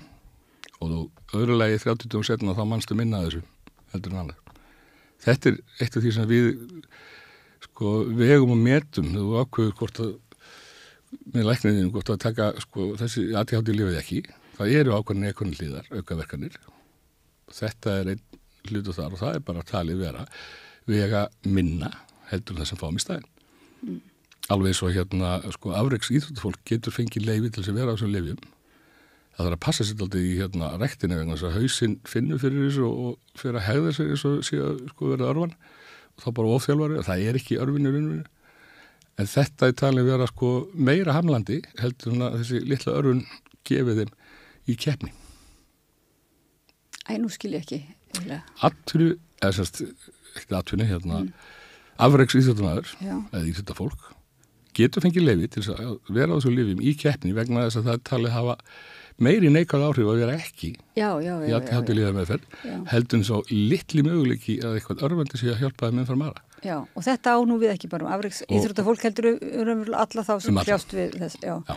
Að þetta er, að það finna bara, allir, eða, því mennir svona tvekk þú finna allar vendan fyrir örfandi áhrifum Mm. og hérna það er það sem að, að fíkillin gerir, hann er að taka mér meira magna, það skýtur því og eða tekur það nöst til að fá alveg svona búm, dopamin flæði en í okkar tilvilli þá erum við ekkit endilega að auka dopamin magna í höstnum, við erum að, að, að, að, að tefur að, að, að hverfi í burtu áður en getur nota Mm. Og það er það sem er að gerast í höstnum okkur, þess vegna verða þess að framhælistöðu virkar Já. settu börn, öll börn í sko hreyfingu í fyrsta tíma kl. 8 mánu og sérstaklega aðti hátti börnin verður svo englarörgla framöndur hátti vegna þess að hreyfing, hún framleiði dopamin Mm. heilin er að virka þannig að það er, mér finnst alltaf svolítið skrítið að tala um að heilin sé einhvern veginn vanvirkur eða fatlaður er ekki hægt að tala bara um að þetta sé öðru vísi heilagerð? Núna með, með öllum þessum styrkum. viss, vissleiti, það sem gerist er að þetta er töga þróska röskun, það er að segja að þessi heilasvæði er að þróskast hægar og minna heldur en gerist almennt séð. Um, hins vegar ef þú gefur batnið unglingi lif því fyrr og því lengur fram á 25 ára aldri því minni verður munurinn á, á heilastarfsemi þessa einstaklings og fjöldans, jafnaldana það er þetta merkilegt Það er svolítið merkilegt, já. já. Það, en þar líka er talað um að þá, það er umverulega þessi trú að þar með getur uh, minkað áhættuna uh, á því að þetta bara leiti sér uh, Já. lausna í fíknefnum. það er engin, er engin munur á, á sko á einhvers konar fíknihegðun hjá Mm. þess, hjá börnum sem að fá þetta uh, með við við hérna heildina það er engin Já. Þannig að þetta er, þetta er alls ekki sko líklega til að leiða fjöldan út í fíkn, auðvitað gerist það hjá sömum það getur verið félagslega umhverju ímestana. en þú sagði sko er ekki heilin að virka bara öðruvísi? Uh, jú, hann er þetta klár, hann finnur híðlega eitthvað leiðir. Ég menna, ef ég til dæmis oft líst sko minni upplefun aðtíðhátti þannig að við sittum inn á veitikúsi við erum að tala saman. Uh, ef ég var með smá þráhyggju, þá getur ég talið rauðubílan sem kera fram hjá. Um, og góðan deginn, þá getur ég sagt þér hvað fólki er að tala um þetta næsta borði. Mm. ég getur að pæli því hvað ég getur villstu gær, hvað ég getur betur á morgun og ég held fræði. Mm. Eh, hjá normal fólkinu þá er bara komið filteri hérna sem bara blokkurinn, er ekki að virka hjá mér. Jafnvel ekki á lífjónum en á vondu degi svo við ítla eða, eða hvað annað sem gerist, þá koma allar þessar svona upplýsingar, þetta fer bara í eina klessu. Mm. en með þetta er að virka fyrir mig þá, er, þá get ég nýtt ég er að tengja saman og áttam á hlutum margvall hraðar heldur en aðrir hugsa út fyrir bóksviðin svo að kalla mm og auðvitað er mér að þjálfa heilan upp og annar máta alveg svo gerist eitthvað heilastöðu bílar í slísið það er oft eitthvað annað sem tekur yfir og, og vext ég segi í gríni svona kannski alveg að hérna ef við sem erum aðtíð átíð fáum líka líf þá hljótu að við verða markvælt klárar þetta er óumbert Já, en verður þá ekki heilin bara eins og hjá hinnum kannski og ekkert, ekkert spennandi hérna, ekkert ekstra, ekstra Nei, ég held að það, við erum það miklu einstaklingi hvort við er og það verður aldrei en það, það er engin eins Nei. við viljum ekkert hafa hérna, einsleitt þjóðfélag En það er nú talað um að fólk með ADHD sé oft í ákveðnum störf veljið sér eins og segir til þess að veljið sér skapandi störf oft. Eh, veljið sér líka kannski eða þá, eða neyð þá, eða svona sjúkra, fólk sem vinir í sjúkrabílum eða þá eru föst í, í hérna svona læri stíðum eða þreipum í fyrirtækjum vegna þess að þeir sem sagt ná aldrei sko að vinna sér upp skiptum starfin á náttúrulega mánuði eins og ég gerði aldrei 33 aldurs Já, af því það er ofta eitthvað sem er svona það, það, fjármála ólæsi sem fylgir þráhyggja skömm og já, það er vel langur listi að Ég er ágættilega að læsa fjármála tölur. Starfæði heilig annar daga en ég gleymi ofta að borga reikninga þó ég er fyrir þeim. Já. Það er eitthvað sem hægt er að laga til dæmis með sjálfveikni heimabankunum og eitthvað sluðis en hérna ég get samt glimt þessu, ég meina hvað er þetta? Maður bá krakki með bílskustaki og okkur stökka fram af. Og þegar þú er búin að stökka á hann lendir þá hugsaðum við ah, get ég lend þessi stýri fætti heila hún kikkaði inn aðeins og seint. Hún er þarna, þetta er allt í staðar bara hvernig kikkaði inn? Þetta veit maður alveg að maður átt ekki að stökka fram af. Þetta er alveg dæmi en ekki að mér. Já, gott, en þegar skaptið er að hellast yfir okkur og, hérna með tilhærandi náttúrulega kvíða barna já, já. oft og fullorðina þá er mikilvægt að, að, hérna, að við leitum okkur þekk, þekkingar er ekki Oft og... byrjuður það bara strax í skóla byrjun og það sé ekki komið ekki skamdegi þá. En þetta náttúrulega eigur bara vandan hjá þeim sem eru ekki segja veikir fyrir en, en, en næmari fyrir svona löguveldur Það er að því að það, einstaklingar eru rosalega mikið að vanda sig Já. og gera allt og kannski Já. fá mikið félagslega stuðning, fá, fá jáfnveg góða reyfing og allt þetta sem þar, en það er einhver, eitthvað sem samt klikkar verist vera svona, þannig að Það er bara að halda betur og utanum allt saman. Og fullotna í skólanum og annar staðar og huga að þessu. Allt sem er fyrirbyggjandi, allt sem er snemtækt eingrip mm eða snembær ílutunni eða hvað þetta heitir mm. sko, það hjálpar til þess að sé ekki verða sko búa til meiri vanda Já, þannig við þurfum að þess að breyta kerfinu Já. og auka aðgengið að, að hérna faglegri greiningu og, og það hjálp svo, Það ekki svo langu tími að bæði hjá bönnum en öruglíu fullorður bara að sko vinda ofan af vittlur sem er búin að byggjast upp vannmættinum, vannmattinu mm. En það þarf alltaf sálfræðastöð eða, eða einhverja faglega sabræðu uh, með Já, sko, líf, lífin gefa lang, lang bestan árangur. En ef þú bætir við vittasmöðferð hjá sálfræðingi og kærleikni eða bara einhverju öðru góðu, þá markvaldast góða áhrifin. Mm. Það er ekki spurningu, þetta byrja á þessum hlutum jafnvel áður en að fullunni fá endarlega greiningu. Og kannski mingar þá áhættun á að þessi líf verið misnótt eða fari vond, er það ekki? Jafnvel að endarlega þurfum við ekki líf. En segði mér þá núna af þessari ráðstefnu Já. ykkar sem er í lokmánaðarins, uh, þar eru bara, 27. og 7. það 15. og 1. næstu viku. já, þar er að koma saman margir sérfræðingar sem er að fara að deila reynslu Já. sinni af og, og, og þekkingu. Samtökin eru 35 ára í ár og við hefum gert þetta á 5 ára fresti, þetta er alþjóðlega ráðstafna uh, bæði innlendur og erlendur fyrirlesarar. Um, við hvað ætlum við séu marginni ég man ekki allar runnin hérna sko.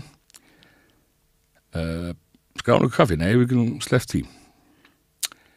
Hérna sérst já, eitthvað sálfræðingur að tala um sem sagt út af þá aðdenglisbróstun eftir öll þessi ár, þá tala um fullotna Já, svo kemur mjög mikið þannig að varandi börn.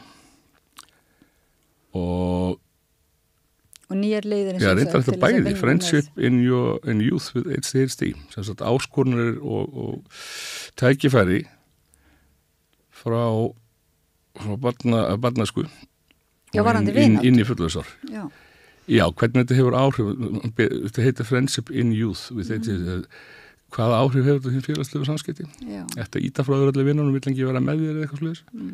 hvort sem að það er læti eða kvíða eða eitthvað öru.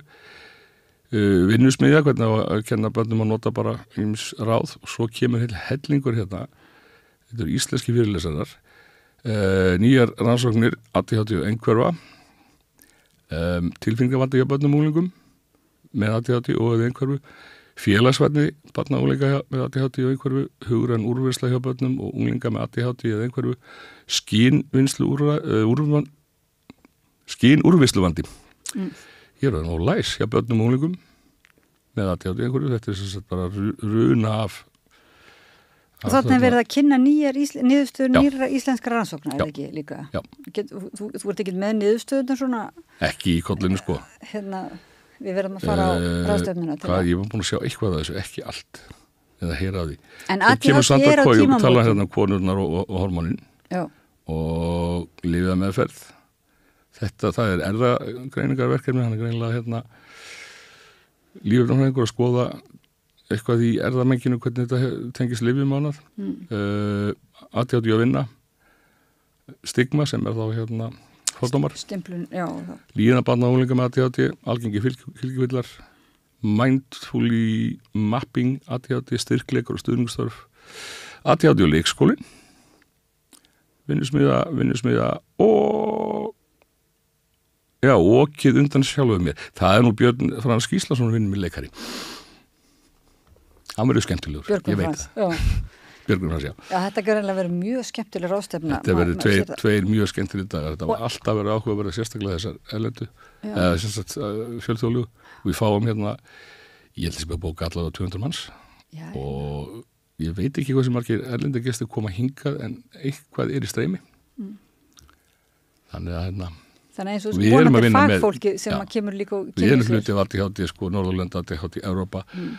og vinnum líka þá með eins og tjatt í bandarækjunum og hérna við erum að deila upplýsingum og benda á fólk og fá til okkar og þetta er ef þú hefur eitthvað að gera svo fyrstum nána borð allavega sem fagaðili Mm. en líka sem einstaklingur þetta er ekki alveg gefins en hérna þá hérna ekki spurning þeim er- eru vantanlega líka kannski letast við að miðla líka þessu, þessari þekkingu síðan í kjölfari, Já, já. kjölfari til því að verið duglega við það og, og hérna, Já, eins og Ari Tökman sem kemur þarna enn á aftur, hann hefur allavega í tvígang held ég farið og sem sagt, inn á þessar getil bugl og, og fullorðina allar spítalum og annað að bara ræða um ímislegt Mm. og fleiri hafa örgulega geta þannig að við, við reynum að nýta þessar heimsóknir eins og vel að hægt er já og líka eins og þú segir, þessi úrræði, Já. sé, þessi sér úrræði, þau sem sagt nýtast samkvæmt reyslunni öllum, nýtast öllum öllum börnunum, betur. öllum börnum í, í, í skólanum Já, já. oftast, já. Þannig að það af er mikið í húfi. skólakerfið á að veita einstaklingsmiða nám það þýðir ekki sko einn kennari og einn nefnda það þýðir að, að skólinn og kennarin og, og allt umhverfið í kringum á að sko aðlæða sig eitthvað að þörfum hvers og eins Já. það er bara í lögum landsins búin að vera lengi það hefur komið fram hérna í viðtalið mitt um Já. svona nýja frelsandi mentunar fræði sem, a, Mhm. sem er raunverulega þetta taka sögu hvers og eins með inn í myndina en Já. ekki reyna alltaf útilokuna og, Nei. hérna, og þar, þar þarf bara að auka þekkingu sko starfspanna inn í skólana til þess að þau átti sig nú að snemma á ekkit endilega nákvæmlega hvað þetta er en það gæti verið að því hátíð einhverfa eða eitthvað annað eða, eða bara eins og frá bara kennar upp í, upp í amaliðinni stoppa mig svona gangin og sagði Vili, er eitthvað heima þér? Það sagði já ég sé bara síðasta verkefni svona. Viku setna þá gerist eitthvað. Þannig að menn, það hafði ekki verið tengt þunglindi föðu minn sem að reyndist síðan að vera með ADHD þegar það greindist 70 úr já, sami miskilningur hjá mér, ég held ég að þunglindur í 20 ár. Og hverju Þetta það breytir náttúrulega af- hefur mikið sjálfsmyndinni. algjörlega. Og hætt að reyna að gefa mann eitthvað helvits vikið einhver hérna lif sem bara voru, ekki, voru að díla við afleðingar en ekki ástæðu Já. en þið tala mikið um kvíðan hann er svo skondið með, með kvíða sko, hann er náttúrulega árans ólíkinda tól sko eh, þó að kvíði sé ekki til staðar á hérna, klínisku fórstöldum heldur bara afleðing af ómeðhellu og þetta, svo færðu líf og það virkar. Veistu hvað kvíðin á til að segja? Þetta er breytti ástand, þetta lítur ekki slemt þess vegna þarf að hjálpa fólki að vinna með kvíðan og, og, þunglindi hvort sem, veist, hvort sem er búið að finna ástæðinu fyrir því, klínist þar að segja einhverju aðrar ástæður eða þá aflega gaf einhverju ógreind bara strax. Skilja, skilja orsök, samband vinda orsakar og ofan að því. afleiðingar. Já. Ég meina, hvoru tvekja upp á ákveðinu marki, menn það er líka stundum þarflif í báðumtöflum, en á ákveðinu marki þá er þetta spurningum að leiðrétta einhverjar hérna rangumir og óvana í, í hugsun sko sem að leiða þetta á sér. Eins og þetta hérna, hei ég líði vel, það hlýtur að vera eitthvað að. Við þurfum greinlega að hérna, endurhugsa okkar líðan og, og hérna, afstöðu okkar til greininga og, og, svona svolítið sitja fordómana í, og fagna, fagna hérna fjölbreytileikanum. Já, veist, ég vil ekki hafa alla eins hvorki eins og ég eða mig eða, eða, eitthvað annað. Við erum ekkit eins og við höfum að sjá til þess að allir einstaklingar hvað sem það eru sko allir hátíð einhverju telist fallaðir eða ekki eða eitthvað annað fá að taka þátt í samfélaginu. Það er ekki bara mannréttindi það eru samvegli réttindi okkar allra og það er það sem býr til öflugt og skemmtilegt samfélag. Vilhelm Hjálmarsson formaður ADHD samtakana þakkaði kella fyrir komuna.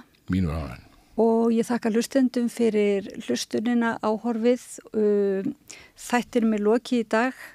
Við verðum hérna aftur á morgun á samstöðinni við Rauðaborðið uh, og ég vil minna á að því megið gerðnan farin á hérna, síðu samstöðarinnar ef þið hafið einhver tök á því að styrkja okkur eða hérna íta á svona lítinn hnapp sem stendur á áskrift. Við erum saman að byggja upp opinn og nöðsynlegan held ég vettfang til opinnan samræði og gaggríninar, róttakrar og bara byggða á samkend og skilningi. Takk fyrir.